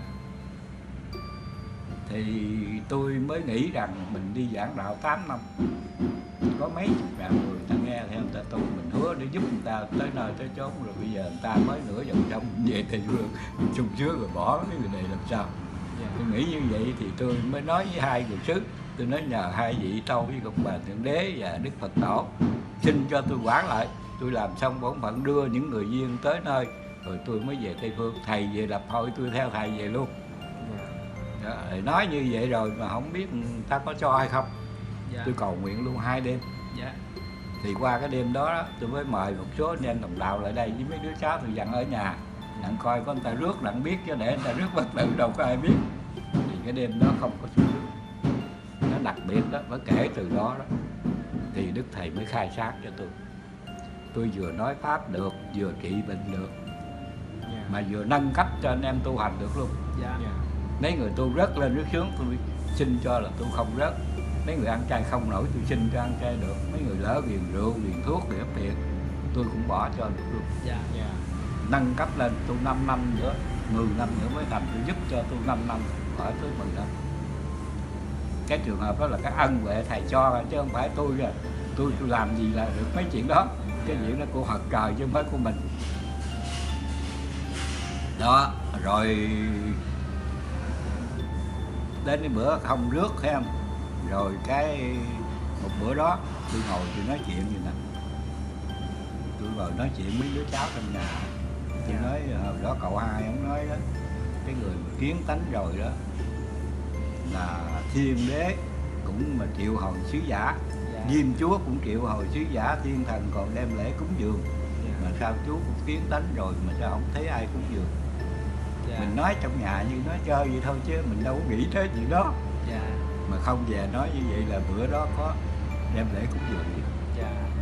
Hai vị chư thiên nghĩa là mặt mày sáng rỡ đầu có hào quang bưng một cái khay lớn vậy nè. Dạ. Bề ngang có chừng 6 tấc bề cao chừng thước. Mà bao giấy đỏ không biết cái gì ở trong dạ. Thì bưng xuống để trước mặt tôi. Nói "Ờ, thưa với ông năm chúng tôi là thiên nữ ở cõi trời sắc giới. Dạ dân định đức ngọc hoàng thượng đế xuống làm cái lễ cúng dường chúc mừng cho ông Dạ. là cái người kiến tánh ngộ đạo giải thoát. Dạ. Thế mới để cái mâm xuống. Thì tôi mới nói tôi nói thưa hai vị ờ, tôi ăn cơm không có được. Dạ. Một ngày ăn có nửa chén cơm có khi ăn cháo. Thì làm gì mà ăn hết cái mâm lễ vật mà rất cao lớn như vậy? Thôi tôi xin kiến cái này lại về cho các tiên ở trên trịnh cõi trời dùng. Dạ thì cái cô đó có quậy cái cặp chúng tôi nách nè. Dạ mới móc ở trong cái cặp ra một cái khăn lau. Dạ. Khăn bàn á. Dạ. Mới lau cái mặt tôi. Mà cái khăn đặc biệt lắm nha. Khăn lông mà nó mềm mà lao nó thơm nó dịu ở cõi trần không có cái đó đâu. Là cái mùi thơm nó rất là lạ thường phải không khi mà lao xong rồi đó mới xếp cái khăn để vô trong Dạ. túi rồi mới bắt đầu đó là móc ra cái hộp cái cao rồi. nó hơi lớn hơn cái hộp sữa bò mình chút cao hơn. Dạ. Thì múc ở trong hộp ra ba muỗng sữa anh xua. Dạ. Sữa giống như anh xua nó xanh cái màu trắng trắng vậy đó đổ vô miệng luôn. Uống ra cũng giống giống cái mùi anh xua vậy. dạ. Xong rồi nó mới lấy cái khăn lao trở lại một lần nữa. Rồi mới để khăn với ờ, cái ờ, muỗng với cái lon dạ thì hai người nói với tôi bây giờ làm cái lễ ờ, chúc mừng cho ông xong rồi. Giờ cho phép chư thiên xin cứu rồi hai người biến mất. Hai người tôi cũng nghĩ rằng ờ, bay như ở trong phim mình để coi bay sao. Dạ. Nhưng mà biến mất rồi sao mới bay. Cái đó cũng cái cái hay. Là vì thời kỳ bây giờ mà bay mà thời cờ gì nó bắn tên lửa chết hết còn Dạ. gì Để biến mất người ta mới bay là mới phải À, rồi như vậy đó. Tháng. Bữa đó có anh em đồng đạo đông tôi mới nói chuyện với anh em. Dạ. Tôi nói có một điều mà đức phật nói ở trong kinh. Tôi coi tôi thấy. Như là cái người mà kiến tánh đó làm thầy được ba cõi. Dục giới sắc giới vô sắc giới. Mà sao tôi cũng kiến tánh lâu rồi mà sao không thấy chư thiên xuống đây học đạo? Dạ. Cũng nói gì nó chơi nữa dạ cái đêm đó bỗng nhiên là xuống nhà tôi chừng 300 ông đứng cái thân trước tới này nè cái rạp trước đấy đụng tới bàn thờ luôn. Khích người ta. Tiên á phật gì ông năm? Gần 300 người theo mình đồ là thì tiên tiên á là phật ông năm. Hỏi lớn đó. tiên á là phật xuống gì ông năm? Hả? Tiên á phật ông năm. Sao? Vậy là ông nói gần 300 người xuống đó là tiên á là phật cái đó là chư thiên. Dạ chư chư thiên. tức là thiên. các vị thiên đế với các thiên ở trên cõi trời xuống. Dạ dạ dạ dạ. Thì à, tôi mới hỏi. Tôi hỏi các vị đến tôi có chuyện gì không mà đông như vậy? Dạ. thì có cử hai người đại diện ra nói chuyện. Nói chuyện tôi nghe được. Dạ. Đấy là thưa với ông năm chúng tôi là chư thiên ở cõi trời sắc giới. Sống tới 10.000 năm là sung sướng lắm. Muốn chi có nấy nhưng có một điều là cái cõi đó không có Phật ra đời dạy đạo dạ hưởng hết phước rồi cũng xuống như thường. Có khi rớt xuống, thấp hơn cõi người. Cho nên bây giờ biết ông năm là cái người kiến tánh ngộ đạo, giải thoát. Cho nên xuống đây cầu pháp. Nhờ ông năm thiết pháp cho chư thiên nghe. Đó, rồi lúc bây giờ đó, thì tôi dòm thấy đấy ha. Từ ở trên trển đáp xuống trên nóc nhà đáp xuống luôn nó không có cần đi cửa đi đẻo gì trên chư thiên ta đi không có đụng có dội gì trên ở ngoài vô không cần cửa nẻo đi thẳng vô luôn. Dạ. Rồi mấy ông đứng giống như cái rạp hát vậy đó không cần bằng ở dưới đất. Dạ. Mà ở trên đầu ha người này trước người đứng sau cao hơn trước người đứng sau cao hơn trước mà từ đây cho tới thẳng đầy ở trơn luôn. Nghĩa là cái chân không cần đụng đất các chư thiên ta đứng đâu đứng chứ không phải như mình phải đụng đất đứng mới được. Có Dạ. những cái đặc biệt vậy đó rồi cuối cùng nghĩa là mấy ông vô kính lễ đàng hoàng rồi thì tôi mới thuyết pháp cho mấy ông nghe thôi giờ sẵn đây tôi thuyết pháp luôn cái đó luôn. Tôi à, mới à, thuyết cái lý mà tu thành Phật liền đó. Dạ. Bởi vì những cái lý thông thường đạo nhân làm phước làm gian để chư thiên còn thông minh hơn mình đó. dạ. Cái gì mấy ông cũng biết hết. Chỉ có cái pháp tu giải thoát khỏi luân hồi sinh tử là không biết thôi. Cho nên tôi thuyết ngay cái đó tôi nói bây giờ, chư thiên hiện tiền bây giờ, ai cũng có cái mắt đang thấy, tai đang nghe. Vừa thấy vừa nghe liền hiểu biết. Thường thường, mình phải phân biệt cho rõ cái gì là đối tượng bị thấy, bị nghe của mình. Cái gì là ở trong con người mình nó thấy, nó nghe. Cái tự biết ở trong con người mình nó thấy, nó nghe. Cái đó là phật của mình dạ. Còn cái đối tượng bị thấy bị nghe là cảnh ở bên ngoài, không phải là mình. Mà cái đối tượng bị thấy bị nghe nó có hình tướng cho nên nó hư hoại, nó đã chết cả rồi. Như cái nhà, nó có hình tướng thì tôi thấy được cái nhà là cái không hình tướng của tôi là thật, bất sinh bất diệt còn cái nhà, nó đã chết rồi, ta cưa cây nó mới cất định cái nhà. Thì dạng vật ở trên đời này cũng vậy, từ trời đất, núi non, sông, rạch gì cũng đều là vật bị thấy hết mà chính mình là cái đang thấy.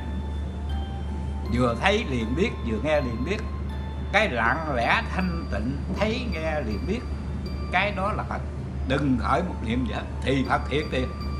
Chứ không còn kiếm Phật ở đâu hết, khỏi tu ngày nào hết. Phật vẫn Phật. Cái chỗ này. Nam mô Bổn Sư Thích Ca Mâu Ni Phật. Nam mô A Di Đà Phật. Ờ, kính thưa quý vị và chư quý đồng đạo. Hôm nay vào ngày 18 tháng 9 năm 1920 hân hạnh được có cái phái đàn của mấy em ở thành phố Sài Gòn từ xa đến đây với tinh thần tìm hiểu về đạo lý.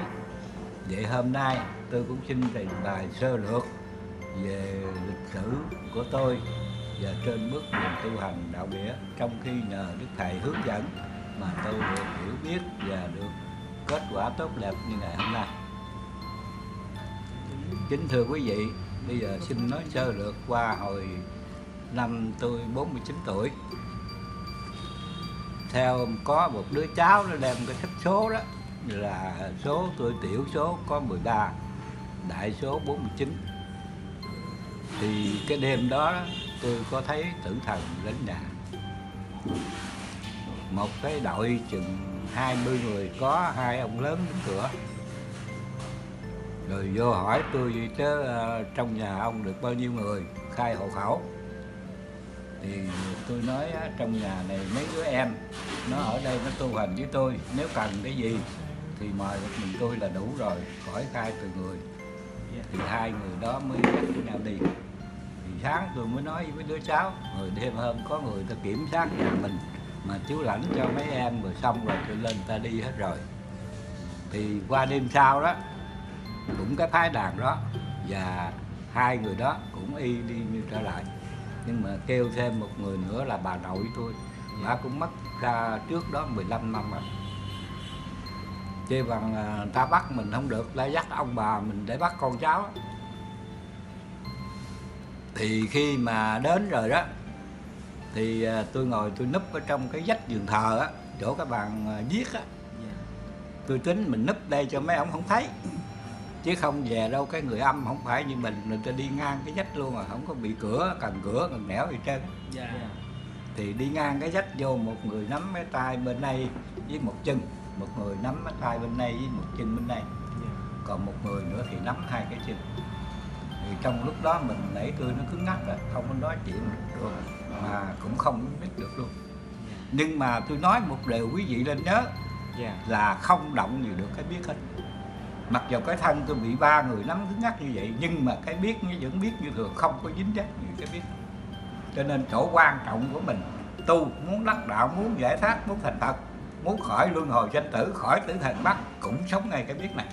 Cái Dạ. chỗ này là hết sức quan trọng trong cái đạo phật đó. Dạ. Rồi cái tôi nhớ đức thầy nói lòng sáu chữ niệm không có ngất thì nặng tay cũng tác như không. Thì bắt đầu tôi niệm sáu chữ nam mô di Đà phật. Tôi cầu nguyện nhờ đức thầy đức phật giúp con trong khi con mắc nạn. Như vậy là tôi niệm chừng 10 câu. Thì tự nhiên ba người đó cái tay rung hết trơn vậy nếu tôi không được. Dạ rồi buông tôi ra. Cái nói chuyện với hai người giữ cửa rồi kéo ra đi luôn. Thì trong khi đó tôi mới mở mắt ra tôi nói như vậy á, thì lần này mình nhờ niệm phật thành đồng mà đức thầy với đức phật gia hộ cho nó qua được rồi. Như vậy đó là lần lượt qua được 18 năm. Dạ. Năm tôi 49 tuổi đó thì tới năm 67 tuổi. Một lần thứ hai kỳ này kéo lại nhà tôi gần năm sáu chục người luôn. Dạ. Mà có mấy người ở trong xóm tôi chết từ 5 năm 10 năm 15 năm có trong đạo binh đó luôn những người đó biết tên tôi biết mặt tôi luôn. Như là cái người mà Ờ, thành ra đi một đội chừng năm sáu chục người mà có hai ông lớn cũng như mặc đồ như hắc bội vậy á đội mão rồi hết. Còn mấy người kia thì mặc đồ đen. Đi lại kiếm tôi á tôi ngồi ở cái ghế đằng trước đó. Kêu tên kêu họ tôi om sòm mà tôi nhắm mắt tôi vẫn thấy chứ không có ngủ. Tôi ngồi tôi nhắm mắt nó không có ngủ tôi nói á, hồi trước á một lần mắt tôi giờ niệm phật mà có phật có thầy gia hộ. Bây giờ tôi đã thấy được tự tánh rồi. Tôi sống cái tánh phật lặng trang không khởi vọng niệm. Giống y như đức phật ngồi gốc bồ đề yêu tinh nó không làm gì được. Bây giờ tôi cũng làm y như vậy. Coi mấy ông này làm sao? Thì nó đặc biệt một cái á mấy ông đi vòng vòng kiếm tôi gần một tiếng đồng hồ đi mà nghe gió thổi mát cái lưng luôn. Cái hơi mấy ông đi gió mát cái lưng luôn. Dạ. Mà không thấy tôi. Cuối cùng cái mấy ông ra hiệu với nhau cái kéo đi luôn. Thì tôi mở mắt ra. Tôi nói như vậy á lần này không bắt được tôi. Từ từ đây sắp tới không còn bắt tôi nữa. Tôi biết cái cái mối quan hệ này rồi. Tôi biết cái chỗ trọng yếu này rồi. Thì không dễ gì bắt tôi nữa đâu. Rồi tôi mở mắt ra. Rồi tôi đi vô bình thường đó như vậy đó. Bởi vì ngài thanh sĩ nói á kêu bằng cái người mà kiến tánh rồi đó tây phương ký hiệu diêm phù rút tên. Tất nhiên là cái tên mình ghi ở tây phương rồi cho nên nó cõi diêm phù này sẽ bôi tên mình không còn tên nữa. Sau này không có bắt tôi nữa. Dạ dạ. Thì đúng y chang như vậy đó. Thì đến cái năm mà à, ngoái đấy hen Dạ. tức là ngày mùng 5 tháng 9 hồi năm ngoái đó thì có định tây phương xuống đời. Có hai người sứ của thượng đế nghĩa là trên đầu có hào quang hai người nữ mà đẹp mặt mày sắc rỡ. Dạ. Rồi xuống nói với tôi là báo tin cho ông biết bữa mùng 9 đó, bữa mùng 5 đó, ừ, bữa mùng 5 đó, tháng 9 thì là ông được mãn cái duyên cõi trần mà rước về Tây Phương. Tại vì ông tu đúng cái hạnh của Như Lai có di đà với thánh chúng qua rước. Và bên đây thì có thượng đế chính từng mây nhạc trỗi tiêu thiều và có ánh hào quang rực rỡ đưa đó ông là người tu đắc pháp chứ không phải tử thần bắt. Nói Dạ. rành tới vậy á. Kêu luôn hai đêm thì tôi mới nghĩ rằng mình đi giảng đạo 8 năm có mấy chục ngàn người ta nghe theo người ta tu. Mình hứa để giúp người ta tới nơi tới chốn rồi bây giờ người ta mới nửa vòng trong về thì phương sung sướng rồi bỏ cái người này làm sao. Dạ. Tôi nghĩ như vậy thì tôi mới nói với hai người sứ tôi nói nhờ hai vị tâu với công bà thượng đế và đức phật tổ xin cho tôi quản lại. Tôi làm xong bổn phận đưa những người duyên tới nơi rồi tôi mới về tây phương. Thầy về lập hội tôi theo thầy về luôn đó, nói như vậy rồi mà không biết người ta có cho hay không? Dạ. Tôi cầu nguyện luôn hai đêm. Dạ. Thì qua cái đêm đó, đó tôi mới mời một số anh em đồng đạo lại đây với mấy đứa cháu tôi dặn ở nhà. Đặng coi có người ta rước đặng biết chứ để người ta rước bất tử đâu có ai biết. Thì cái đêm đó không có sự rước nó đặc biệt đó mới kể từ đó đó. Thì đức thầy mới khai sáng cho tôi. Tôi vừa nói pháp được vừa trị bệnh được. Dạ. Mà vừa nâng cấp cho anh em tu hành được luôn. Dạ. Dạ mấy người tu rớt lên rớt xuống tôi xin cho là tôi không rớt. Mấy người ăn chay không nổi tôi xin cho ăn chay được. Mấy người lỡ ghiền rượu ghiền thuốc ghiền tiền tôi cũng bỏ cho được luôn. Dạ dạ. Nâng cấp lên tu 5 năm nữa 10 năm nữa mới thành tôi giúp cho tôi 5 năm khỏi tới 10 năm. Cái trường hợp đó là cái ân huệ thầy cho chứ không phải tôi rồi tôi tôi làm gì là được mấy chuyện đó. Cái chuyện đó của Phật trời chứ không phải của mình. Đó rồi đến cái bữa không rước thấy không? Rồi cái một bữa đó tôi ngồi tôi nói chuyện vậy nè. Tôi ngồi nói chuyện với đứa cháu trong nhà. Tôi Dạ. nói hồi đó cậu hai ông nói đó cái người mà kiến tánh rồi đó là thiên đế cũng mà triệu hồi sứ giả. Dạ. Diêm chúa cũng triệu hồi sứ giả thiên thần còn đem lễ cúng dường. Mà sao chú cũng kiến tánh rồi mà sao không thấy ai cúng dường dạ mình nói trong nhà như nói chơi vậy thôi chứ mình đâu có nghĩ tới chuyện đó. Dạ. Mà không về nói như vậy là bữa đó có đem lễ cúng dường. Dạ. Hai vị chư thiên nghĩa là mặt sáng rỡ đầu có hào quang bưng một cái khay lớn vậy nè. Dạ. Bề ngang có chừng 6 tấc bề cao chừng thước. Mà bao giấy đỏ không biết cái gì ở trong dạ. Để bưng xuống để trước mặt tôi. Nói ờ, thưa với ông năm chúng tôi là thiên nữ ở cõi trời sắc giới. Dạ. Dân lệnh đức ngọc hoàng thượng đế xuống làm cái lễ cúng dường chúc mừng cho ông. Là cái người kiến tánh ngộ đạo giải thoát. Dạ. Thế mới để cái mâm xuống. Thì tôi mới nói tôi nói thưa hai vị ờ, tôi ăn cơm không có được. Một ngày ăn có nửa chén cơm có khi ăn cháo. Thì làm gì mà ăn hết cái mâm lễ vật mà rất cao lớn như vậy thôi thì xin kiến cái này lại về cho các tiên ở trên trận cõi trời dùng. Dạ. Thì cái cô đó có quậy cái cặp chúng tôi nách nè. Mới móc ở trong cái cặp ra một cái khăn lau. Dạ. Khăn bàn á. Dạ. Mới lau cái mặt tôi. Mà cái khăn đặc biệt lắm nha. Khăn lông mà nó mềm mà lau nó thơm nó dịu ở cõi trần không có cái đó đâu. Là cái mùi thơm nó rất là lạ thường phải không năm khi mà lau xong rồi đó mới xếp cái khăn để vô trong Dạ. túi rồi mới bắt đầu đó là móc ra cái hộp cái cao nó hơi lớn hơn cái hộp sữa bò mình chút cao hơn. Dạ. Thì múc ở trong hộp ra ba muỗng sữa anh chua. Dạ. Sữa giống với anh chua nó xanh cái màu trắng trắng vậy đó. Đổ vô miệng tôi uống nó cũng giống giống cái mùi anh chua vậy. dạ. Xong rồi nó mới lấy cái khăn lau trở lại một lần nữa. Rồi mới để khăn với ờ, cái hai người nói với tôi bây giờ làm cái lễ ờ, chúc mừng cho ông xong rồi. Giờ cho phép chư thiên xin kiếu. Rồi hai người mất hai người tôi cũng nghĩ rằng ờ, bay như ở trong phim mình để coi bay sao. Dạ. Nhưng mà biến mất rồi sao mới bay cái đó cũng cái cái hay. Là vì thời kỳ bây giờ mà bay mà thời cờ gì nó bắn tên lửa chết hết còn Dạ. gì. Biến mất người ta mới bay là mới phải em à, rồi như vậy đó. Tháng. Bữa đó có anh em đồng đạo đông dạ. Tôi mới nói chuyện với anh em. Dạ. Tôi nói có một điều á, mà đức phật nói ở trong kinh. Tôi coi tôi thấy.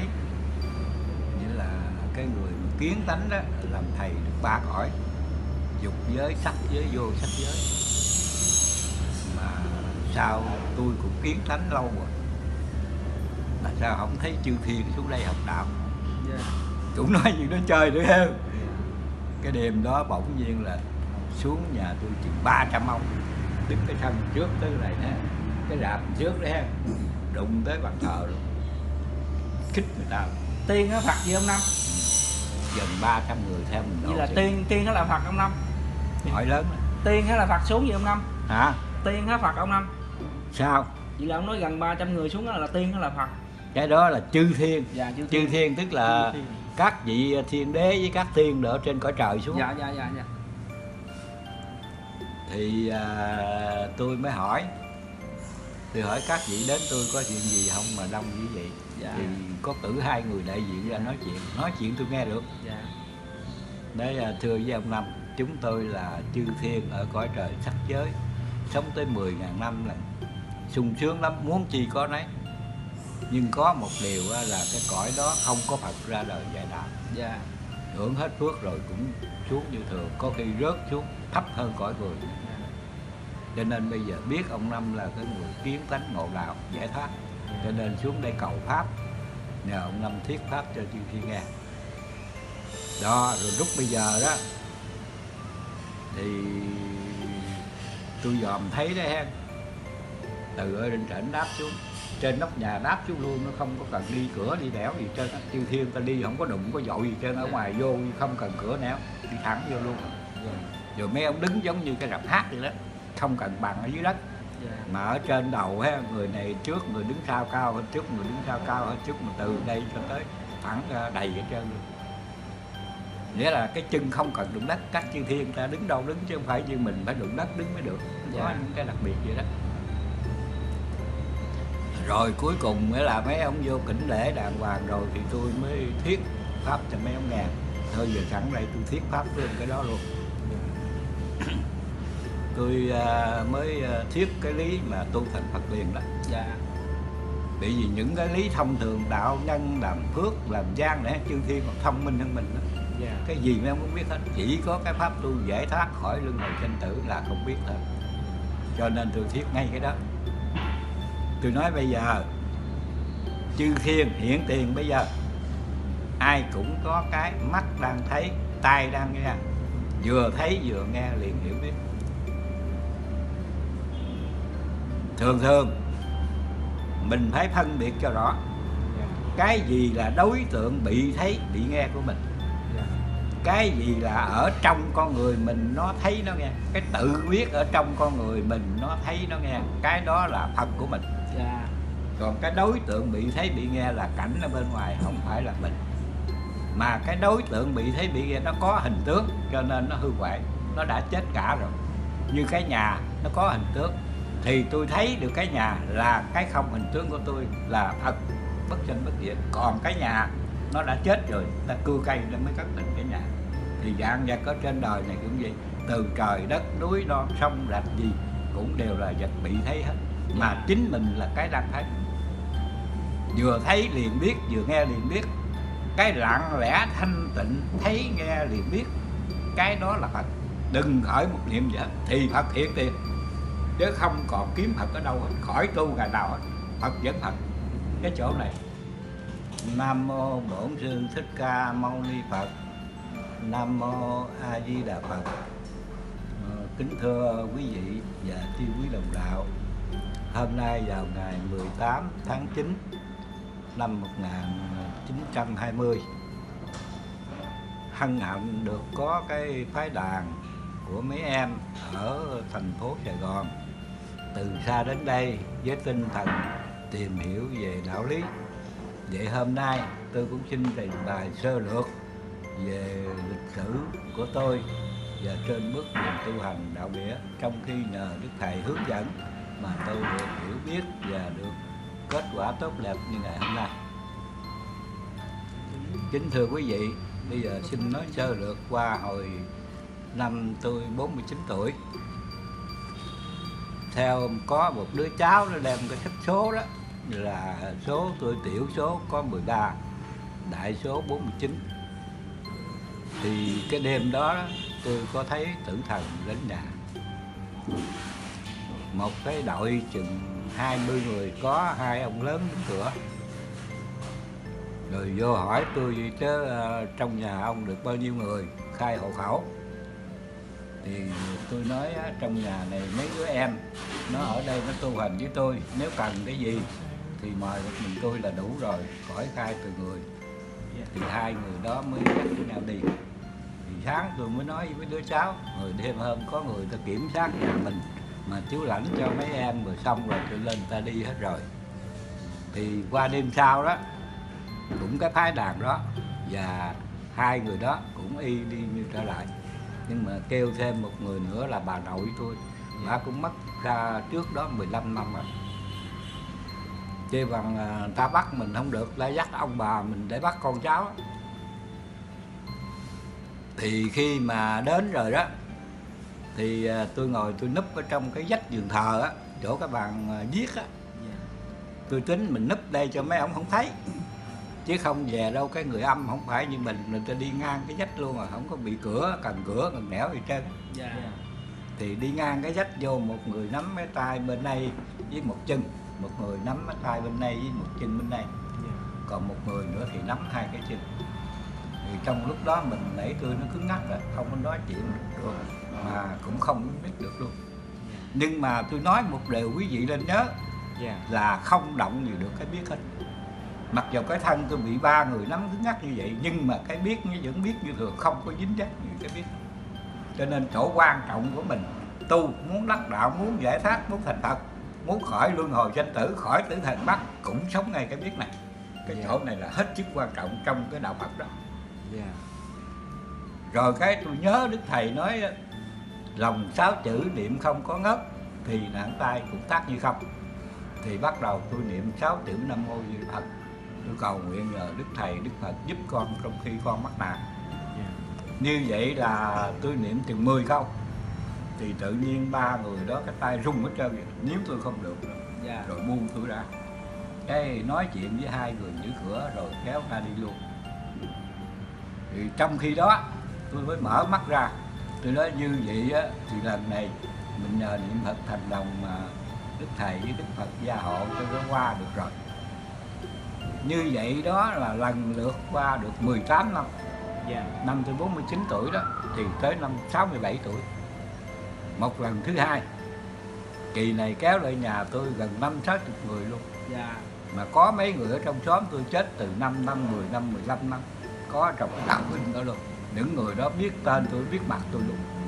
Như là cái người ám Ờ, thành ra đi một đội chừng năm sáu chục người mà có hai ông lớn cũng như mặc đồ như hắc bội vậy á đội mão rồi hết. Còn mấy người kia thì mặc đồ đen.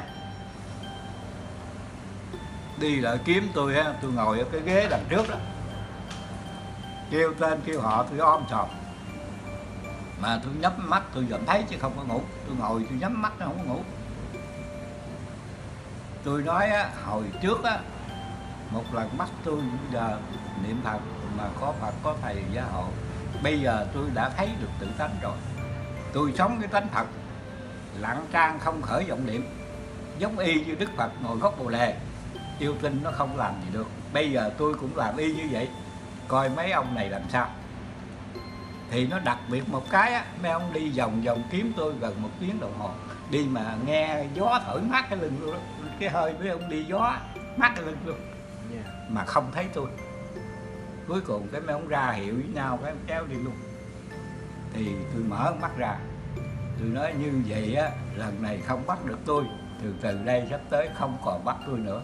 Tôi biết cái cái mối quan hệ này rồi. Tôi biết cái chỗ trọng yếu này rồi. Thì không dễ gì bắt tôi nữa đâu. Rồi tôi mở mắt ra. Rồi tôi đi vô bình thường. Đó như vậy đó bởi vì ngài thanh sĩ nói á kêu bằng cái người mà kiến tánh rồi đó tây phương ký hiệu diêm phù rút tên. Tất nhiên là cái tên mình ghi ở tây phương rồi cho nên nó cõi diêm phù này sẽ bôi tên mình không còn tên nữa sau này không có bắt tôi nữa. Dạ dạ. Thì đúng y ra như vậy đó. Thì đến cái năm mà à, ngoái đấy hen tức là ngày mùng 5 tháng 9 hồi năm ngoái đó thì có định tây phương xuống đời. Có hai người sứ của thượng đế nghĩa là trên đầu có hào quang hai người nữ mà đẹp mặt mày sắc rỡ. Dạ. Rồi xuống nói với tôi là báo tin cho ông biết bữa mùng 9 đó bữa mùng 5 đó ừ, bữa mùng 5 đó, tháng 9 thì là ông được mãn cái duyên cõi trần mà rước về tây phương. Tại vì ông tu đúng cái hạnh của như lai có di đà với thánh chúng qua rước. Và bên đây thì có thượng đế chính từng mây nhạc trỗi tiêu thiều và có ánh hào quang rực rỡ đưa đó ông là người tu đắc pháp chứ không phải tử thần bắt. Nói Dạ. rành tới vậy á. Kêu luôn hai đêm thì tôi mới nghĩ rằng mình đi giảng đạo 8 năm có mấy chục ngàn người ta nghe theo người ta tu mình hứa để giúp người ta tới nơi tới chốn rồi bây giờ người ta mới nửa dòng sông về tây phương sung sướng rồi bỏ cái người này làm sao. Dạ. Tôi nghĩ như vậy thì tôi mới nói với hai người sứ tôi nói nhờ hai vị tâu với cục bà thượng đế và đức phật tổ xin cho tôi quản lại.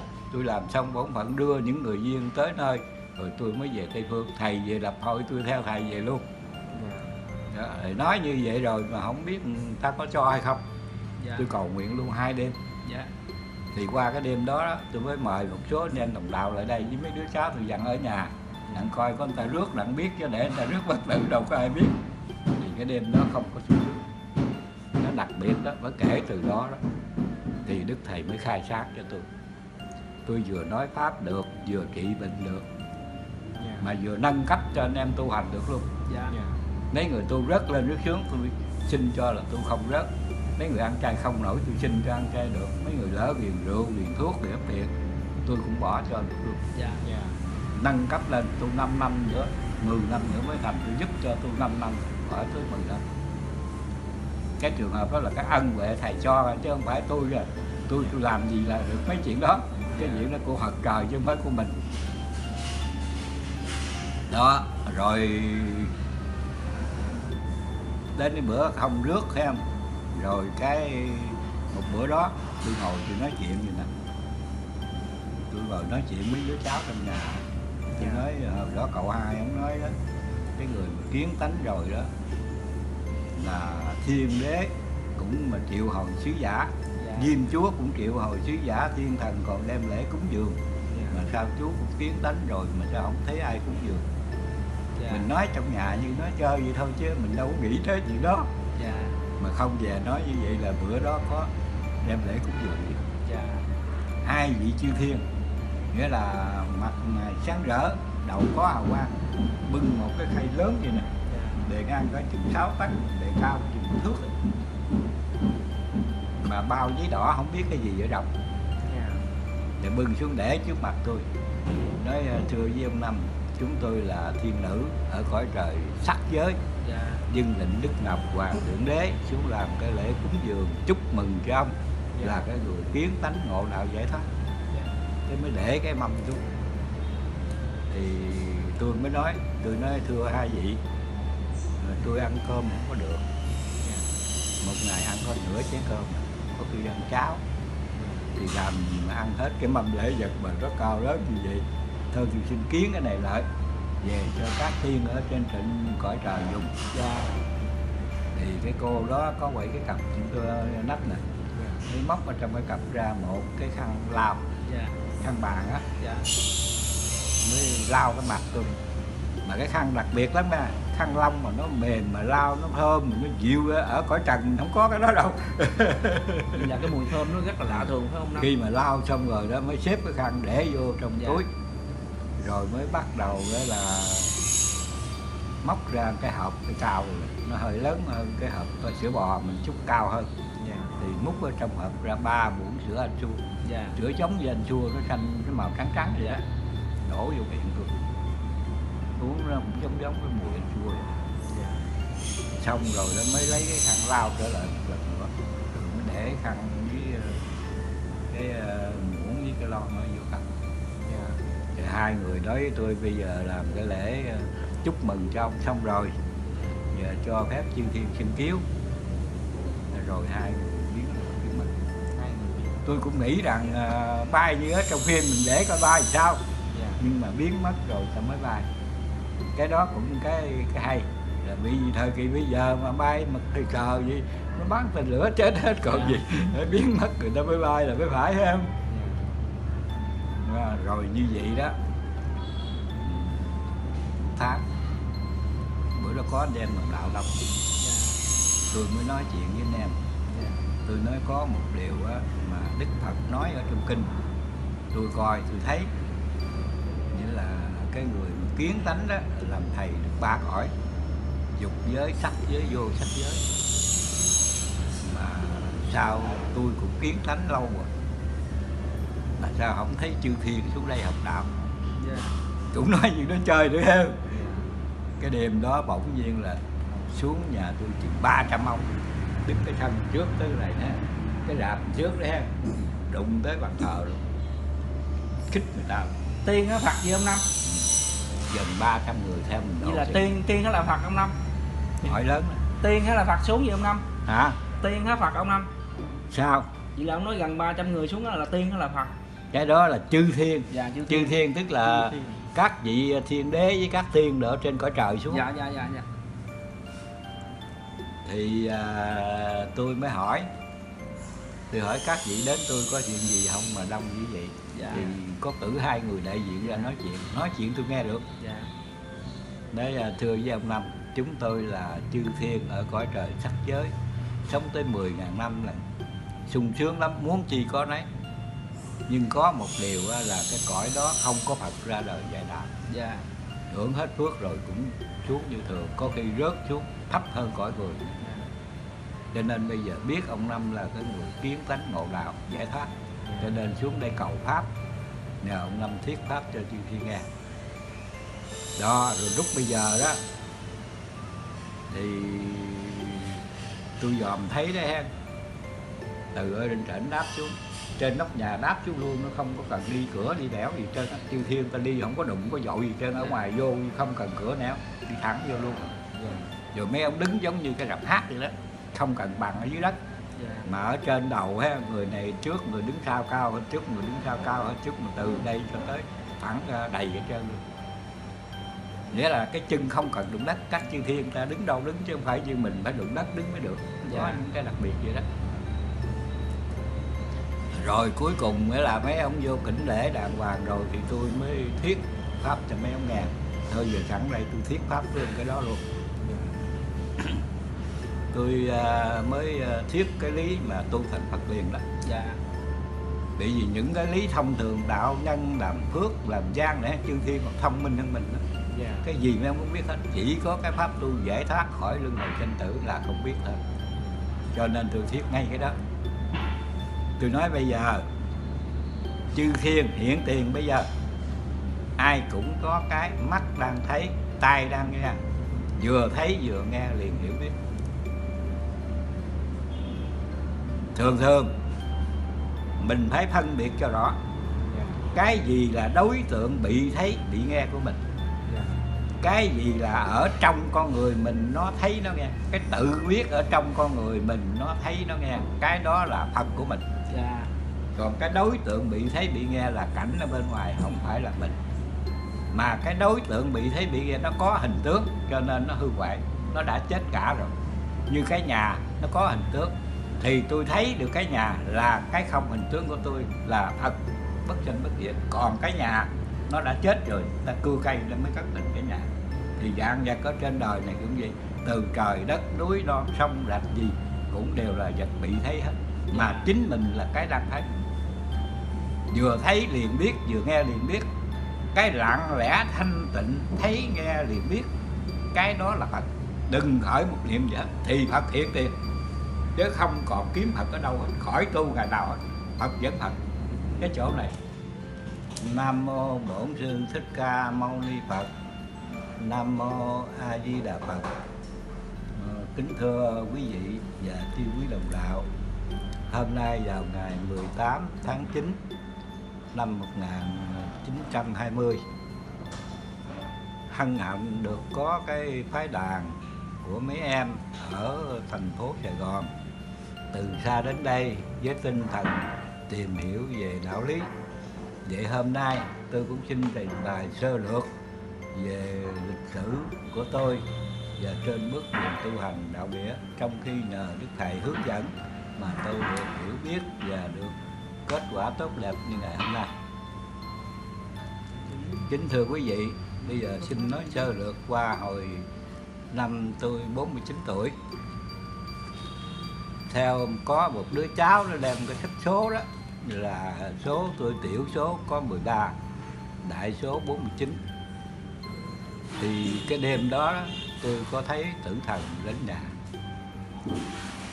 một cái đội chừng 20 người có hai ông lớn đứng cửa. Rồi vô hỏi tôi vậy chứ ờ, trong nhà ông được bao nhiêu người? Khai hộ khẩu. Thì tôi nói á, trong nhà này mấy đứa em nó ở đây nó tu hành với tôi nếu cần cái gì thì mời một mình tôi là đủ rồi. Khỏi khai từ người. Thì hai người đó mới dắt với nhau đi. Thì sáng tôi mới nói với đứa cháu rồi đêm hôm có người ta kiểm soát nhà mình mà chú lãnh cho mấy em rồi xong rồi tôi lên ta đi hết rồi. Thì qua đêm sau đó, cũng cái phái đàn đó và hai người đó cũng y đi như trở lại. Nhưng mà kêu thêm một người nữa là bà nội tôi. Bà cũng mất ra trước đó 15 năm rồi. Chê bằng à, ta bắt mình không được lại dắt ông bà mình để bắt con cháu. Thì khi mà đến rồi đó thì à, tôi ngồi tôi núp ở trong cái vách giường thờ á chỗ cái bàn à, viết á. Tôi tính mình núp đây cho mấy ông không thấy. Chứ không về đâu cái người âm không phải như mình người ta đi ngang cái vách luôn à không có bị cửa cần cửa cần nẻo gì trơn. Dạ. Thì đi ngang cái vách vô một người nắm cái tay bên đây với một chân một người nắm cái tay bên đây với một chân bên đây. Còn một người nữa thì nắm hai cái chân. Thì trong lúc đó mình nãy tôi nó cứng ngắc rồi không có nói chuyện được. luôn mà cũng không biết được luôn. Nhưng mà tôi nói một điều quý vị nên nhớ dạ. là không động gì được cái biết hết. Mặc dù cái thân tôi bị ba người nắm cứng ngắc như vậy nhưng mà cái biết nó vẫn biết như thường không có dính dắt gì cái biết. Cho nên chỗ quan trọng của mình tu muốn đắc đạo muốn giải thoát muốn thành phật muốn khỏi luân hồi sanh tử khỏi tử thần bắt cũng sống ngay cái biết này. Cái Dạ. chỗ này là hết sức quan trọng trong cái đạo phật đó. Dạ. Rồi cái tôi nhớ đức thầy nói lòng sáu chữ niệm không có ngất thì nạn tay cũng tác như không. Thì bắt đầu tôi niệm sáu chữ nam mô di Đà phật. Tôi cầu nguyện nhờ đức thầy đức phật giúp con trong khi con mắc nạn. Dạ. Như vậy là tôi niệm chừng 10 câu. Thì tự nhiên ba người đó cái tay rung hết trơn vậy. nếu tôi không được. Dạ. Rồi buông tôi ra. Cái nói chuyện với hai người giữ cửa rồi kéo ta đi luôn. Thì trong khi đó tôi mới mở mắt ra tôi nói như vậy á, thì lần này mình nhờ niệm Phật thành đồng mà đức thầy với đức phật gia hộ cho nó qua được rồi. Như vậy đó là lần lượt qua được 18 năm. Dạ. Năm tôi 49 tuổi đó thì tới năm 67 tuổi. Một lần thứ hai. Kỳ này kéo lại nhà tôi gần năm sáu chục người luôn. Dạ. Mà có mấy người ở trong xóm tôi chết từ 5 năm 10 năm 15 năm. Có trong cái đạo huynh đó luôn những người đó biết tên tôi biết mặt tôi luôn. Rồi thành ra đi một đội chừng năm sáu chục người mà có hai ông lớn cũng như mặc đồ như hắc bội vậy á đội mão rồi hết còn mấy người kia thì mặc đồ đen. Đi lại kiếm tôi á tôi ngồi ở cái ghế đằng trước đó kêu tên kêu họ tôi om sòm mà tôi nhắm mắt tôi vẫn thấy chứ không có ngủ tôi ngồi tôi nhắm mắt nó không có ngủ tôi nói á, hồi trước á một lần mắt tôi giờ niệm phật mà có phật có thầy gia hộ. Bây giờ tôi đã thấy được tự tánh rồi. Tôi sống cái tánh phật lặng trang không khởi vọng niệm.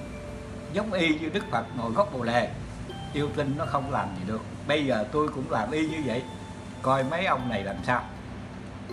Thì nó đặc biệt một cái á mấy ông đi vòng vòng kiếm tôi gần một tiếng đồng hồ.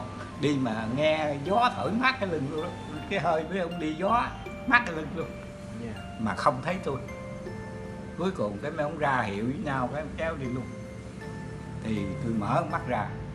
Tôi nói như vậy á lần này không bắt được tôi.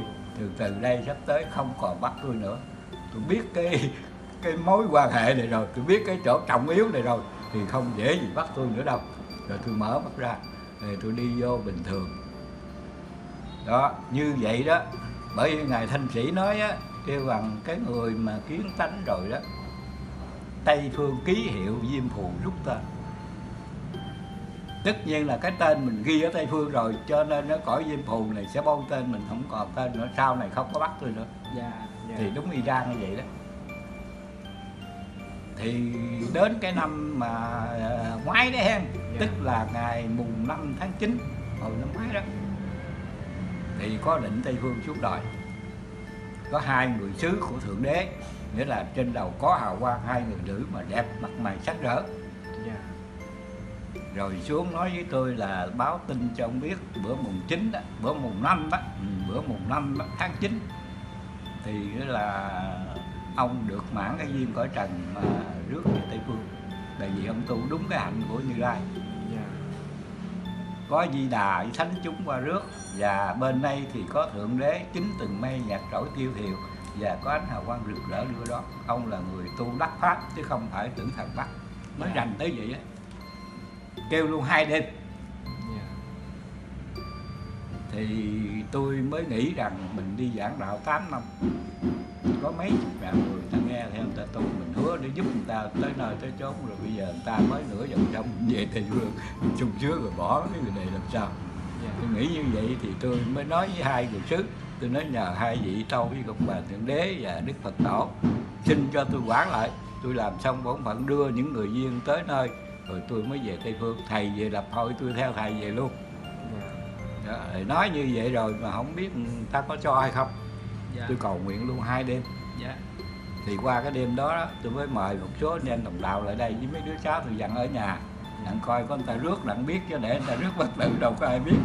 Thì cái đêm đó không có xuống rước nó đặc biệt đó mới kể từ đó đó. Thì đức thầy mới khai sáng cho tôi. Tôi vừa nói pháp được vừa trị bệnh được dạ. mà vừa nâng cấp cho anh em tu hành được luôn. Dạ. Mấy người tu rớt lên rất sướng tôi xin cho là tu không rớt mấy người ăn chay không nổi tôi xin cho ăn chay được. Mấy người lỡ ghiền rượu ghiền thuốc để tiền tôi cũng bỏ cho được luôn. Dạ dạ. Nâng cấp lên tu 5 năm nữa 10 năm nữa mới thành tôi giúp cho tu 5 năm khỏi tới 10 năm. Cái trường hợp đó là cái ân huệ thầy cho chứ không phải tôi à tôi tôi làm gì là được mấy chuyện đó. Cái chuyện đó của Phật trời chứ không phải của mình. Đó rồi. Đến cái bữa không rước thấy không rồi cái một bữa đó tôi ngồi tôi nói chuyện gì nè. Tôi ngồi nói chuyện với đứa cháu trong nhà. Tôi Dạ. nói hồi đó cậu hai ông nói đó cái người mà kiến tánh rồi đó là thiên đế cũng mà triệu hồi sứ giả. Dạ. Diêm chúa cũng triệu hồi sứ giả thiên thần còn đem lễ cúng dường. Dạ. Mà sao chú cũng kiến tánh rồi mà sao không thấy ai cúng dường? Dạ. Mình nói trong nhà như nói chơi vậy thôi chứ mình đâu có nghĩ tới chuyện đó.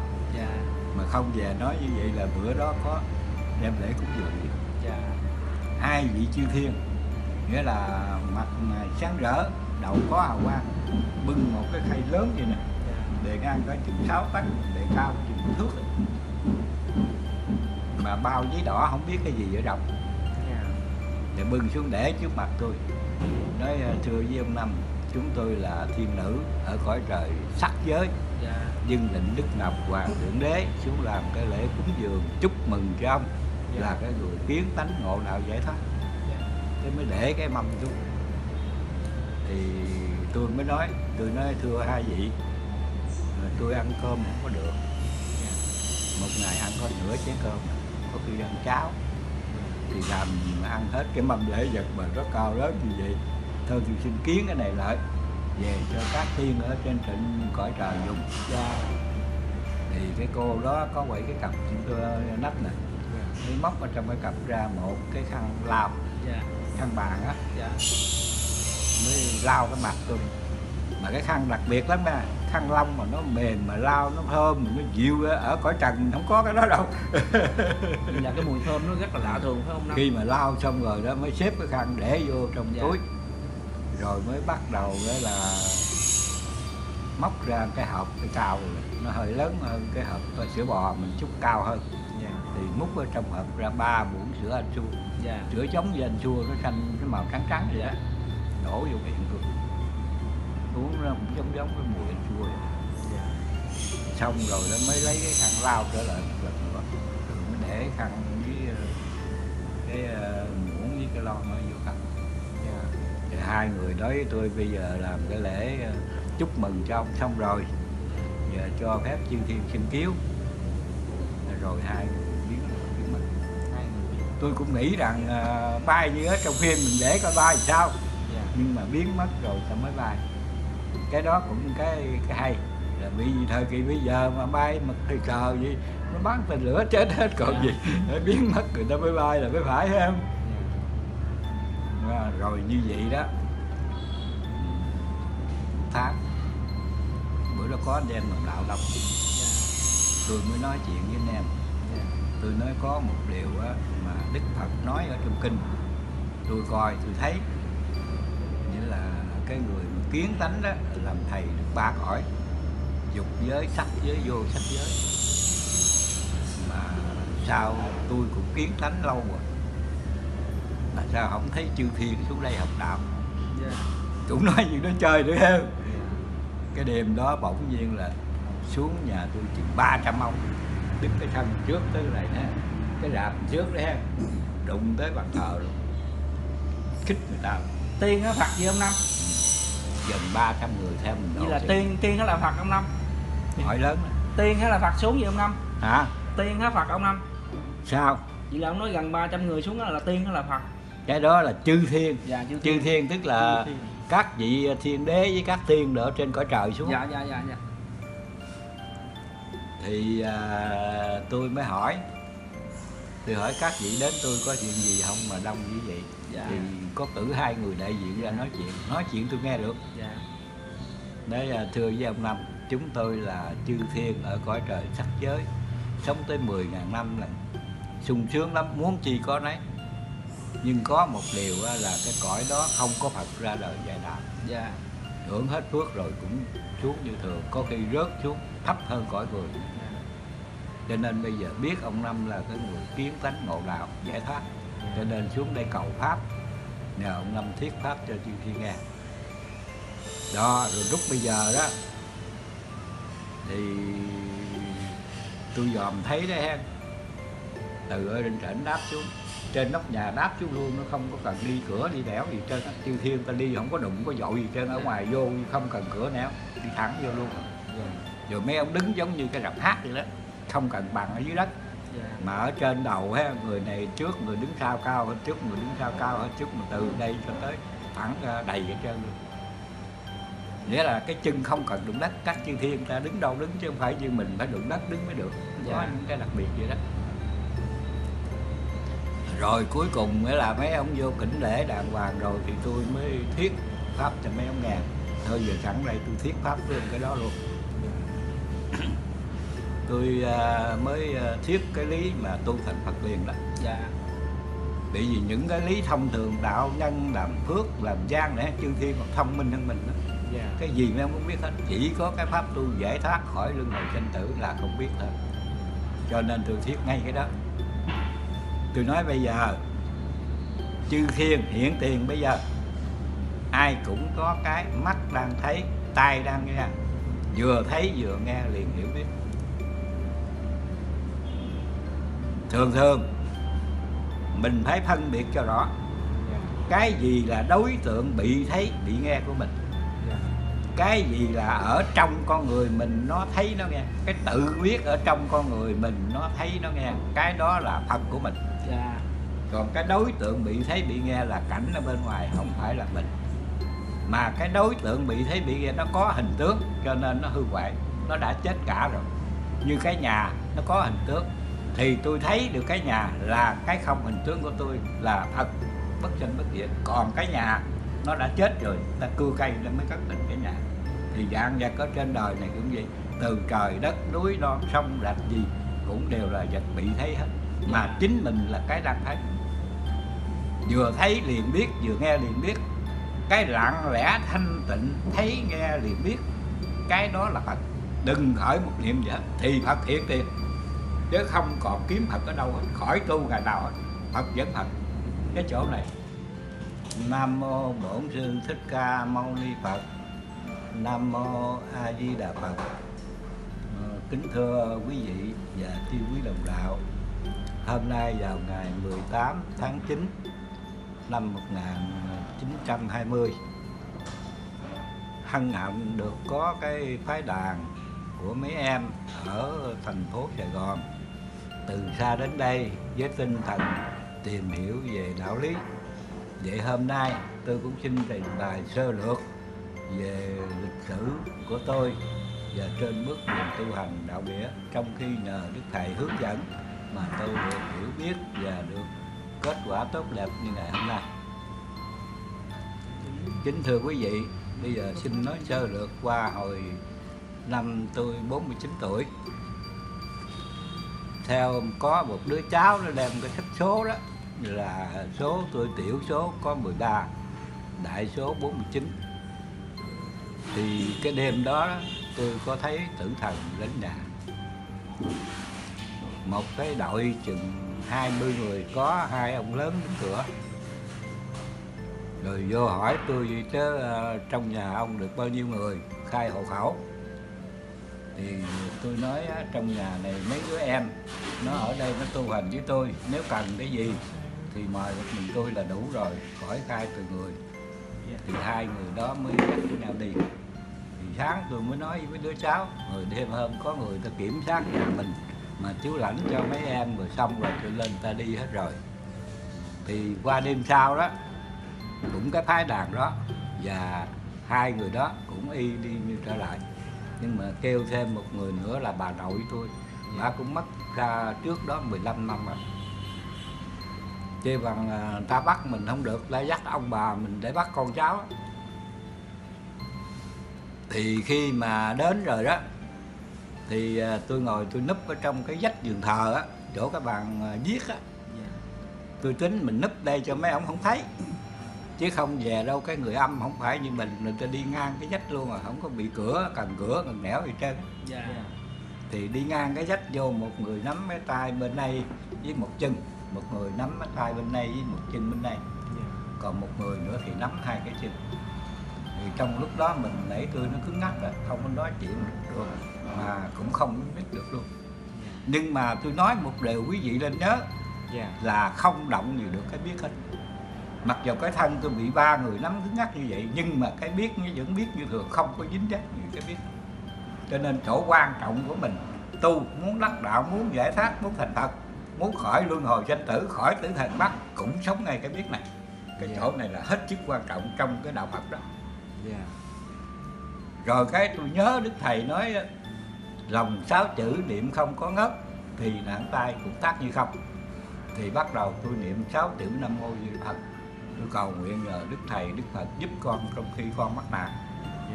Như vậy là tôi niệm chừng 10 câu. Thì tự nhiên ba người đó cái tay rung hết trơn vậy. Nếu tôi không được dạ rồi buông tôi ra. Cái nói chuyện với hai người giữ cửa rồi kéo ra đi luôn.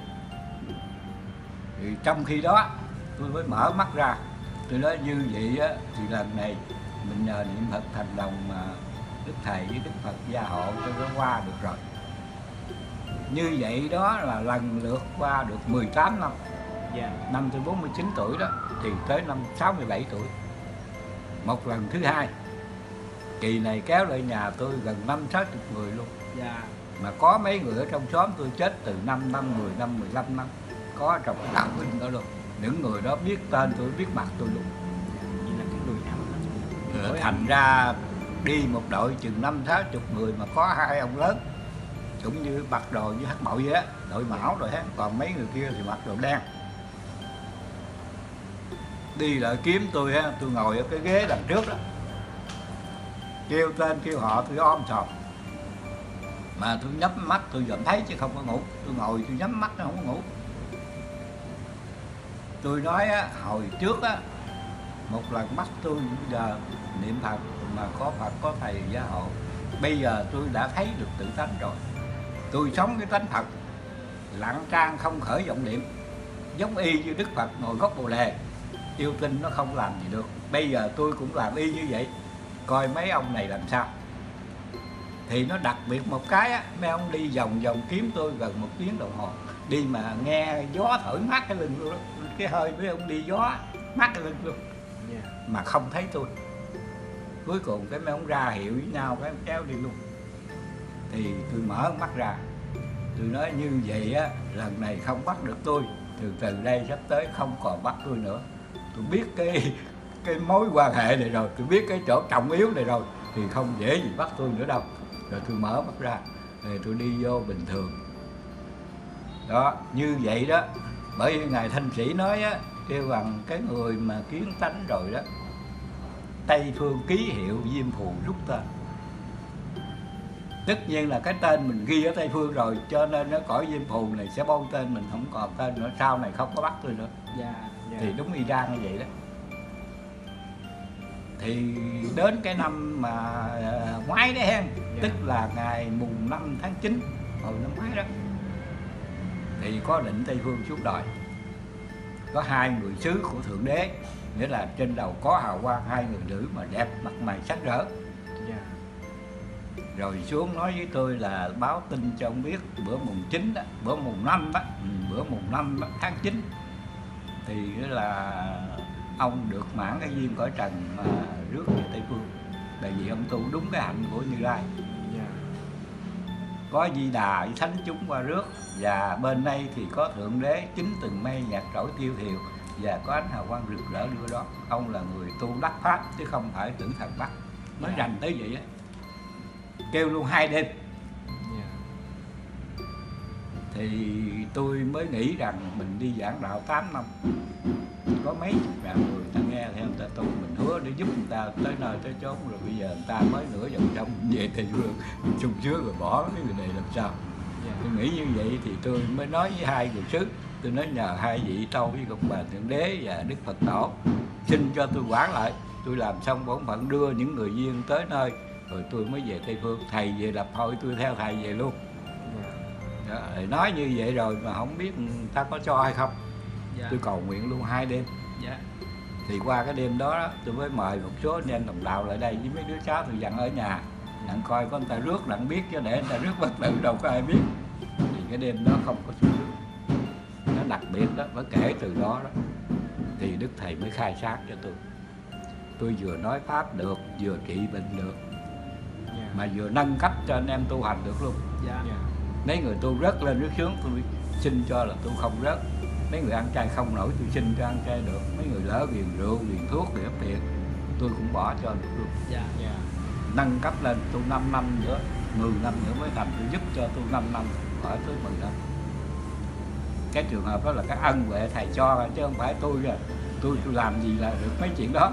Cái chuyện đó của Phật trời chứ không phải của mình. Đó rồi đến cái bữa không rước thấy không? Rồi cái một bữa đó tôi ngồi tôi nói chuyện gì nè. Tôi ngồi nói chuyện mấy đứa cháu trong nhà. Tôi nói hồi đó cậu hai ông nói đó cái người mà kiến tánh rồi đó là thiên đế cũng mà triệu hồi sứ giả. Dạ. Diêm chúa cũng triệu hồi sứ giả thiên thần còn đem lễ cúng dường. Mà sao chú cũng kiến tánh rồi mà sao không thấy ai cúng dường dạ. Mình nói trong nhà như nói chơi vậy thôi chứ mình đâu có nghĩ tới chuyện đó. Dạ. Mà không về nói như vậy là bữa đó có đem lễ cúng dường dạ. Hai vị chư thiên nghĩa là mặt sáng rỡ đầu có hào quang bưng một cái khay lớn vậy nè. Dạ. Bề ngang có chừng 6 tấc bề cao chừng thước. Mà bao giấy đỏ không biết cái gì ở trong dạ. Để bưng xuống để trước mặt tôi. Nói thưa với ông năm chúng tôi là thiên nữ ở cõi trời sắc giới. Dạ. Dân định đức ngọc hoàng thượng đế xuống làm cái lễ cúng dường chúc mừng cho ông là cái người kiến tánh ngộ đạo giải thoát. Thế mới để cái mâm xuống. Thì tôi mới nói tôi nói thưa hai vị tôi ăn cơm không có được. Một ngày ăn có nửa chén cơm có khi ăn cháo. Thì làm gì mà ăn hết cái mâm lễ vật mà rất cao lớn như vậy tôi xin kiến cái này lại. Về cho các tiên ở trên trịnh cõi trời dùng. Dạ. Thì cái cô đó có quậy cái cặp chúng tôi nách nè. Mới móc ở trong cái cặp ra một cái khăn lao. Dạ. Khăn bàn á. Dạ. Mới lao cái mặt tôi. Mà cái khăn đặc biệt lắm nha. Khăn lông mà nó mềm mà lao nó thơm nó dịu ở cõi trần không có cái đó đâu. Dạ cái mùi thơm nó rất là lạ thường phải không năm khi mà lao xong rồi đó mới xếp cái khăn để vô trong Dạ. túi rồi mới bắt đầu đó là móc ra cái hộp cái cao nó hơi lớn hơn cái hộp có sữa bò mình chút cao hơn. Dạ. Thì múc ở trong hộp ra ba muỗng sữa anh chua. Dạ. Sữa giống như anh chua nó xanh cái màu trắng trắng vậy đó. Đổ vô miệng tôi uống nó cũng giống giống cái mùi anh chua vậy. dạ. Xong rồi nó mới lấy cái khăn lao trở lại một lần nữa. Rồi mới để khăn với ờ, cái hai người nói với tôi bây giờ làm cái lễ ờ, chúc mừng cho ông xong rồi. Giờ cho phép chư thiên xin cứu rồi hai người biến biến mất hai người tôi cũng nghĩ rằng ờ, bay như ở trong phim mình để coi bay sao. Dạ. Nhưng mà biến mất rồi sao mới bay cái đó cũng cái cái hay. Là vì thời kỳ bây giờ mà bay mà thời cờ gì nó bắn tên lửa chết hết còn Dạ. gì. Biến mất người ta mới bay là mới phải không? À, rồi như vậy đó. Tháng. Bữa đó có anh em đồng đạo đông dạ. Tôi mới nói chuyện với anh em. Dạ. Tôi nói có một điều mà đức phật nói ở trong kinh. Tôi coi tôi thấy. Nghĩa là cái người kiến tánh đó làm thầy được ba cõi. Dục giới sắc giới vô sắc giới. Mà sao tôi cũng kiến tánh lâu rồi mà sao không thấy chư thiên xuống đây học đạo? Dạ. Cũng nói như nó chơi nữa dạ cái đêm đó bỗng nhiên là xuống nhà tôi chừng 300 ông đứng cái thân trước tới này nè cái rạp trước đấy đụng tới bàn thờ luôn. Khích người ta. Tiên á phật gì ông năm? Gần 300 người theo mình vậy là đồ tiên tiên hay là phật ông năm. Hỏi lớn tiên hay là phật xuống gì ông năm? Hả? Tiên hay phật ông năm. Sao? Vậy là ông nói gần 300 người xuống đó là tiên hay là phật cái đó là chư thiên. Dạ chư chư thiên. tức là thiên. các vị thiên đế với các thiên ở trên cõi trời xuống. Dạ dạ dạ dạ. Thì à, tôi mới hỏi. Tôi hỏi các vị đến tôi có chuyện gì không mà đông như vậy? Dạ. thì có cử hai người đại diện ra nói chuyện. Nói chuyện tôi nghe được. Dạ. Đấy à, thưa với ông năm chúng tôi là chư thiên ở cõi trời sắc giới. Sống tới 10.000 năm là sung sướng lắm. Muốn chi có nấy nhưng có một điều là cái cõi đó không có Phật ra đời dạy đạo dạ hưởng hết phước rồi cũng xuống như thường. Có khi rớt xuống thấp hơn cõi người. Cho nên bây giờ biết ông năm là cái người kiến tánh ngộ đạo giải thoát. Cho nên xuống đây cầu pháp. Nhờ ông năm thiết pháp cho chư thiên nghe. Đó rồi lúc bây giờ đó thì tôi dòm thấy đấy hen, từ ở trên trển đáp xuống trên nóc nhà đáp xuống luôn nó không có cần đi cửa đi đẻo gì trên chư thiên ta đi không có đụng có dội gì trên ở Dạ. ngoài vô không cần cửa nẻo đi thẳng vô luôn. Rồi mấy ông đứng giống như cái rạp hát vậy đó không cần bằng ở dưới đất. Dạ. Mà ở trên đầu ha người này trước người đứng sau cao hơn trước người đứng sau cao hơn trước mà từ đây cho tới thẳng ra đầy hết trơn luôn. Nghĩa là cái chân không cần đụng đất các chư thiên ta đứng đâu đứng chứ không phải như mình phải đụng đất đứng mới được. Có Dạ. những cái đặc biệt vậy đó rồi cuối cùng nghĩa là mấy ông vô kỉnh lễ đàng hoàng rồi thì tôi mới thuyết pháp cho mấy ông nghe thôi giờ sẵn đây tôi thuyết pháp luôn cái đó luôn. Tôi à, mới à, thuyết cái lý mà tu thành Phật liền đó. Dạ. Bởi vì những cái lý thông thường đạo nhân làm phước làm gian để chư thiên còn thông minh hơn mình đó. dạ. Cái gì mấy ông cũng biết hết. Chỉ có cái pháp tu giải thoát khỏi luân hồi sanh tử là không biết thôi. Cho nên tôi thuyết ngay cái đó tôi nói bây giờ, chư thiên hiện tiền bây giờ, ai cũng có cái mắt đang thấy, tai đang nghe, vừa thấy vừa nghe liền hiểu biết. Thường thường, mình phải phân biệt cho rõ cái gì là đối tượng bị thấy, bị nghe của mình.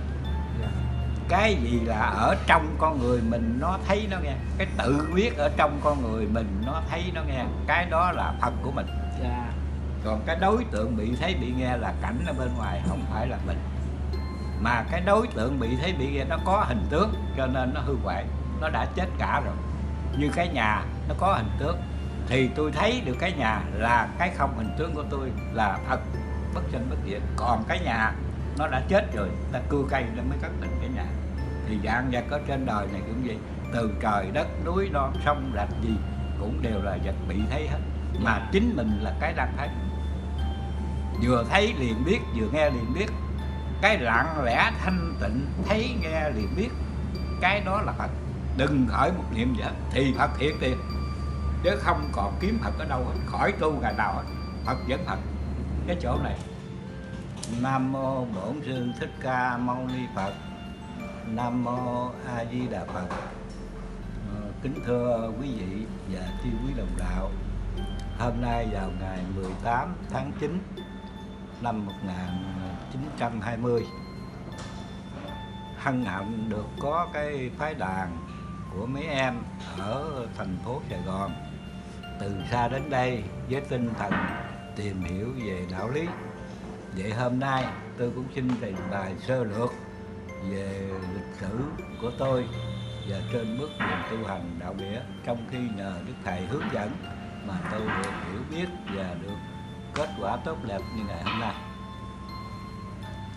Kính thưa quý vị, bây giờ xin nói sơ lược qua hồi năm tôi 49 tuổi.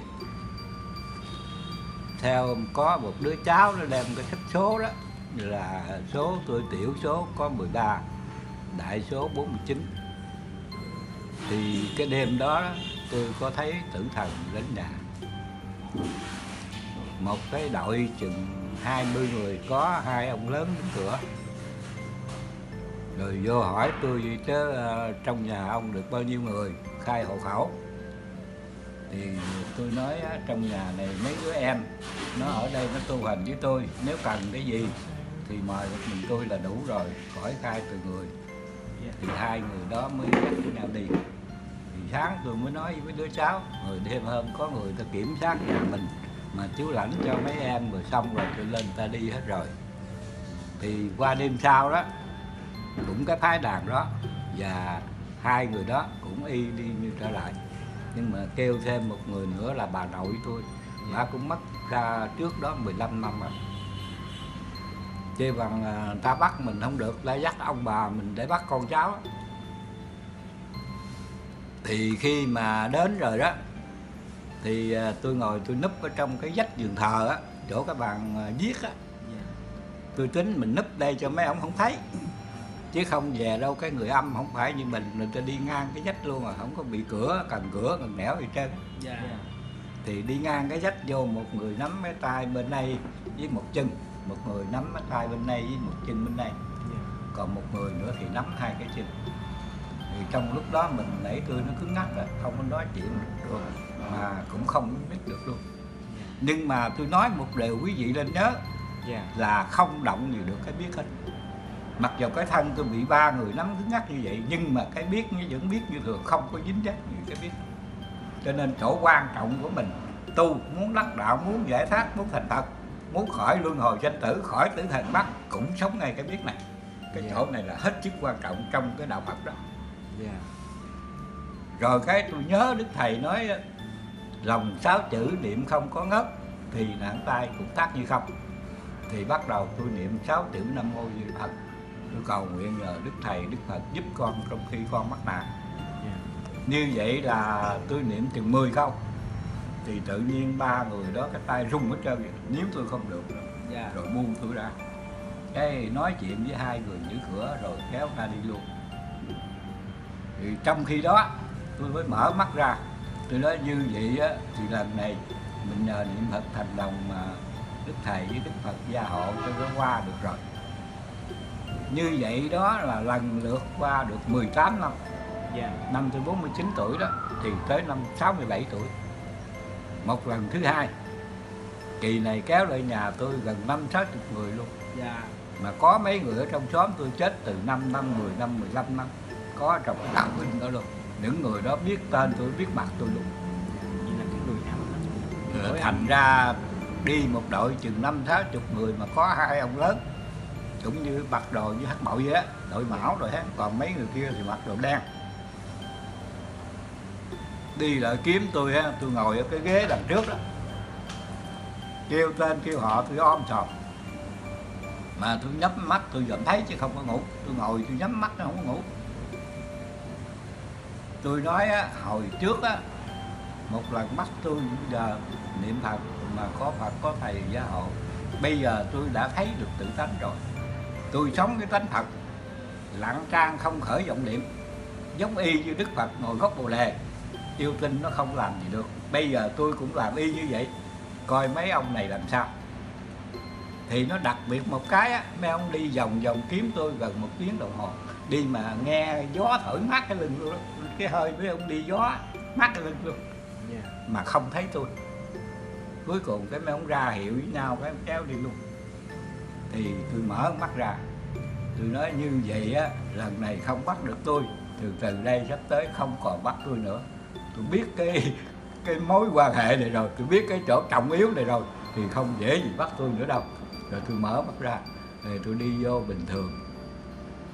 Đó như vậy đó bởi vì ngài thanh sĩ nói á kêu bằng cái người mà kiến tánh rồi đó tây phương ký hiệu diêm phù rút tên. Tất nhiên là cái tên mình ghi ở tây phương rồi cho nên nó cõi diêm phù này sẽ bôi tên mình không còn tên nữa sau này không có bắt tôi nữa. Dạ dạ. Thì đúng y ra như vậy đó. Thì đến cái năm mà à, ngoái đấy hen Dạ. tức là ngày mùng 5 tháng 9 hồi năm ngoái đó thì có định tây phương xuống đòi có hai người sứ của thượng đế nghĩa là trên đầu có hào quang hai người nữ mà đẹp mặt mày sắc rỡ. Dạ. Rồi xuống nói với tôi là báo tin cho ông biết bữa mùng 9 đó bữa mùng 5 đó ừ, bữa mùng 5 đó, tháng 9 thì nghĩa là ông được mãn cái duyên cõi trần mà rước về tây phương. Tại vì ông tu đúng cái hạnh của như lai có di đà với thánh chúng qua rước. Và bên đây thì có thượng đế chính từng mây nhạc trỗi tiêu thiều. Và có ánh hào quang rực rỡ đưa đó ông là người tu đắc pháp chứ không phải tử thần bắt. Nói Dạ. rành tới vậy á. Kêu luôn hai đêm thì tôi mới nghĩ rằng mình đi giảng đạo 8 năm có mấy chục ngàn người ta nghe theo người ta tu. Mình hứa để giúp người ta tới nơi tới chốn rồi bây giờ người ta mới nửa vòng trong về tây phương. Sung sướng rồi bỏ cái người này làm sao? Dạ. Tôi nghĩ như vậy thì tôi mới nói với hai người sứ tôi nói nhờ hai vị tâu với công bà thượng đế và đức phật tổ xin cho tôi quản lại. Tôi làm xong bổn phận đưa những người duyên tới nơi rồi tôi mới về tây phương. Thầy về lập hội tôi theo thầy về luôn đó, thì nói như vậy rồi mà không biết người ta có cho hay không? Dạ. Tôi cầu nguyện luôn hai đêm. Dạ.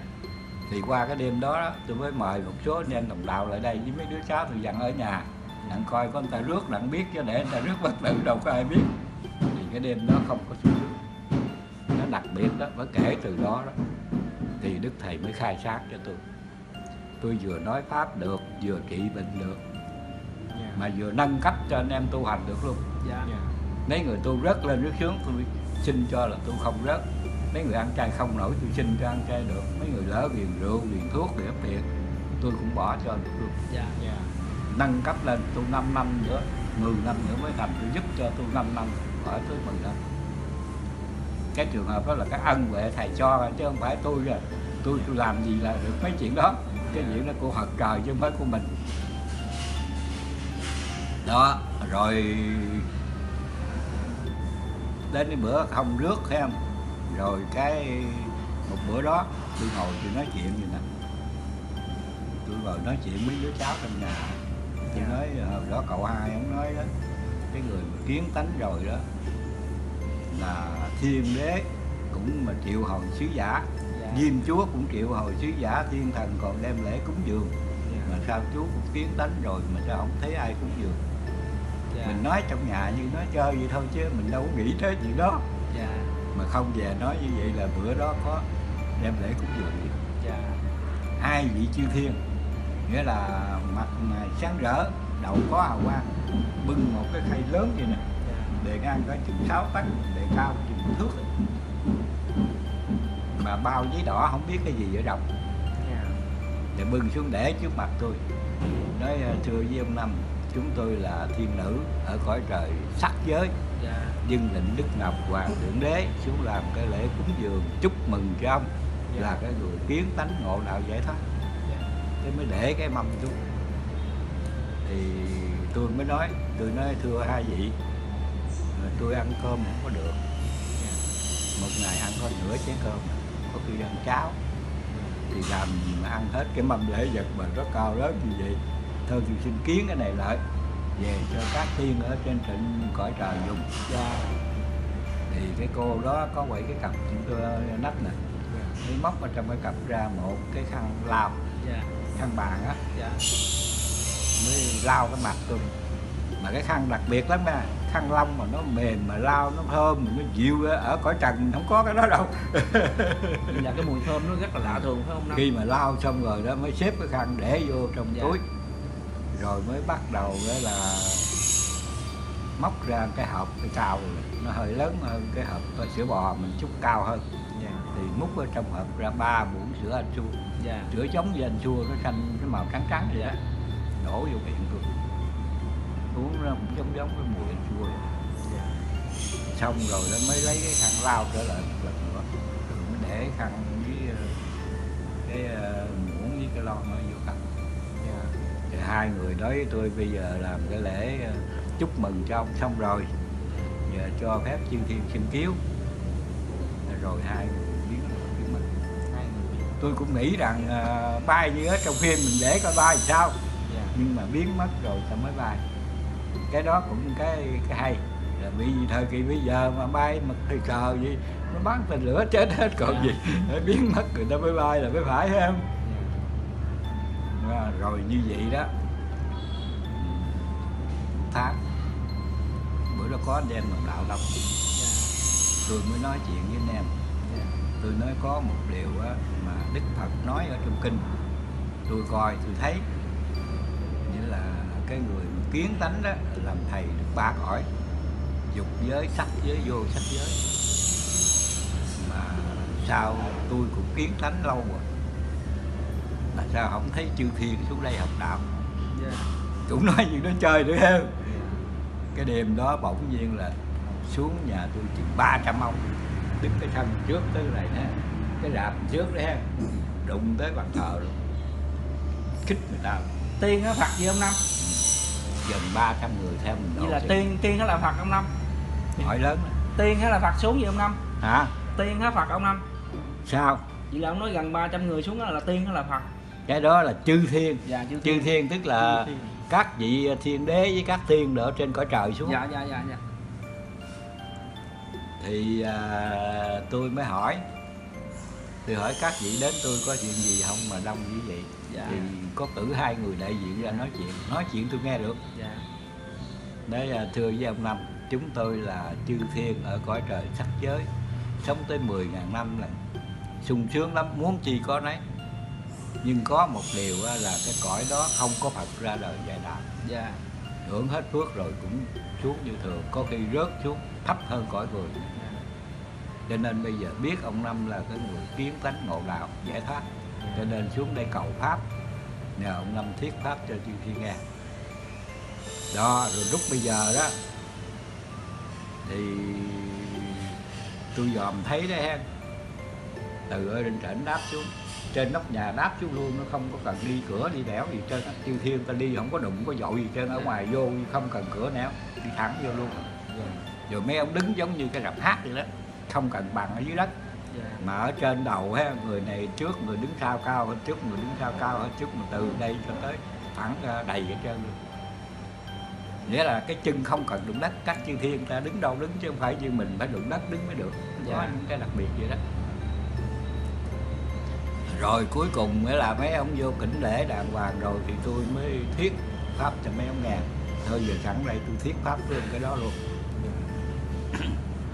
Tôi à, mới à, thuyết cái lý mà tu thành Phật liền đó.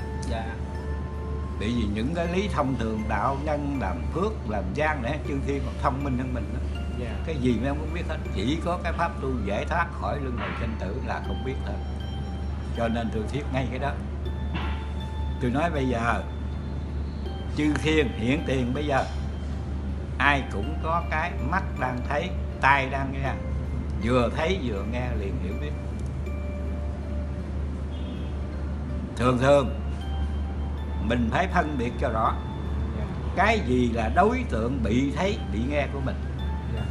Cái gì là ở trong con người mình nó thấy nó nghe. Cái tự biết ở trong con người mình nó thấy nó nghe. Cái đó là phật của mình còn cái đối tượng bị thấy bị nghe là cảnh ở bên ngoài, không phải là mình. Mà cái đối tượng bị thấy bị nghe, nó có hình tướng cho nên nó hư hoại, nó đã chết cả rồi. Như cái nhà, nó có hình tướng thì tôi thấy được cái nhà là cái không hình tướng của tôi là thật. Bất sinh bất diệt. Còn cái nhà, nó đã chết rồi, ta cưa cây nó mới cất định cái nhà. Thì dạng vật ở trên đời này cũng vậy. Từ trời đất núi non sông rạch gì cũng đều là vật bị thấy hết. Mà chính mình là cái đang thấy vừa thấy liền biết, vừa nghe liền biết. Cái lặng lẽ thanh tịnh, thấy nghe liền biết.